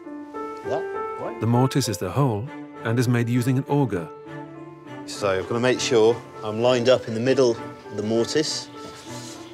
I've got to make sure I don't go forwards, backwards, to the sides. Mortise and tenon joints date back thousands of years and were used in the construction of Stonehenge.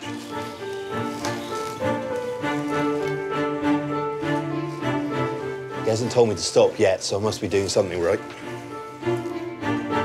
A line of holes are drilled on each side of the plank, and then the centre is chiselled out to complete the mortise. This tenon should slide reasonably easily in like that. I'm now going to bring this across. The loose tenon is threaded through each plank in the door. So we'll put the other two planks there, and the next stage will be to peg it. Making doors required advanced planning. The planks won't be pegged in place until the wood is seasoned for a year. When planks are fixed too early, they shrink, and gaps open up between them in the door. This may seem like a complicated design and a lot of work, but it's actually based on medieval examples, and this door would have lasted hundreds of years. Blue was very fashionable in medieval France, after being adopted as the heraldic colour of royalty. As Europe's largest exporter, French woad was of huge economic importance. Once dry, the woad is ground into a powder. To complete its transformation into a dye, a special ingredient is needed. And now you have to put urine on. And that'll be this pot that's Yes. smelling so foul, okay? Yes, of course. Everything you ever need chemical-wise in the past is supplied by urine, as far as I can work out. The ammonia in the urine enables chemical reactions to complete the production of the dye. Lime is also added, which helps it form a sediment. Now we have to ground it again for to have at the end the real blue powder. It's quite a complicated process. It is very isn't complicated. It? And now we know because it is so expensive. Because the end, at the end, your powder, you have just one, two kilos of powders from um, a hectare of leaves. The powdered dye is dissolved in an alkaline solution known as a vat. There is no oxygen in the vat, which alters the dye, making it look yellow. So now, in goes the first skein of silk into the vat. And I'm trying to introduce it gently, Yes. so I put not too much oxygen into Yes. the vat. In it goes. So how long will we have to wait? This is the question. The longer you, you it stays, the deeper will the blue be. Oh, look at that changing. Yeah. So at the moment, it's sort of looking the same colour as the vat. And as it comes out, It will be blue. it's green. When the silk is taken out, the dye molecules react with the oxygen in the air to slowly produce the final blue color. It is beginning to change colour. Yeah. It's darkening. Yeah, it will be blue, I'm sure. Look how blue that bit there's gone by my finger. Using the woad as well as other dyes, Ruth will produce a huge range of colors.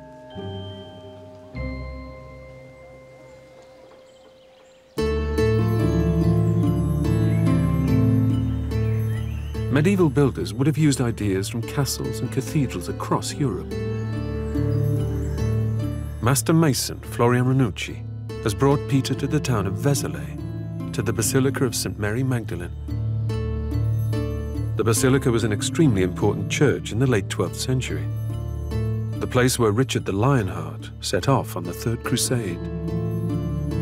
Florian has drawn inspiration for the chapel arch from a particular architectural feature at Vézelay. All this architecture uh, looks from uh, example coming from Byzantine or Roman art. For instance, they do use the two kind of stone. You've got a Romanesque arch with black stone, white stone, black stone, white stone. This is Romanesque, it's Byzantine, so it's coming from the sort of, uh, to- from the east. The technique of using colored stone alternating with white stone originated in Byzantium. It spread to both the Islamic world and to Western Europe, where it inspired masons who were rediscovering ancient techniques. From the 5th century, Yeah. then 11th century, all the country, they don't use stone, so they forget. Right, so just, just using wood. Yes, so they have to um, to look to the antique tradition, and so they see um, Rome, uh, Greek architecture, uh, Armenian architecture. So they think about it, and they do. Oh, we can do something with stone like this. Well, why not? We tried to do it. Byzantine-style black and white arches like these at Vézelay can be seen in medieval buildings throughout Europe. And now the masons are ready to install theirs at Guédelon. We've got a former built out of wood, unique for this doorway, and we're going to build up, continuing the black, white, black, white, the limestone and the pith from the quarry here to create a beautiful archway. Both sides of the arch are built in parallel to make sure the stones are absolutely level and the keystones will fit. The stone Clement and Peter dressed in the lodge is at the base of the arch, so it's vital that it's positioned perfectly. Now it all makes sense. This stone that we've seen Clement work on, we can see the bit that sticks out there that goes into the curtain wall that leads towards the Great Hall. The curve here that is going to become the curve of the doorway, that Gothic arch. The stones have been measured precisely to allow room for the lime mortar. But only the parts exposed to the air will set properly. And certainly there are Roman buildings that have been taken apart and inside they have found that that mortar, that lime mortar, in 2,000 years, it's not gone off. In 2,000 years, it is not set. It is still as wet as this is today. The last stones to go in are the keystones. The stones are marked with arrows to show their orientation. But it's not always foolproof. Ah, ah, ah, ah. Ah non, c'est l'autre côté. Ok, on recommence. The other side. Ah. We're just spinning this keystone around. And there we have it, our final arch. Last minute adjustments are made to the stones using wooden wedges, which will hold them in position while they set. As much as this is as precise as it can be, and it's, it's almost down to millimetre perfection, when you're here, when you're at the coalface, you've just got to tickle it a little bit to get it to work. It's like when you buy your flat pack furniture, there's always a few bits left over, isn't there? What do they do?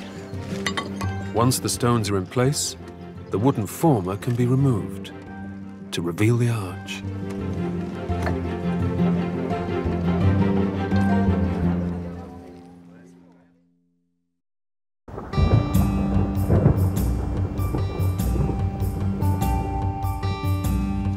While the door Tom made is seasoning, he's come to work on another door that was prepared a year ago. It must now be trimmed to size to fit inside the kitchen doorway. What I found really interesting, actually, they've orientated the saw blade at a right angle to the saw. So by turning the saw, you can use this two-handed up and down technique to work across and cut cleanly. And that's the secret. Two strap hinges will form an integral part of the door, spanning the planks and helping to reinforce them. Blacksmith Martin Claudel is making them from strips of iron. First, they need to be hammered flat, a task requiring a real team effort. Hammer, hammer, hammer, get it in, bellows, bellows, bellows, right temperature, out again, hammer, hammer, hammer. You really do need a team of people working Yes. with you, don't you? But it's so funny to work together. So you've got to be friends, otherwise... no, it's not working. yeah. But working together isn't always easy.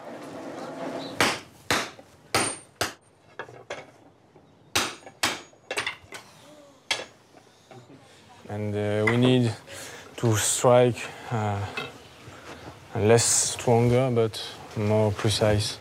Pas de problème. The end of the strap needs to be trimmed and curved round to form the part of the hinge that will hang on the wall.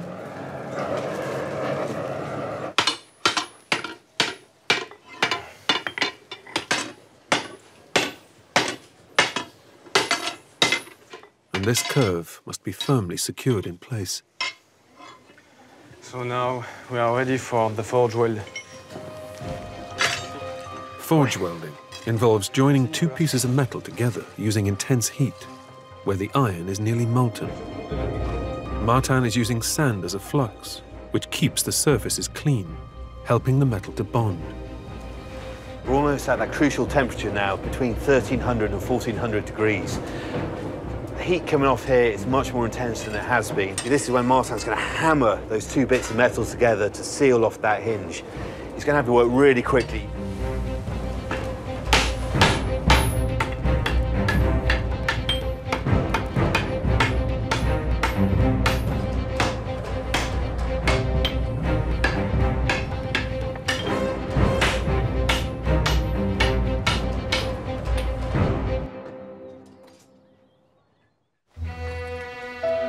The opposite end of the scale of metalwork was the production of gold thread, a highly skilled craft, dominated mostly by women.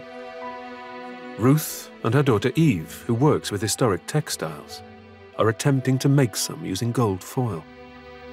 So there it is. It's not as thin as the usual gold leaf. Gold foil would have been made by hammering gold coins between leather until around half a millimetre thick. So we're going to want little ribbons cut that are sort of, you know, no more than a millimetre. Well, it just seems to be about getting the amount, right amount of pressure, doesn't it? Well, it's kind of straight. Oh. Do you want to have a go at seeing if you can wrap it? Ruth and Eve are experimenting with their technique. They're holding the silk core in place between two pins while they attempt to wind the ribbons round the core.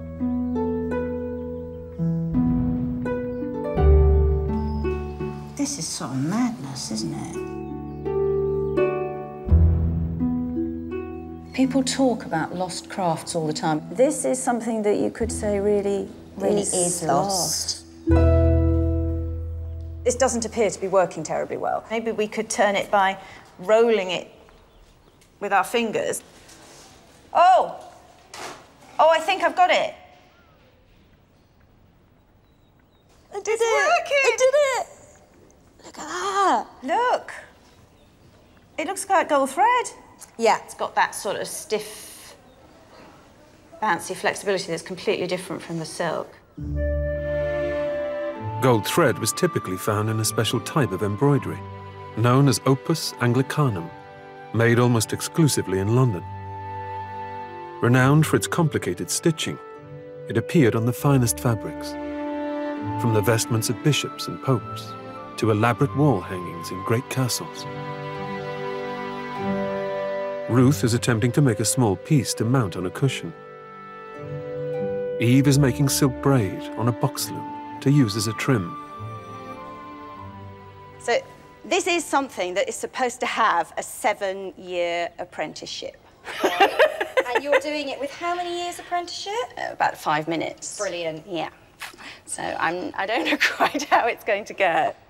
Using the silk she dyed, Ruth starts with split stitching, a technique where each stitch is punctured by the next.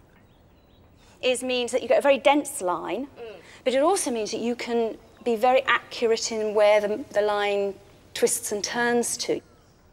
The second technique, an underside couched stitch, was used to attach the gold thread. So I'm going to have a go at some of this gold. So if I lay a little piece of our gold thread across there. Now, the sewing is done with this thread, this fine linen thread. Hmm. So what has to happen is it comes up and round it. Now, the point is that I have to get this thread back through exactly the same hole that it came up in. But that's not where you stop. Then you grab hold of the linen thread from behind and you have to pull. And what I'm trying to do is to pull it so hard that it pops a bit of the gold thread through the fabric. I'm hauling the thread through. During its heyday in the mid 13th century, Opus Anglicanum was traded for huge sums, only affordable to nobles, kings, and the richest clergy. I know nowadays people think of this as, you know, sort of a lady's occupation, as a bit of frippery on the side, but there was a real industry in the 13th century run by women. Indeed, the best English embroidery seems to have been done in professional, secular workshops in London. Yeah. You can have your own shop. You can you can be in charge of yourself and of apprentices and staff. And it's the only profession that you can really do that and get the full recognition as being a master of your trade. At the chapel tower, the next phase of the entrance hall has begun. With the addition of the doorways, this chapel is really taking shape. I mean, this is the internal doorway, pintles here. Only the Lord is going to come into this space. You then have this kind of lobby area with the external ornate doorway, this black and white, this Byzantine influenced structure. Up the spiral staircase, And then you've got the arch there. And this external door to the chapel needs to be connected to that, to the internal doorway of the chapel, by barrel vaulting to enclose all this space. The barrel vault will form a curved ceiling, linking the two chapel entrances and creating a corridor. It will be built on top of a wooden former. Arches mark out the shape of the vault, and the lathes provide a surface on which to place the stones. Layer mason Constantin Lemel is in charge. If you want to to have the demonstration, just cover that and you have the name. Right, yeah. Like, like that, you can see look, it just looked like a bubble. Yeah. you have the name. There, there, there wasn't very creative for the names. The lathes are laid loosely in place and not nailed, so they can be easily removed once the vault is built. To fit tightly in place, the stones need to have regular edges, so the first job is to straighten them off. Uh, just that little lump there needs to come off. Oh! Now that's the problem. I have actually hit that one too many times. You can just see there's a crack forming there. My lovely square edge is, uh, is compromised. You can see it's all the way there. I could probably break that off with my hands, which I can. The stones are tested on the former to ensure that there are no gaps which might cause weakness. The thing I realise is this castle gets built twice. Firstly, every stone is put in place to see if it fits there. Then it's taken out, mortar's added, and it goes back in. By the end of it, enough energy will have expended to have built two castles. Once their positions are finalised, they're mortared into place. But the weather isn't on their side. The rain will wash away the mortar, so there's a drive to get it finished and covered up. It's like a row of rotten teeth. It's like a, it's like a porcupine that's been run over. It's not nice. But when we remove those formers, it should be beautiful stone. Finally, the last stone is in place. You can check that it's already good. Yeah. Uh, if it wasn't, uh, the, the, the form uh, couldn't resist. That is trust.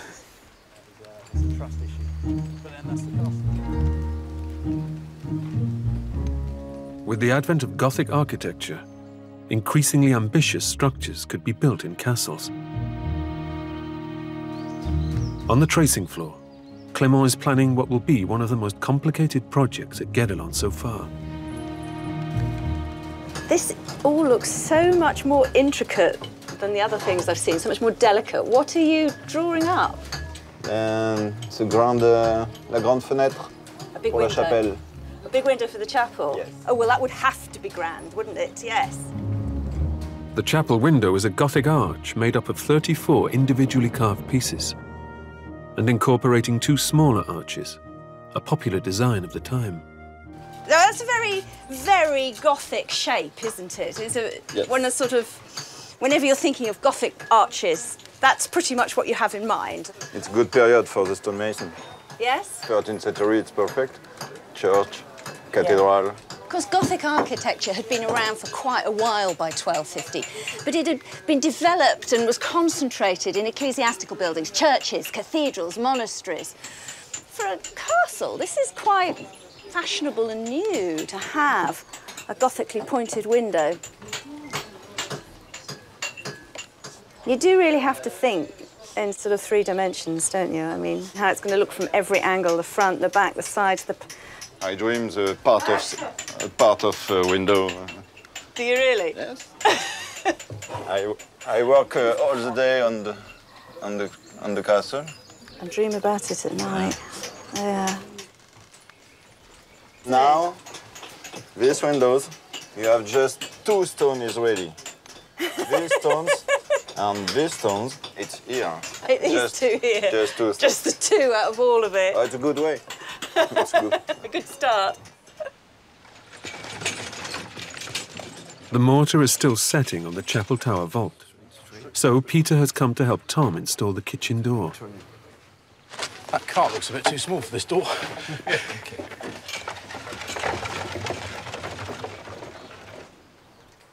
Blacksmith Vincent Granant and carpenter Stefan Budi are both needed for what is a tricky job. do love the fact this is a moment at Guédelon where the crafts come together. You've got the blacksmith and you've got the carpenter and you've got the jokers. The door needs to be edged carefully into place and held in position before the hinges can be nailed on. I think this entire castle has been built in small wooden wedges. One of the main problems we've got is this is 100 kilos worth of door at least. They've got to get it right. And right now, they're not sure whether to try and shave off some of that render or actually cut some of that wood to fit it in. These strap hinges are starting to fit into these chiseled grooves. The hinges must be attached precisely. A few centimeters out of place, and the door won't open.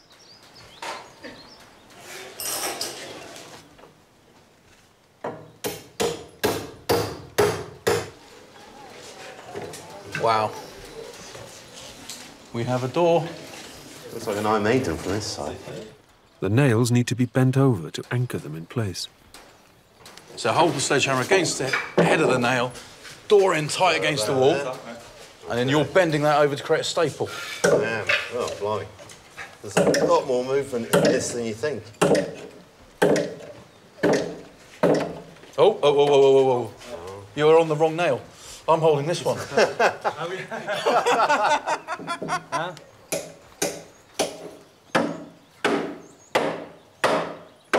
This process of hammering the nail over and tucking it in, it's really acted as a staple and pulled these together. I didn't realise you'd have a, a little claw digging back into the wood.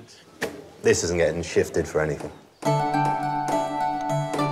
With valuable produce stored in the kitchen, heavy doors would have helped keep the area secure.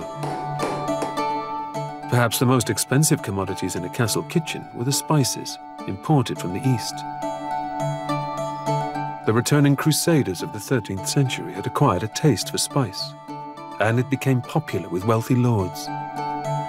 Ruth is making gingerbread. Because of its long journey to Europe, ginger was only available in dried form and must be ground into a powder. This is the first and the most important spice that I'm going to be using in making some gingerbread.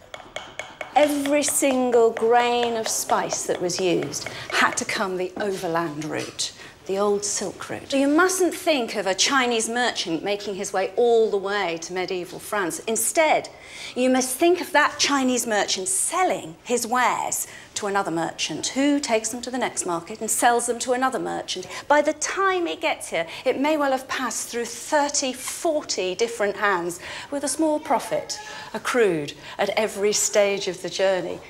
Spices were desired as much for their culinary properties as they were as a status symbol. Gingerbread also included nutmeg, red peppercorns, cloves, and cinnamon. The extreme expense of something like this, and I do mean extreme expense, meant that the only people who could afford it were the nobility and royalty. You were, after all, eating something that was worth more than pure gold by quite a long way. The ground spices are made into a paste with honey. Next, bread is combined with some red wine. This is best done with a hand. The spice and honey paste is added. And the mixture is set on a board. So I'm just going to take the pulp and spread it out thin. Doesn't look very appetizing at this stage, does it? so I'm going to tidy it up because once it is dry, I want to cut it into perfect little lozenges. It gets dished out rather parsimoniously. a little lozenge now and again, only for your very best guests.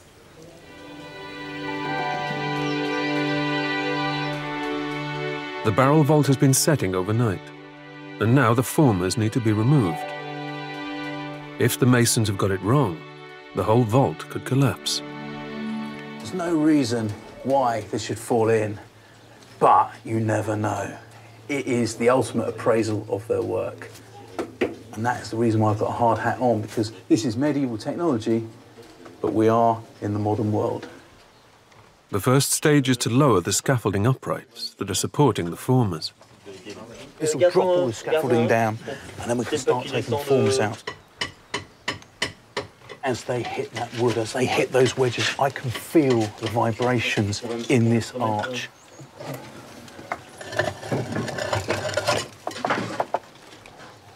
Potentially, it's good. Potentially, it's good. Now I'm very glad because uh, I, I don't tell you, but uh, Here we go.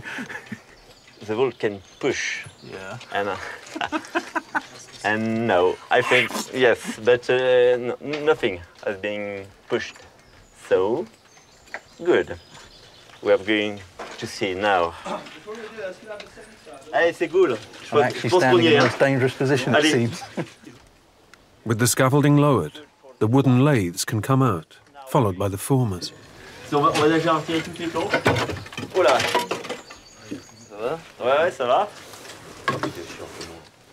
As the formers and lath come out, the fresh mortar is dropping down from the barrel vault. But it emphasises the fact that the mortar isn't integral to the structure. It's the stones themselves that create the arch, that creates the strength in the vault. Ah. You're now indoors, Florian. You've got a roof over your head. Hmm. You're happy, are you? You're happy? Yes. That's a wonderful word. Now all that's left to do is a bit of clearing up. Ah! Oh! It's still raining water Oh. here. Oh, It's up. it is up. What do you think? I can see a hole. Always a critic. You made a nice, like, Battenberg cake out of stone. Always thinking of your tummy. Don't listen to him. I think it's lovely.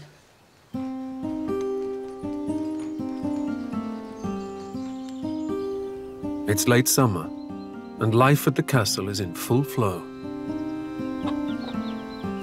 Livestock would have been kept in the grounds, from poultry to sheep, and at Guédelon they're enjoying the sunshine. These are our castle sheep. They're from the Isle of Ouessant, off the coast of Brittany. And they're essentially the closest thing you're going to find to medieval sheep. They're much smaller than modern breeds. And when they were around the castle in the medieval time, they would have been essentially wild. Ruth has finished her embroidery cushion. Well, it's good for me. I can see why I'd need another six years, 11 months, and three weeks apprenticeship, mind, to be any good, really. First attempt. And Peter is dealing with the effects of working on a medieval building site.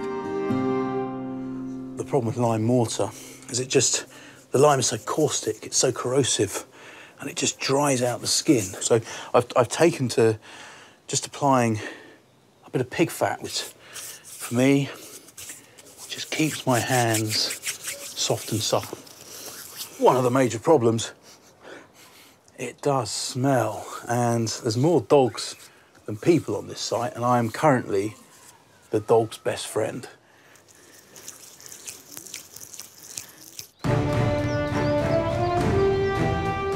Castle building was seasonal work, lasting from the spring to the autumn. At the end of a season, unfinished walls would be sealed with a layer of mortar to protect them from rain and frost. But for the decorative chapel window, this won't be possible. So the team are working hard to finish the project before the winter weather arrives. Well, it's more than two stones now. We've got one, two, three, four, five, six, plus those two that were here before. But we've got 34 in total to do, so the Mason's Lodge, you can hear it, is ringing with people working. And when you look at them, I mean, the intricacy, the complicated nature of this stone carving, it's no wonder it's taking so long. In fact, so much work is there to do. They've opened a second lodge over the far side of the castle, and anyone who can work stone at all is being dragooned into making the window. Intricate stonework was in high demand, and masons were employed based on their work in other buildings. Window design was particularly important, and something the lord of a castle would have direct influence over. Ruth has come for a lesson in fine masonry with Mathieu Carnevillier. How long has this stone taken? Um, three, four, four, four days. Four days? Yeah, and she's now finished. A stonemason's apprenticeship lasted seven years. So for Ruth, this is a very valuable stone to start on.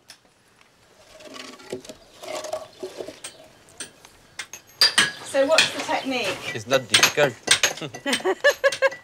Hard work, though. Just, Just a little Ouais, là, on different met un angle. peu plus like this. comme- Ah, ah, Ah, I see. And I'm just sort of wearing down the surface. Too hard, too soft? Yeah, it's perfect. It's okay. Like. It's a really strange mix, this, it's between something that's very delicate and, on the other hand, really heavy. The most detailed stones are dressed by the experienced masons, but simpler stones are supplied by the second lodge. So this is just getting the stone ready for the skilled work over there. You are not normally a mason, are you? No. No. Je guide. You're usually one of the guides. Oui. But absolutely everybody is being pressed into service to do a little bit extra. This looks pretty good to me. Can I have a go? Okay, you can. Like music.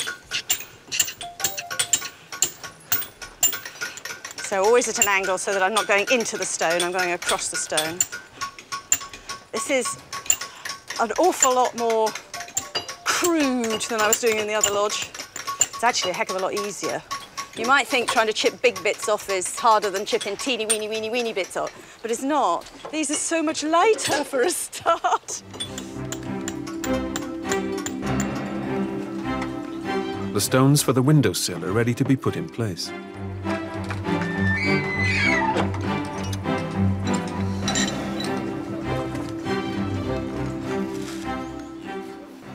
Think out of everything that we've done here at Guédelon, I find this the most stressful because the amount of work that's gone into this, and you get it wrong, and you crack that stone, that's it, you know.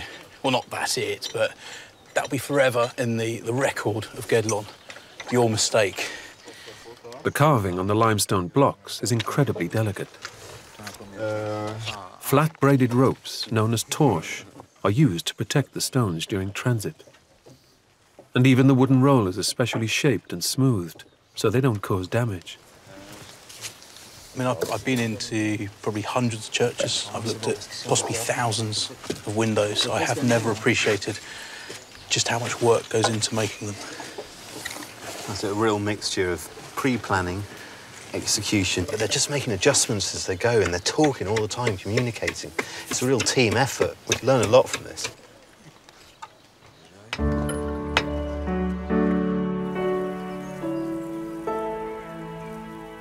Before their time at the castle comes to an end, Ruth has gone to experience something which would have been commonplace yet extraordinary in the 13th century. Going on pilgrimage. For many people who lived in the same community their whole lives, this was a chance to see the world and temporarily escape the monotony of daily life.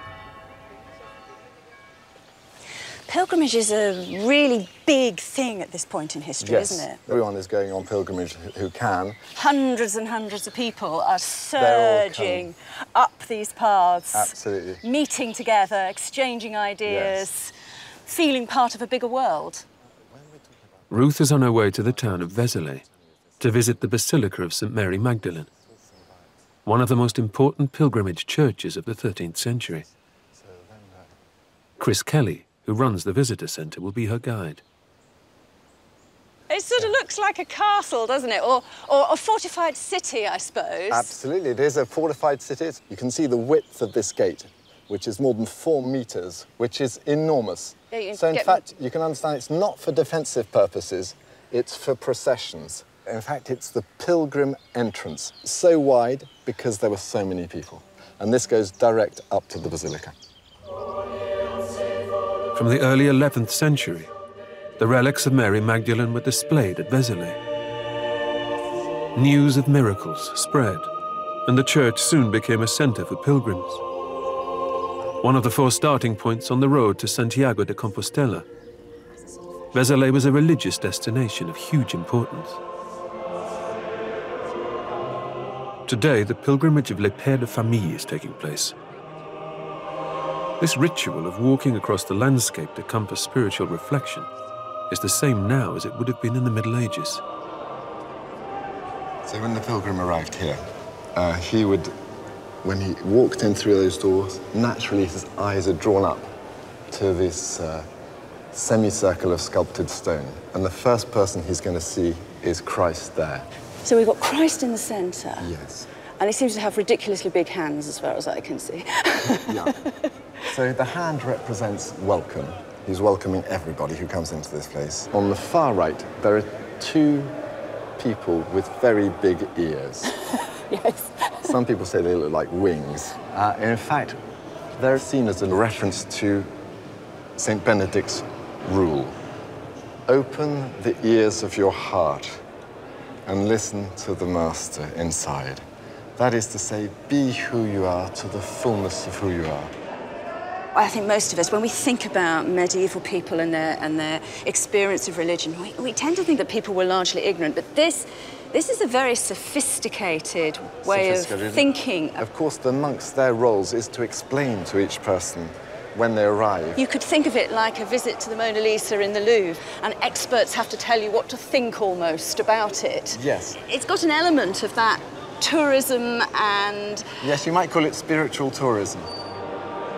A once humble church, the basilica was expanded to make room for all the pilgrims. Kings, nobles, and abbots came along with thousands of ordinary folk to venerate the relics and confess their sins. Pilgrimage can be understood as a physical journey that helps you to have a spiritual journey by leaving behind everyday life. You are putting yourself into the right frame of mind to help yourself grow inside.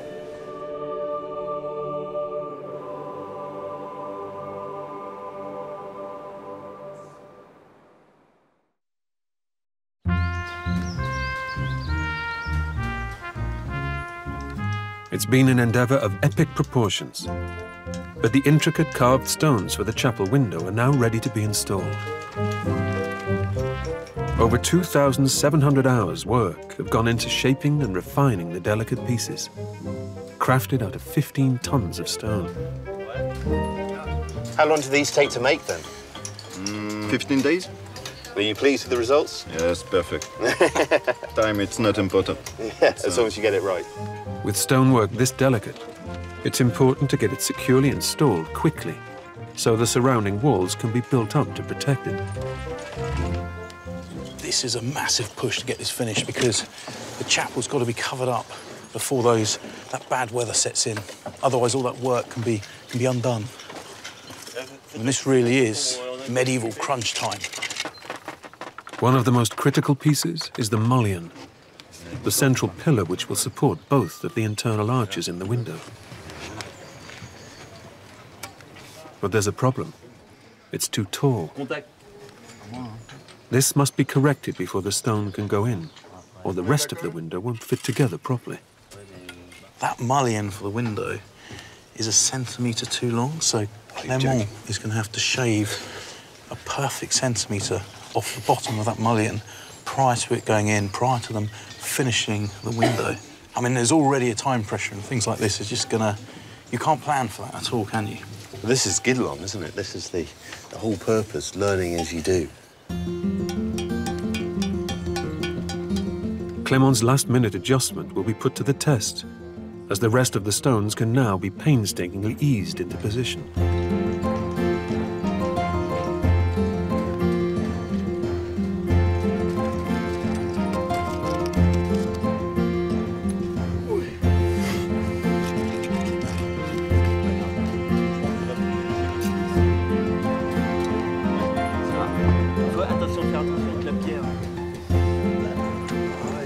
Are they? It's hard to tell. and the formers are removed. Everyone who worked on the window has come to see it finally revealed.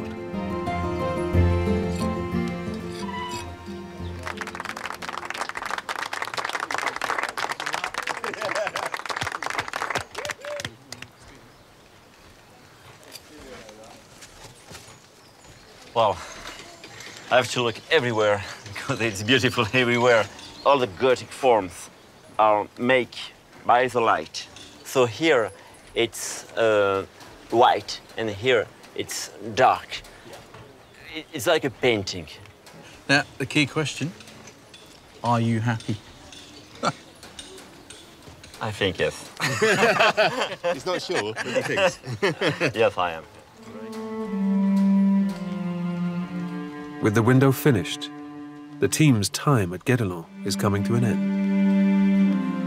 The seasonal nature of castle building meant many of the workers were itinerant, moving from place to place and seeking other employment in the winter months.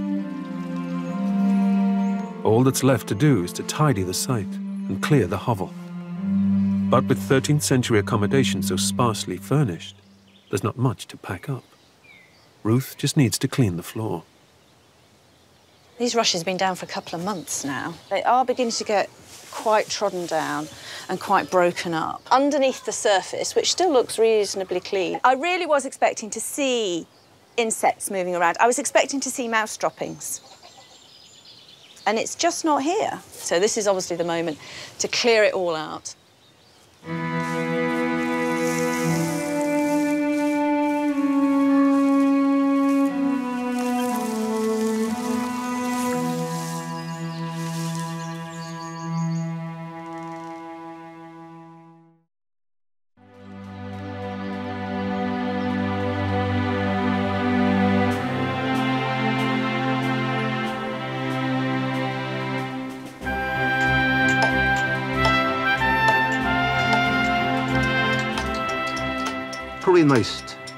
Thing I think I've learned on site is how to put technique before anything else. You don't go in with pure strength or force. You learn the techniques, allow you to work for long periods of time and work accurately. If you get your technique right, then everything else will follow. I really liked seeing the way the geometry has come into play. We all studied this at schools. It seems so distant and pointless, and yet here we can see exactly what it's all for. And now, when I look at all of the built world and I can see the geometry, I can see why those lessons actually were really important. Guédelon is the largest experimental archaeology project in the world. But the castle itself is merely a byproduct. The experiment is creating the Chantier Médiéval, the medieval building site. Having seen just how much work goes into laying, say, a single stone, whenever I see a ruined castle, I won't be looking at the building itself. I'll be looking at the hundreds of craftspeople that were involved in that project, the thousands of hours of labour that went to make it, and the community that surrounded it.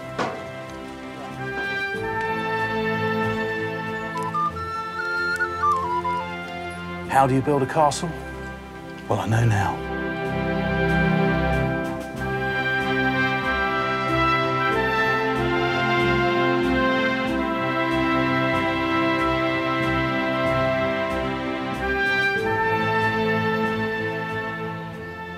Hi, Ruth.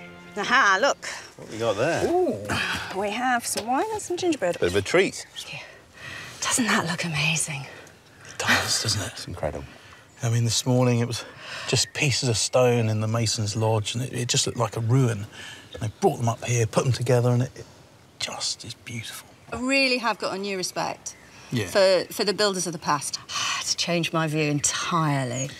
Such a fitting place to end our journey because we started down there on the chapel floor. We've marked out the centre, and in a season, we've come up with we're 12, 15 feet higher up at least with our food of kings. Food of kings. I'm going to try this. Drink of men. Oh, that's, uh, that's full of flavour. Well, I think, don't you? To the window and to get along. To the window and get along. Window and get along.